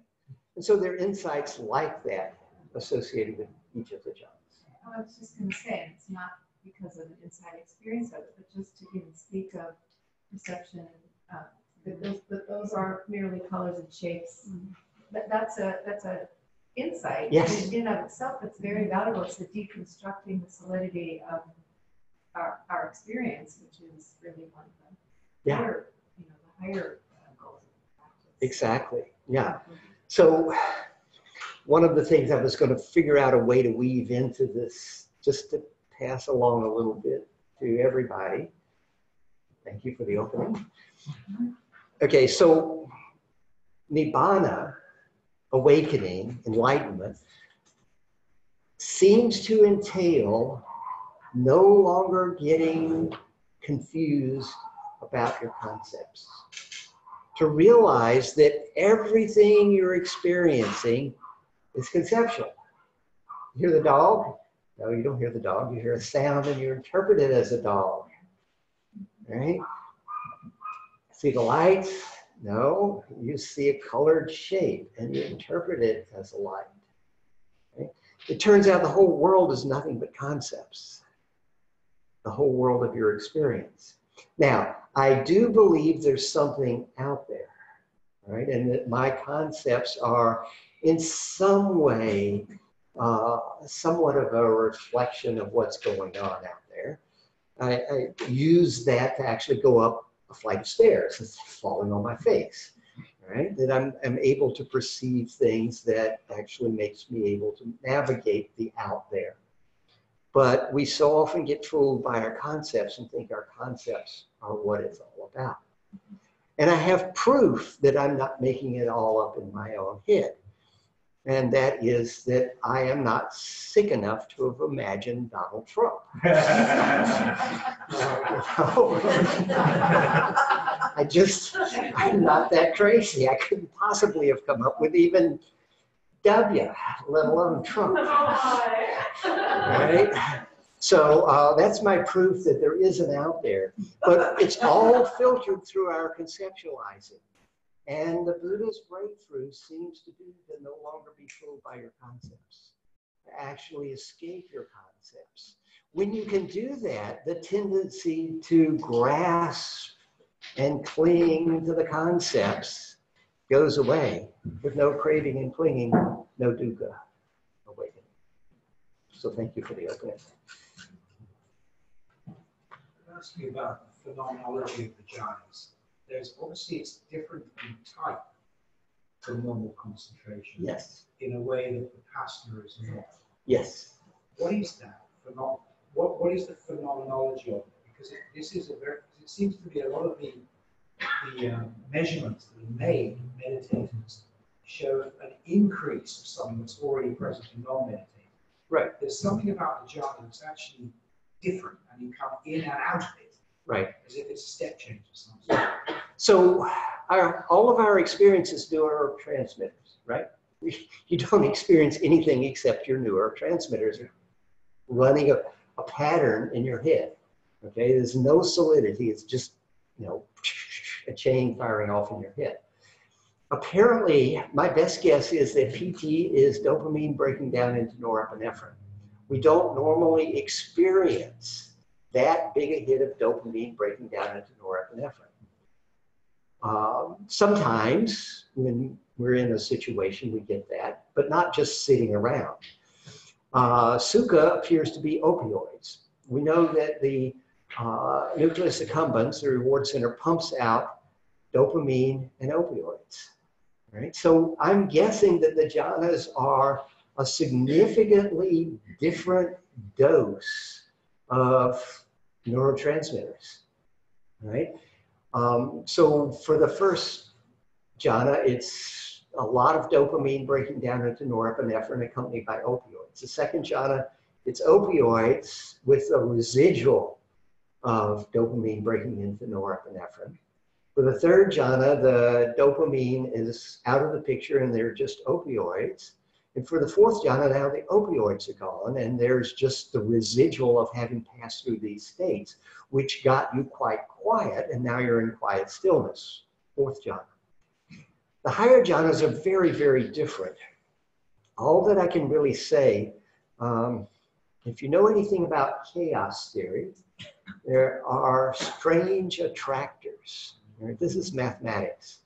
Right? But if you have something in chaos theory, a, a mathematical function, to it, it often will evolve into the strange attractor function. Right? If you just set it up and let it go, it just sort of wanders into this strange attractor. It looks a little different to start with, but then as it plays out, it goes into the strange attraction. Um, you can think of this as like harmonics, right? If you strike things, they have this harmonic that they're going to vibrate at, it's going to make a tone, mm. right? And you make another tone close to that, right? And this sort of going to vibrate a little bit, but if you put it right at it, it'll vibrate a lot more. It's sort of attracted to that. Okay, the higher jhanas, in fact, all of the jhanas probably, seem to be patterns in our brain that are strange attractors. If you're concentrated enough and you get a big enough sense of space, that's close enough to the strange attractor of the fifth jhana that it attracts into this pattern. And this is a pattern that we don't normally run. And so you experience it as infinite space. But it's a stable pattern, which is why you can maintain it. The stability of the eighth jhana is not very strong, and it's much more difficult to maintain. But five, six, and seven, you can maintain actually fairly easy once you get skilled at them. So they seem to be strange attractors that will sort of pull you into the state, and then it's stable, and you can stay in the state. So is it, I mean, I use the word phenomenology, you get a third party description. Um, is the phenomenology of being unified with the object? That sensation as you go into the challenge, you somehow just lock onto the, you know, what's the, what's the, what's the, the phenomenology of the change of state? It seems that what, when I Okay. get all this stuff, but Right, okay. So from an internal, there's the phenomenology of one pointedness on the object, the access method, the breath, or the metta. So the phenomena is this has become my universe right now. Okay?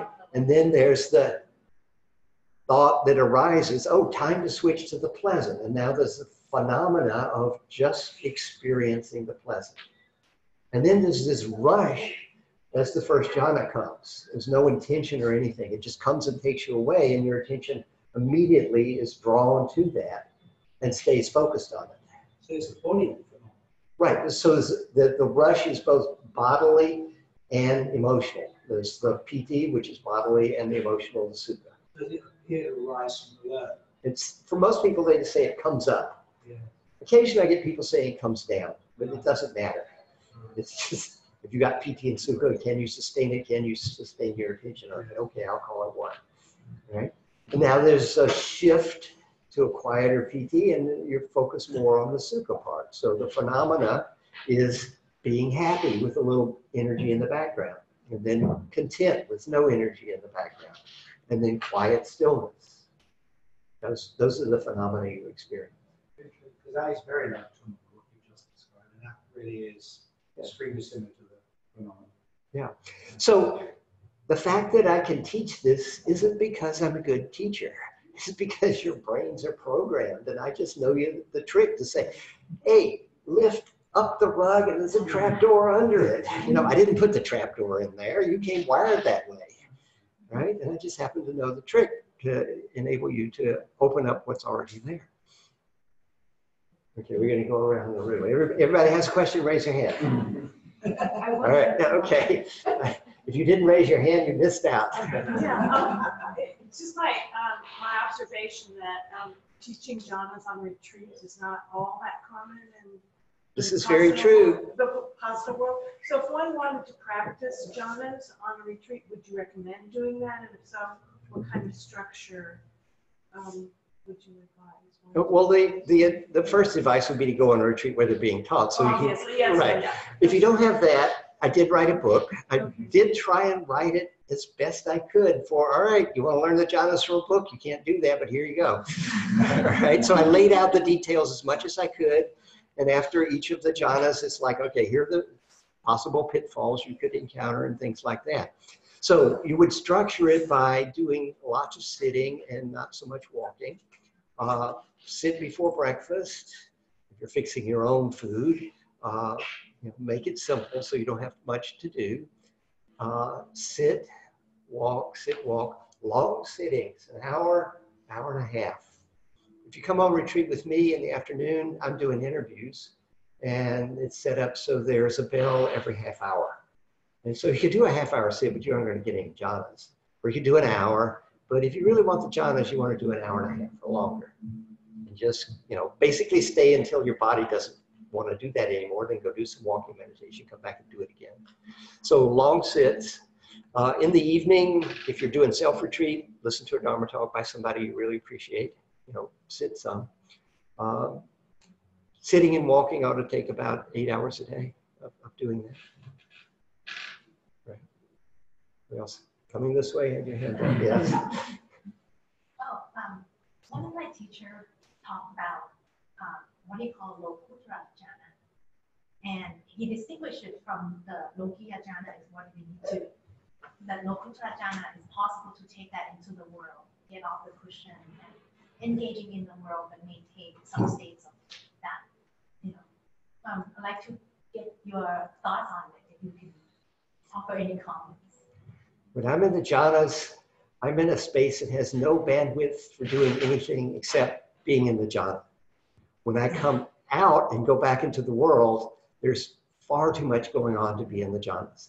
However, there are teachers, Bhante Vimalaramsi, who says you can do dishes in the eighth jhana. so you can find pretty much anything out there.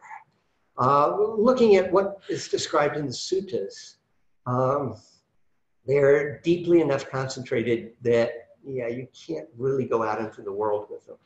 But you can go out into the world with the insights you gain from your insight practice post jhana, and that will change your world profoundly. So that's the best I can offer with that.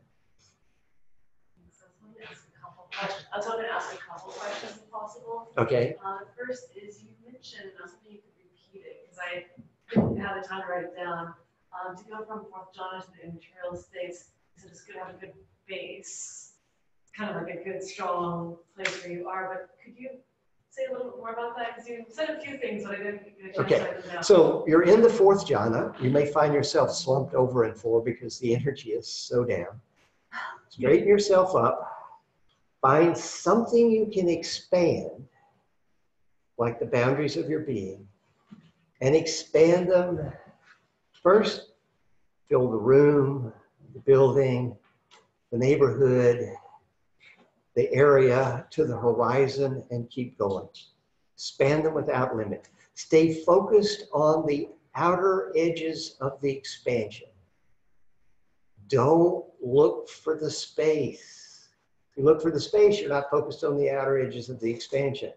If you can stay with the outer edges of the expansion and just keep it going, then a vast empty space appears before you. If you get stuck, you have to push through or go in a different direction. But don't look for the space. Thank you, thank you. And my other question, um, I don't feel like I've experienced that, but like you said, sometimes it might be possible to do things out of order. Yes. I am guessing that this was in my head, a concept, something of a concept of, oh yeah, that like you described, that's very different than actually being in it. I'm assuming that um, for the other material state, states, such as, I don't know, any of them would say, um, there's a big gulf between, oh yeah, I think I've experienced that versus I know unequivocally I've Yeah. experienced that. Right. That's what I figured, but I thought it was. Yeah. One of the pitfalls of teaching the jhanas is that my students really want the jhanas. And they're willing to settle for a semi-reasonable facsimile when it's not the real thing. And it's, yeah, it's difficult for me as a teacher to tell what you experienced, except what you tell me. And uh, yeah, and then there's the, if I go, nah, you didn't get there. That doesn't work real well. So I've got to take whatever you give me, and if I don't think you quite got there, I've got to somehow express it to you that, yeah, you're doing good, keep going, this is good, there, you can get it better, without scaring you away and making you think you're a failure or anything. Yeah, it's, you have to be crazy to teach jhana. Thank you. When you talked about the, you know, description of this mental construction that we see the world, you know, by defining it with a label, and then there's the whole interpreter that is experiencing that. Has that, as you process that, has that allowed you to see, um, to experience in a different way? Yes.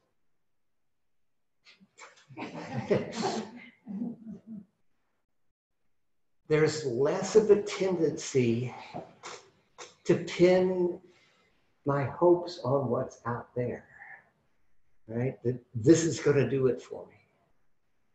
it is out there. It's producing this concept in me, right? Um, the biggest thing is that when things go wrong, I don't freak out as badly as I used to.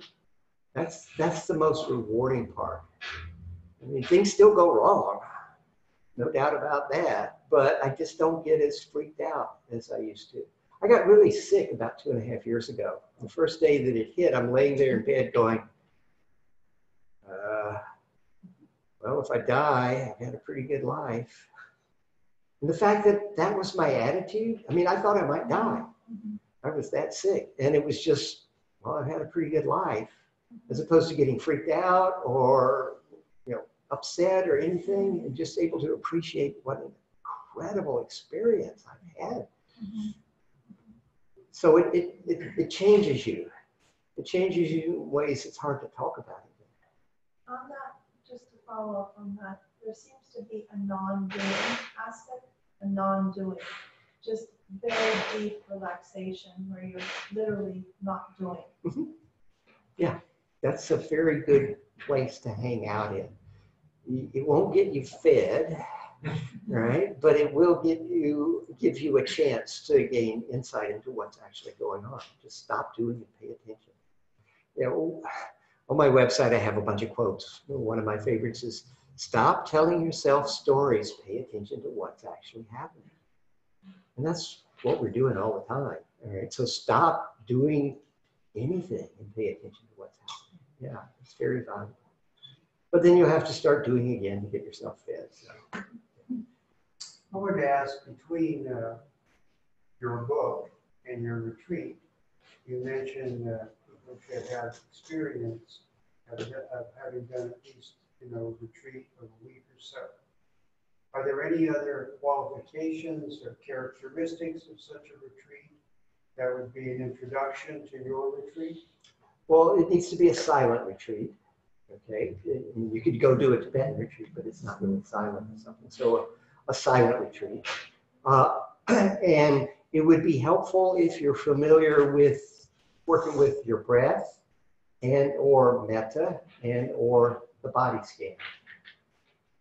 Um, and there, I mean, pretty much any retreat that's sort of an insight retreat at Spirit Rock would probably work. Uh, retreats with Goenka. All Goenka sends me very well prepared students. I mean, it's boot camp. So, um, Shinzen Young is a very good teacher. He sends me the best prepared students of any, any teacher. Um, you know, there's IMS on the East Coast. If you go to retreats back there, again, they're teaching you the same sort of stuff as at Spirit Rock. I have always learned to sit with my eyes slightly open and diffuse focus. Um,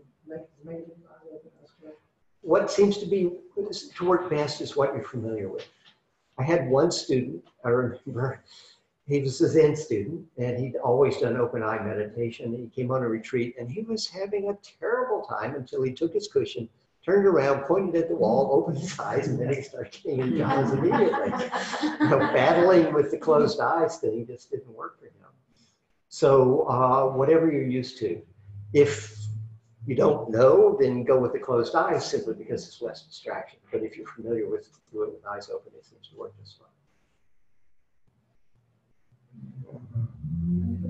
I'm already over time. I'll, I'll stay as long as you want to ask questions.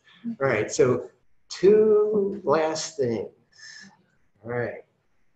September 20th. Who knows what's happening September 20th? Oh my God. nobody. Yeah, yeah, good. There's a, a worldwide climate strike, September 20th. This is really important. Okay? Promote it any way you can. Get everybody else. You know, we're in, I think the technical term is deep doo doo. All right? Things are getting really bad. The last year from 1st of May of last year till this April 30th is the wettest year ever. And that's not even speaking about the fires that are already burning in northern BC, northern Alberta, northern Ontario. right? And the floods they're having in Arkansas right at this moment. And we're in trouble. And the only way it's going to change is if we make a big enough ruckus. All right. So September 20th, this is this is the most important thing I probably told you this weekend. Right? I mean, if you can do eight jhanas and you can't breathe, it doesn't do any good. Right? And the last thing is a tiny bit of metta. So,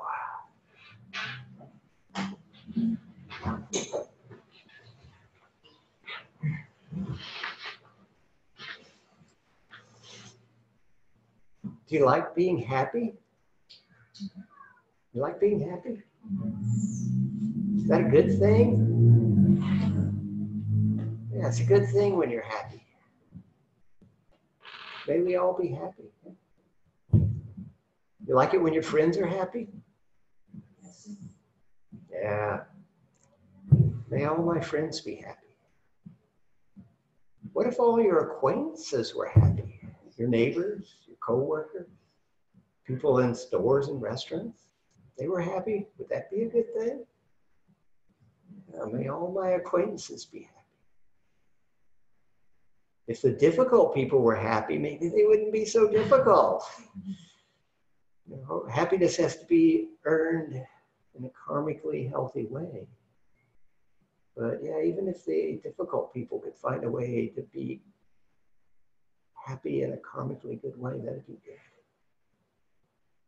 In fact, you know, if everybody on this planet was happy, wow, that'd be a place I'd like to live. May all beings everywhere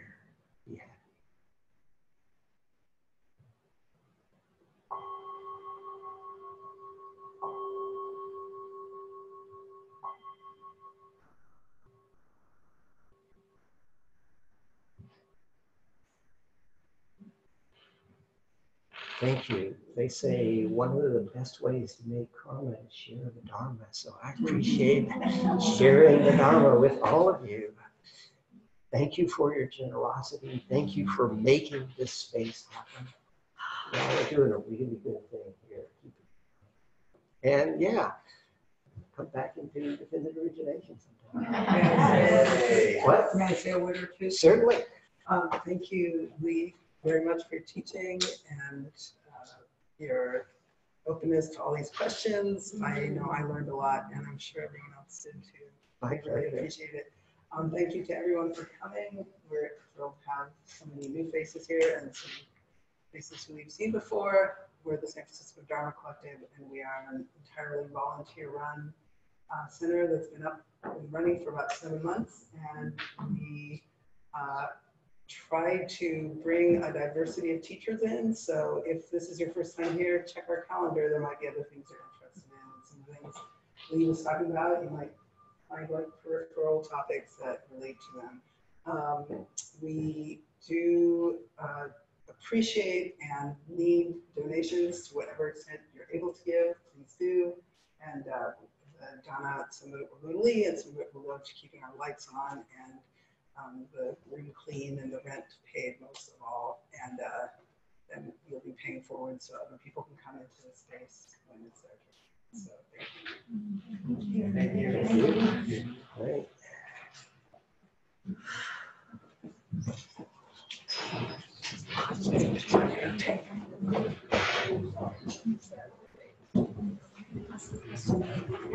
Uh-huh.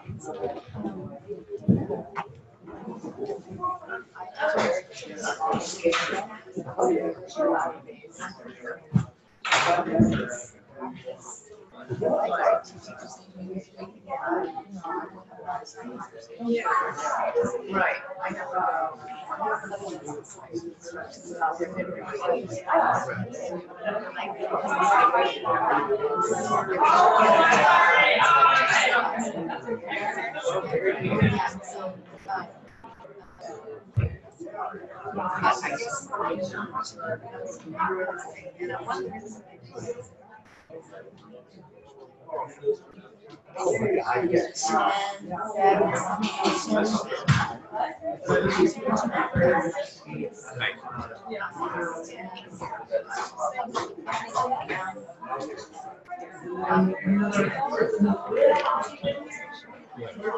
So,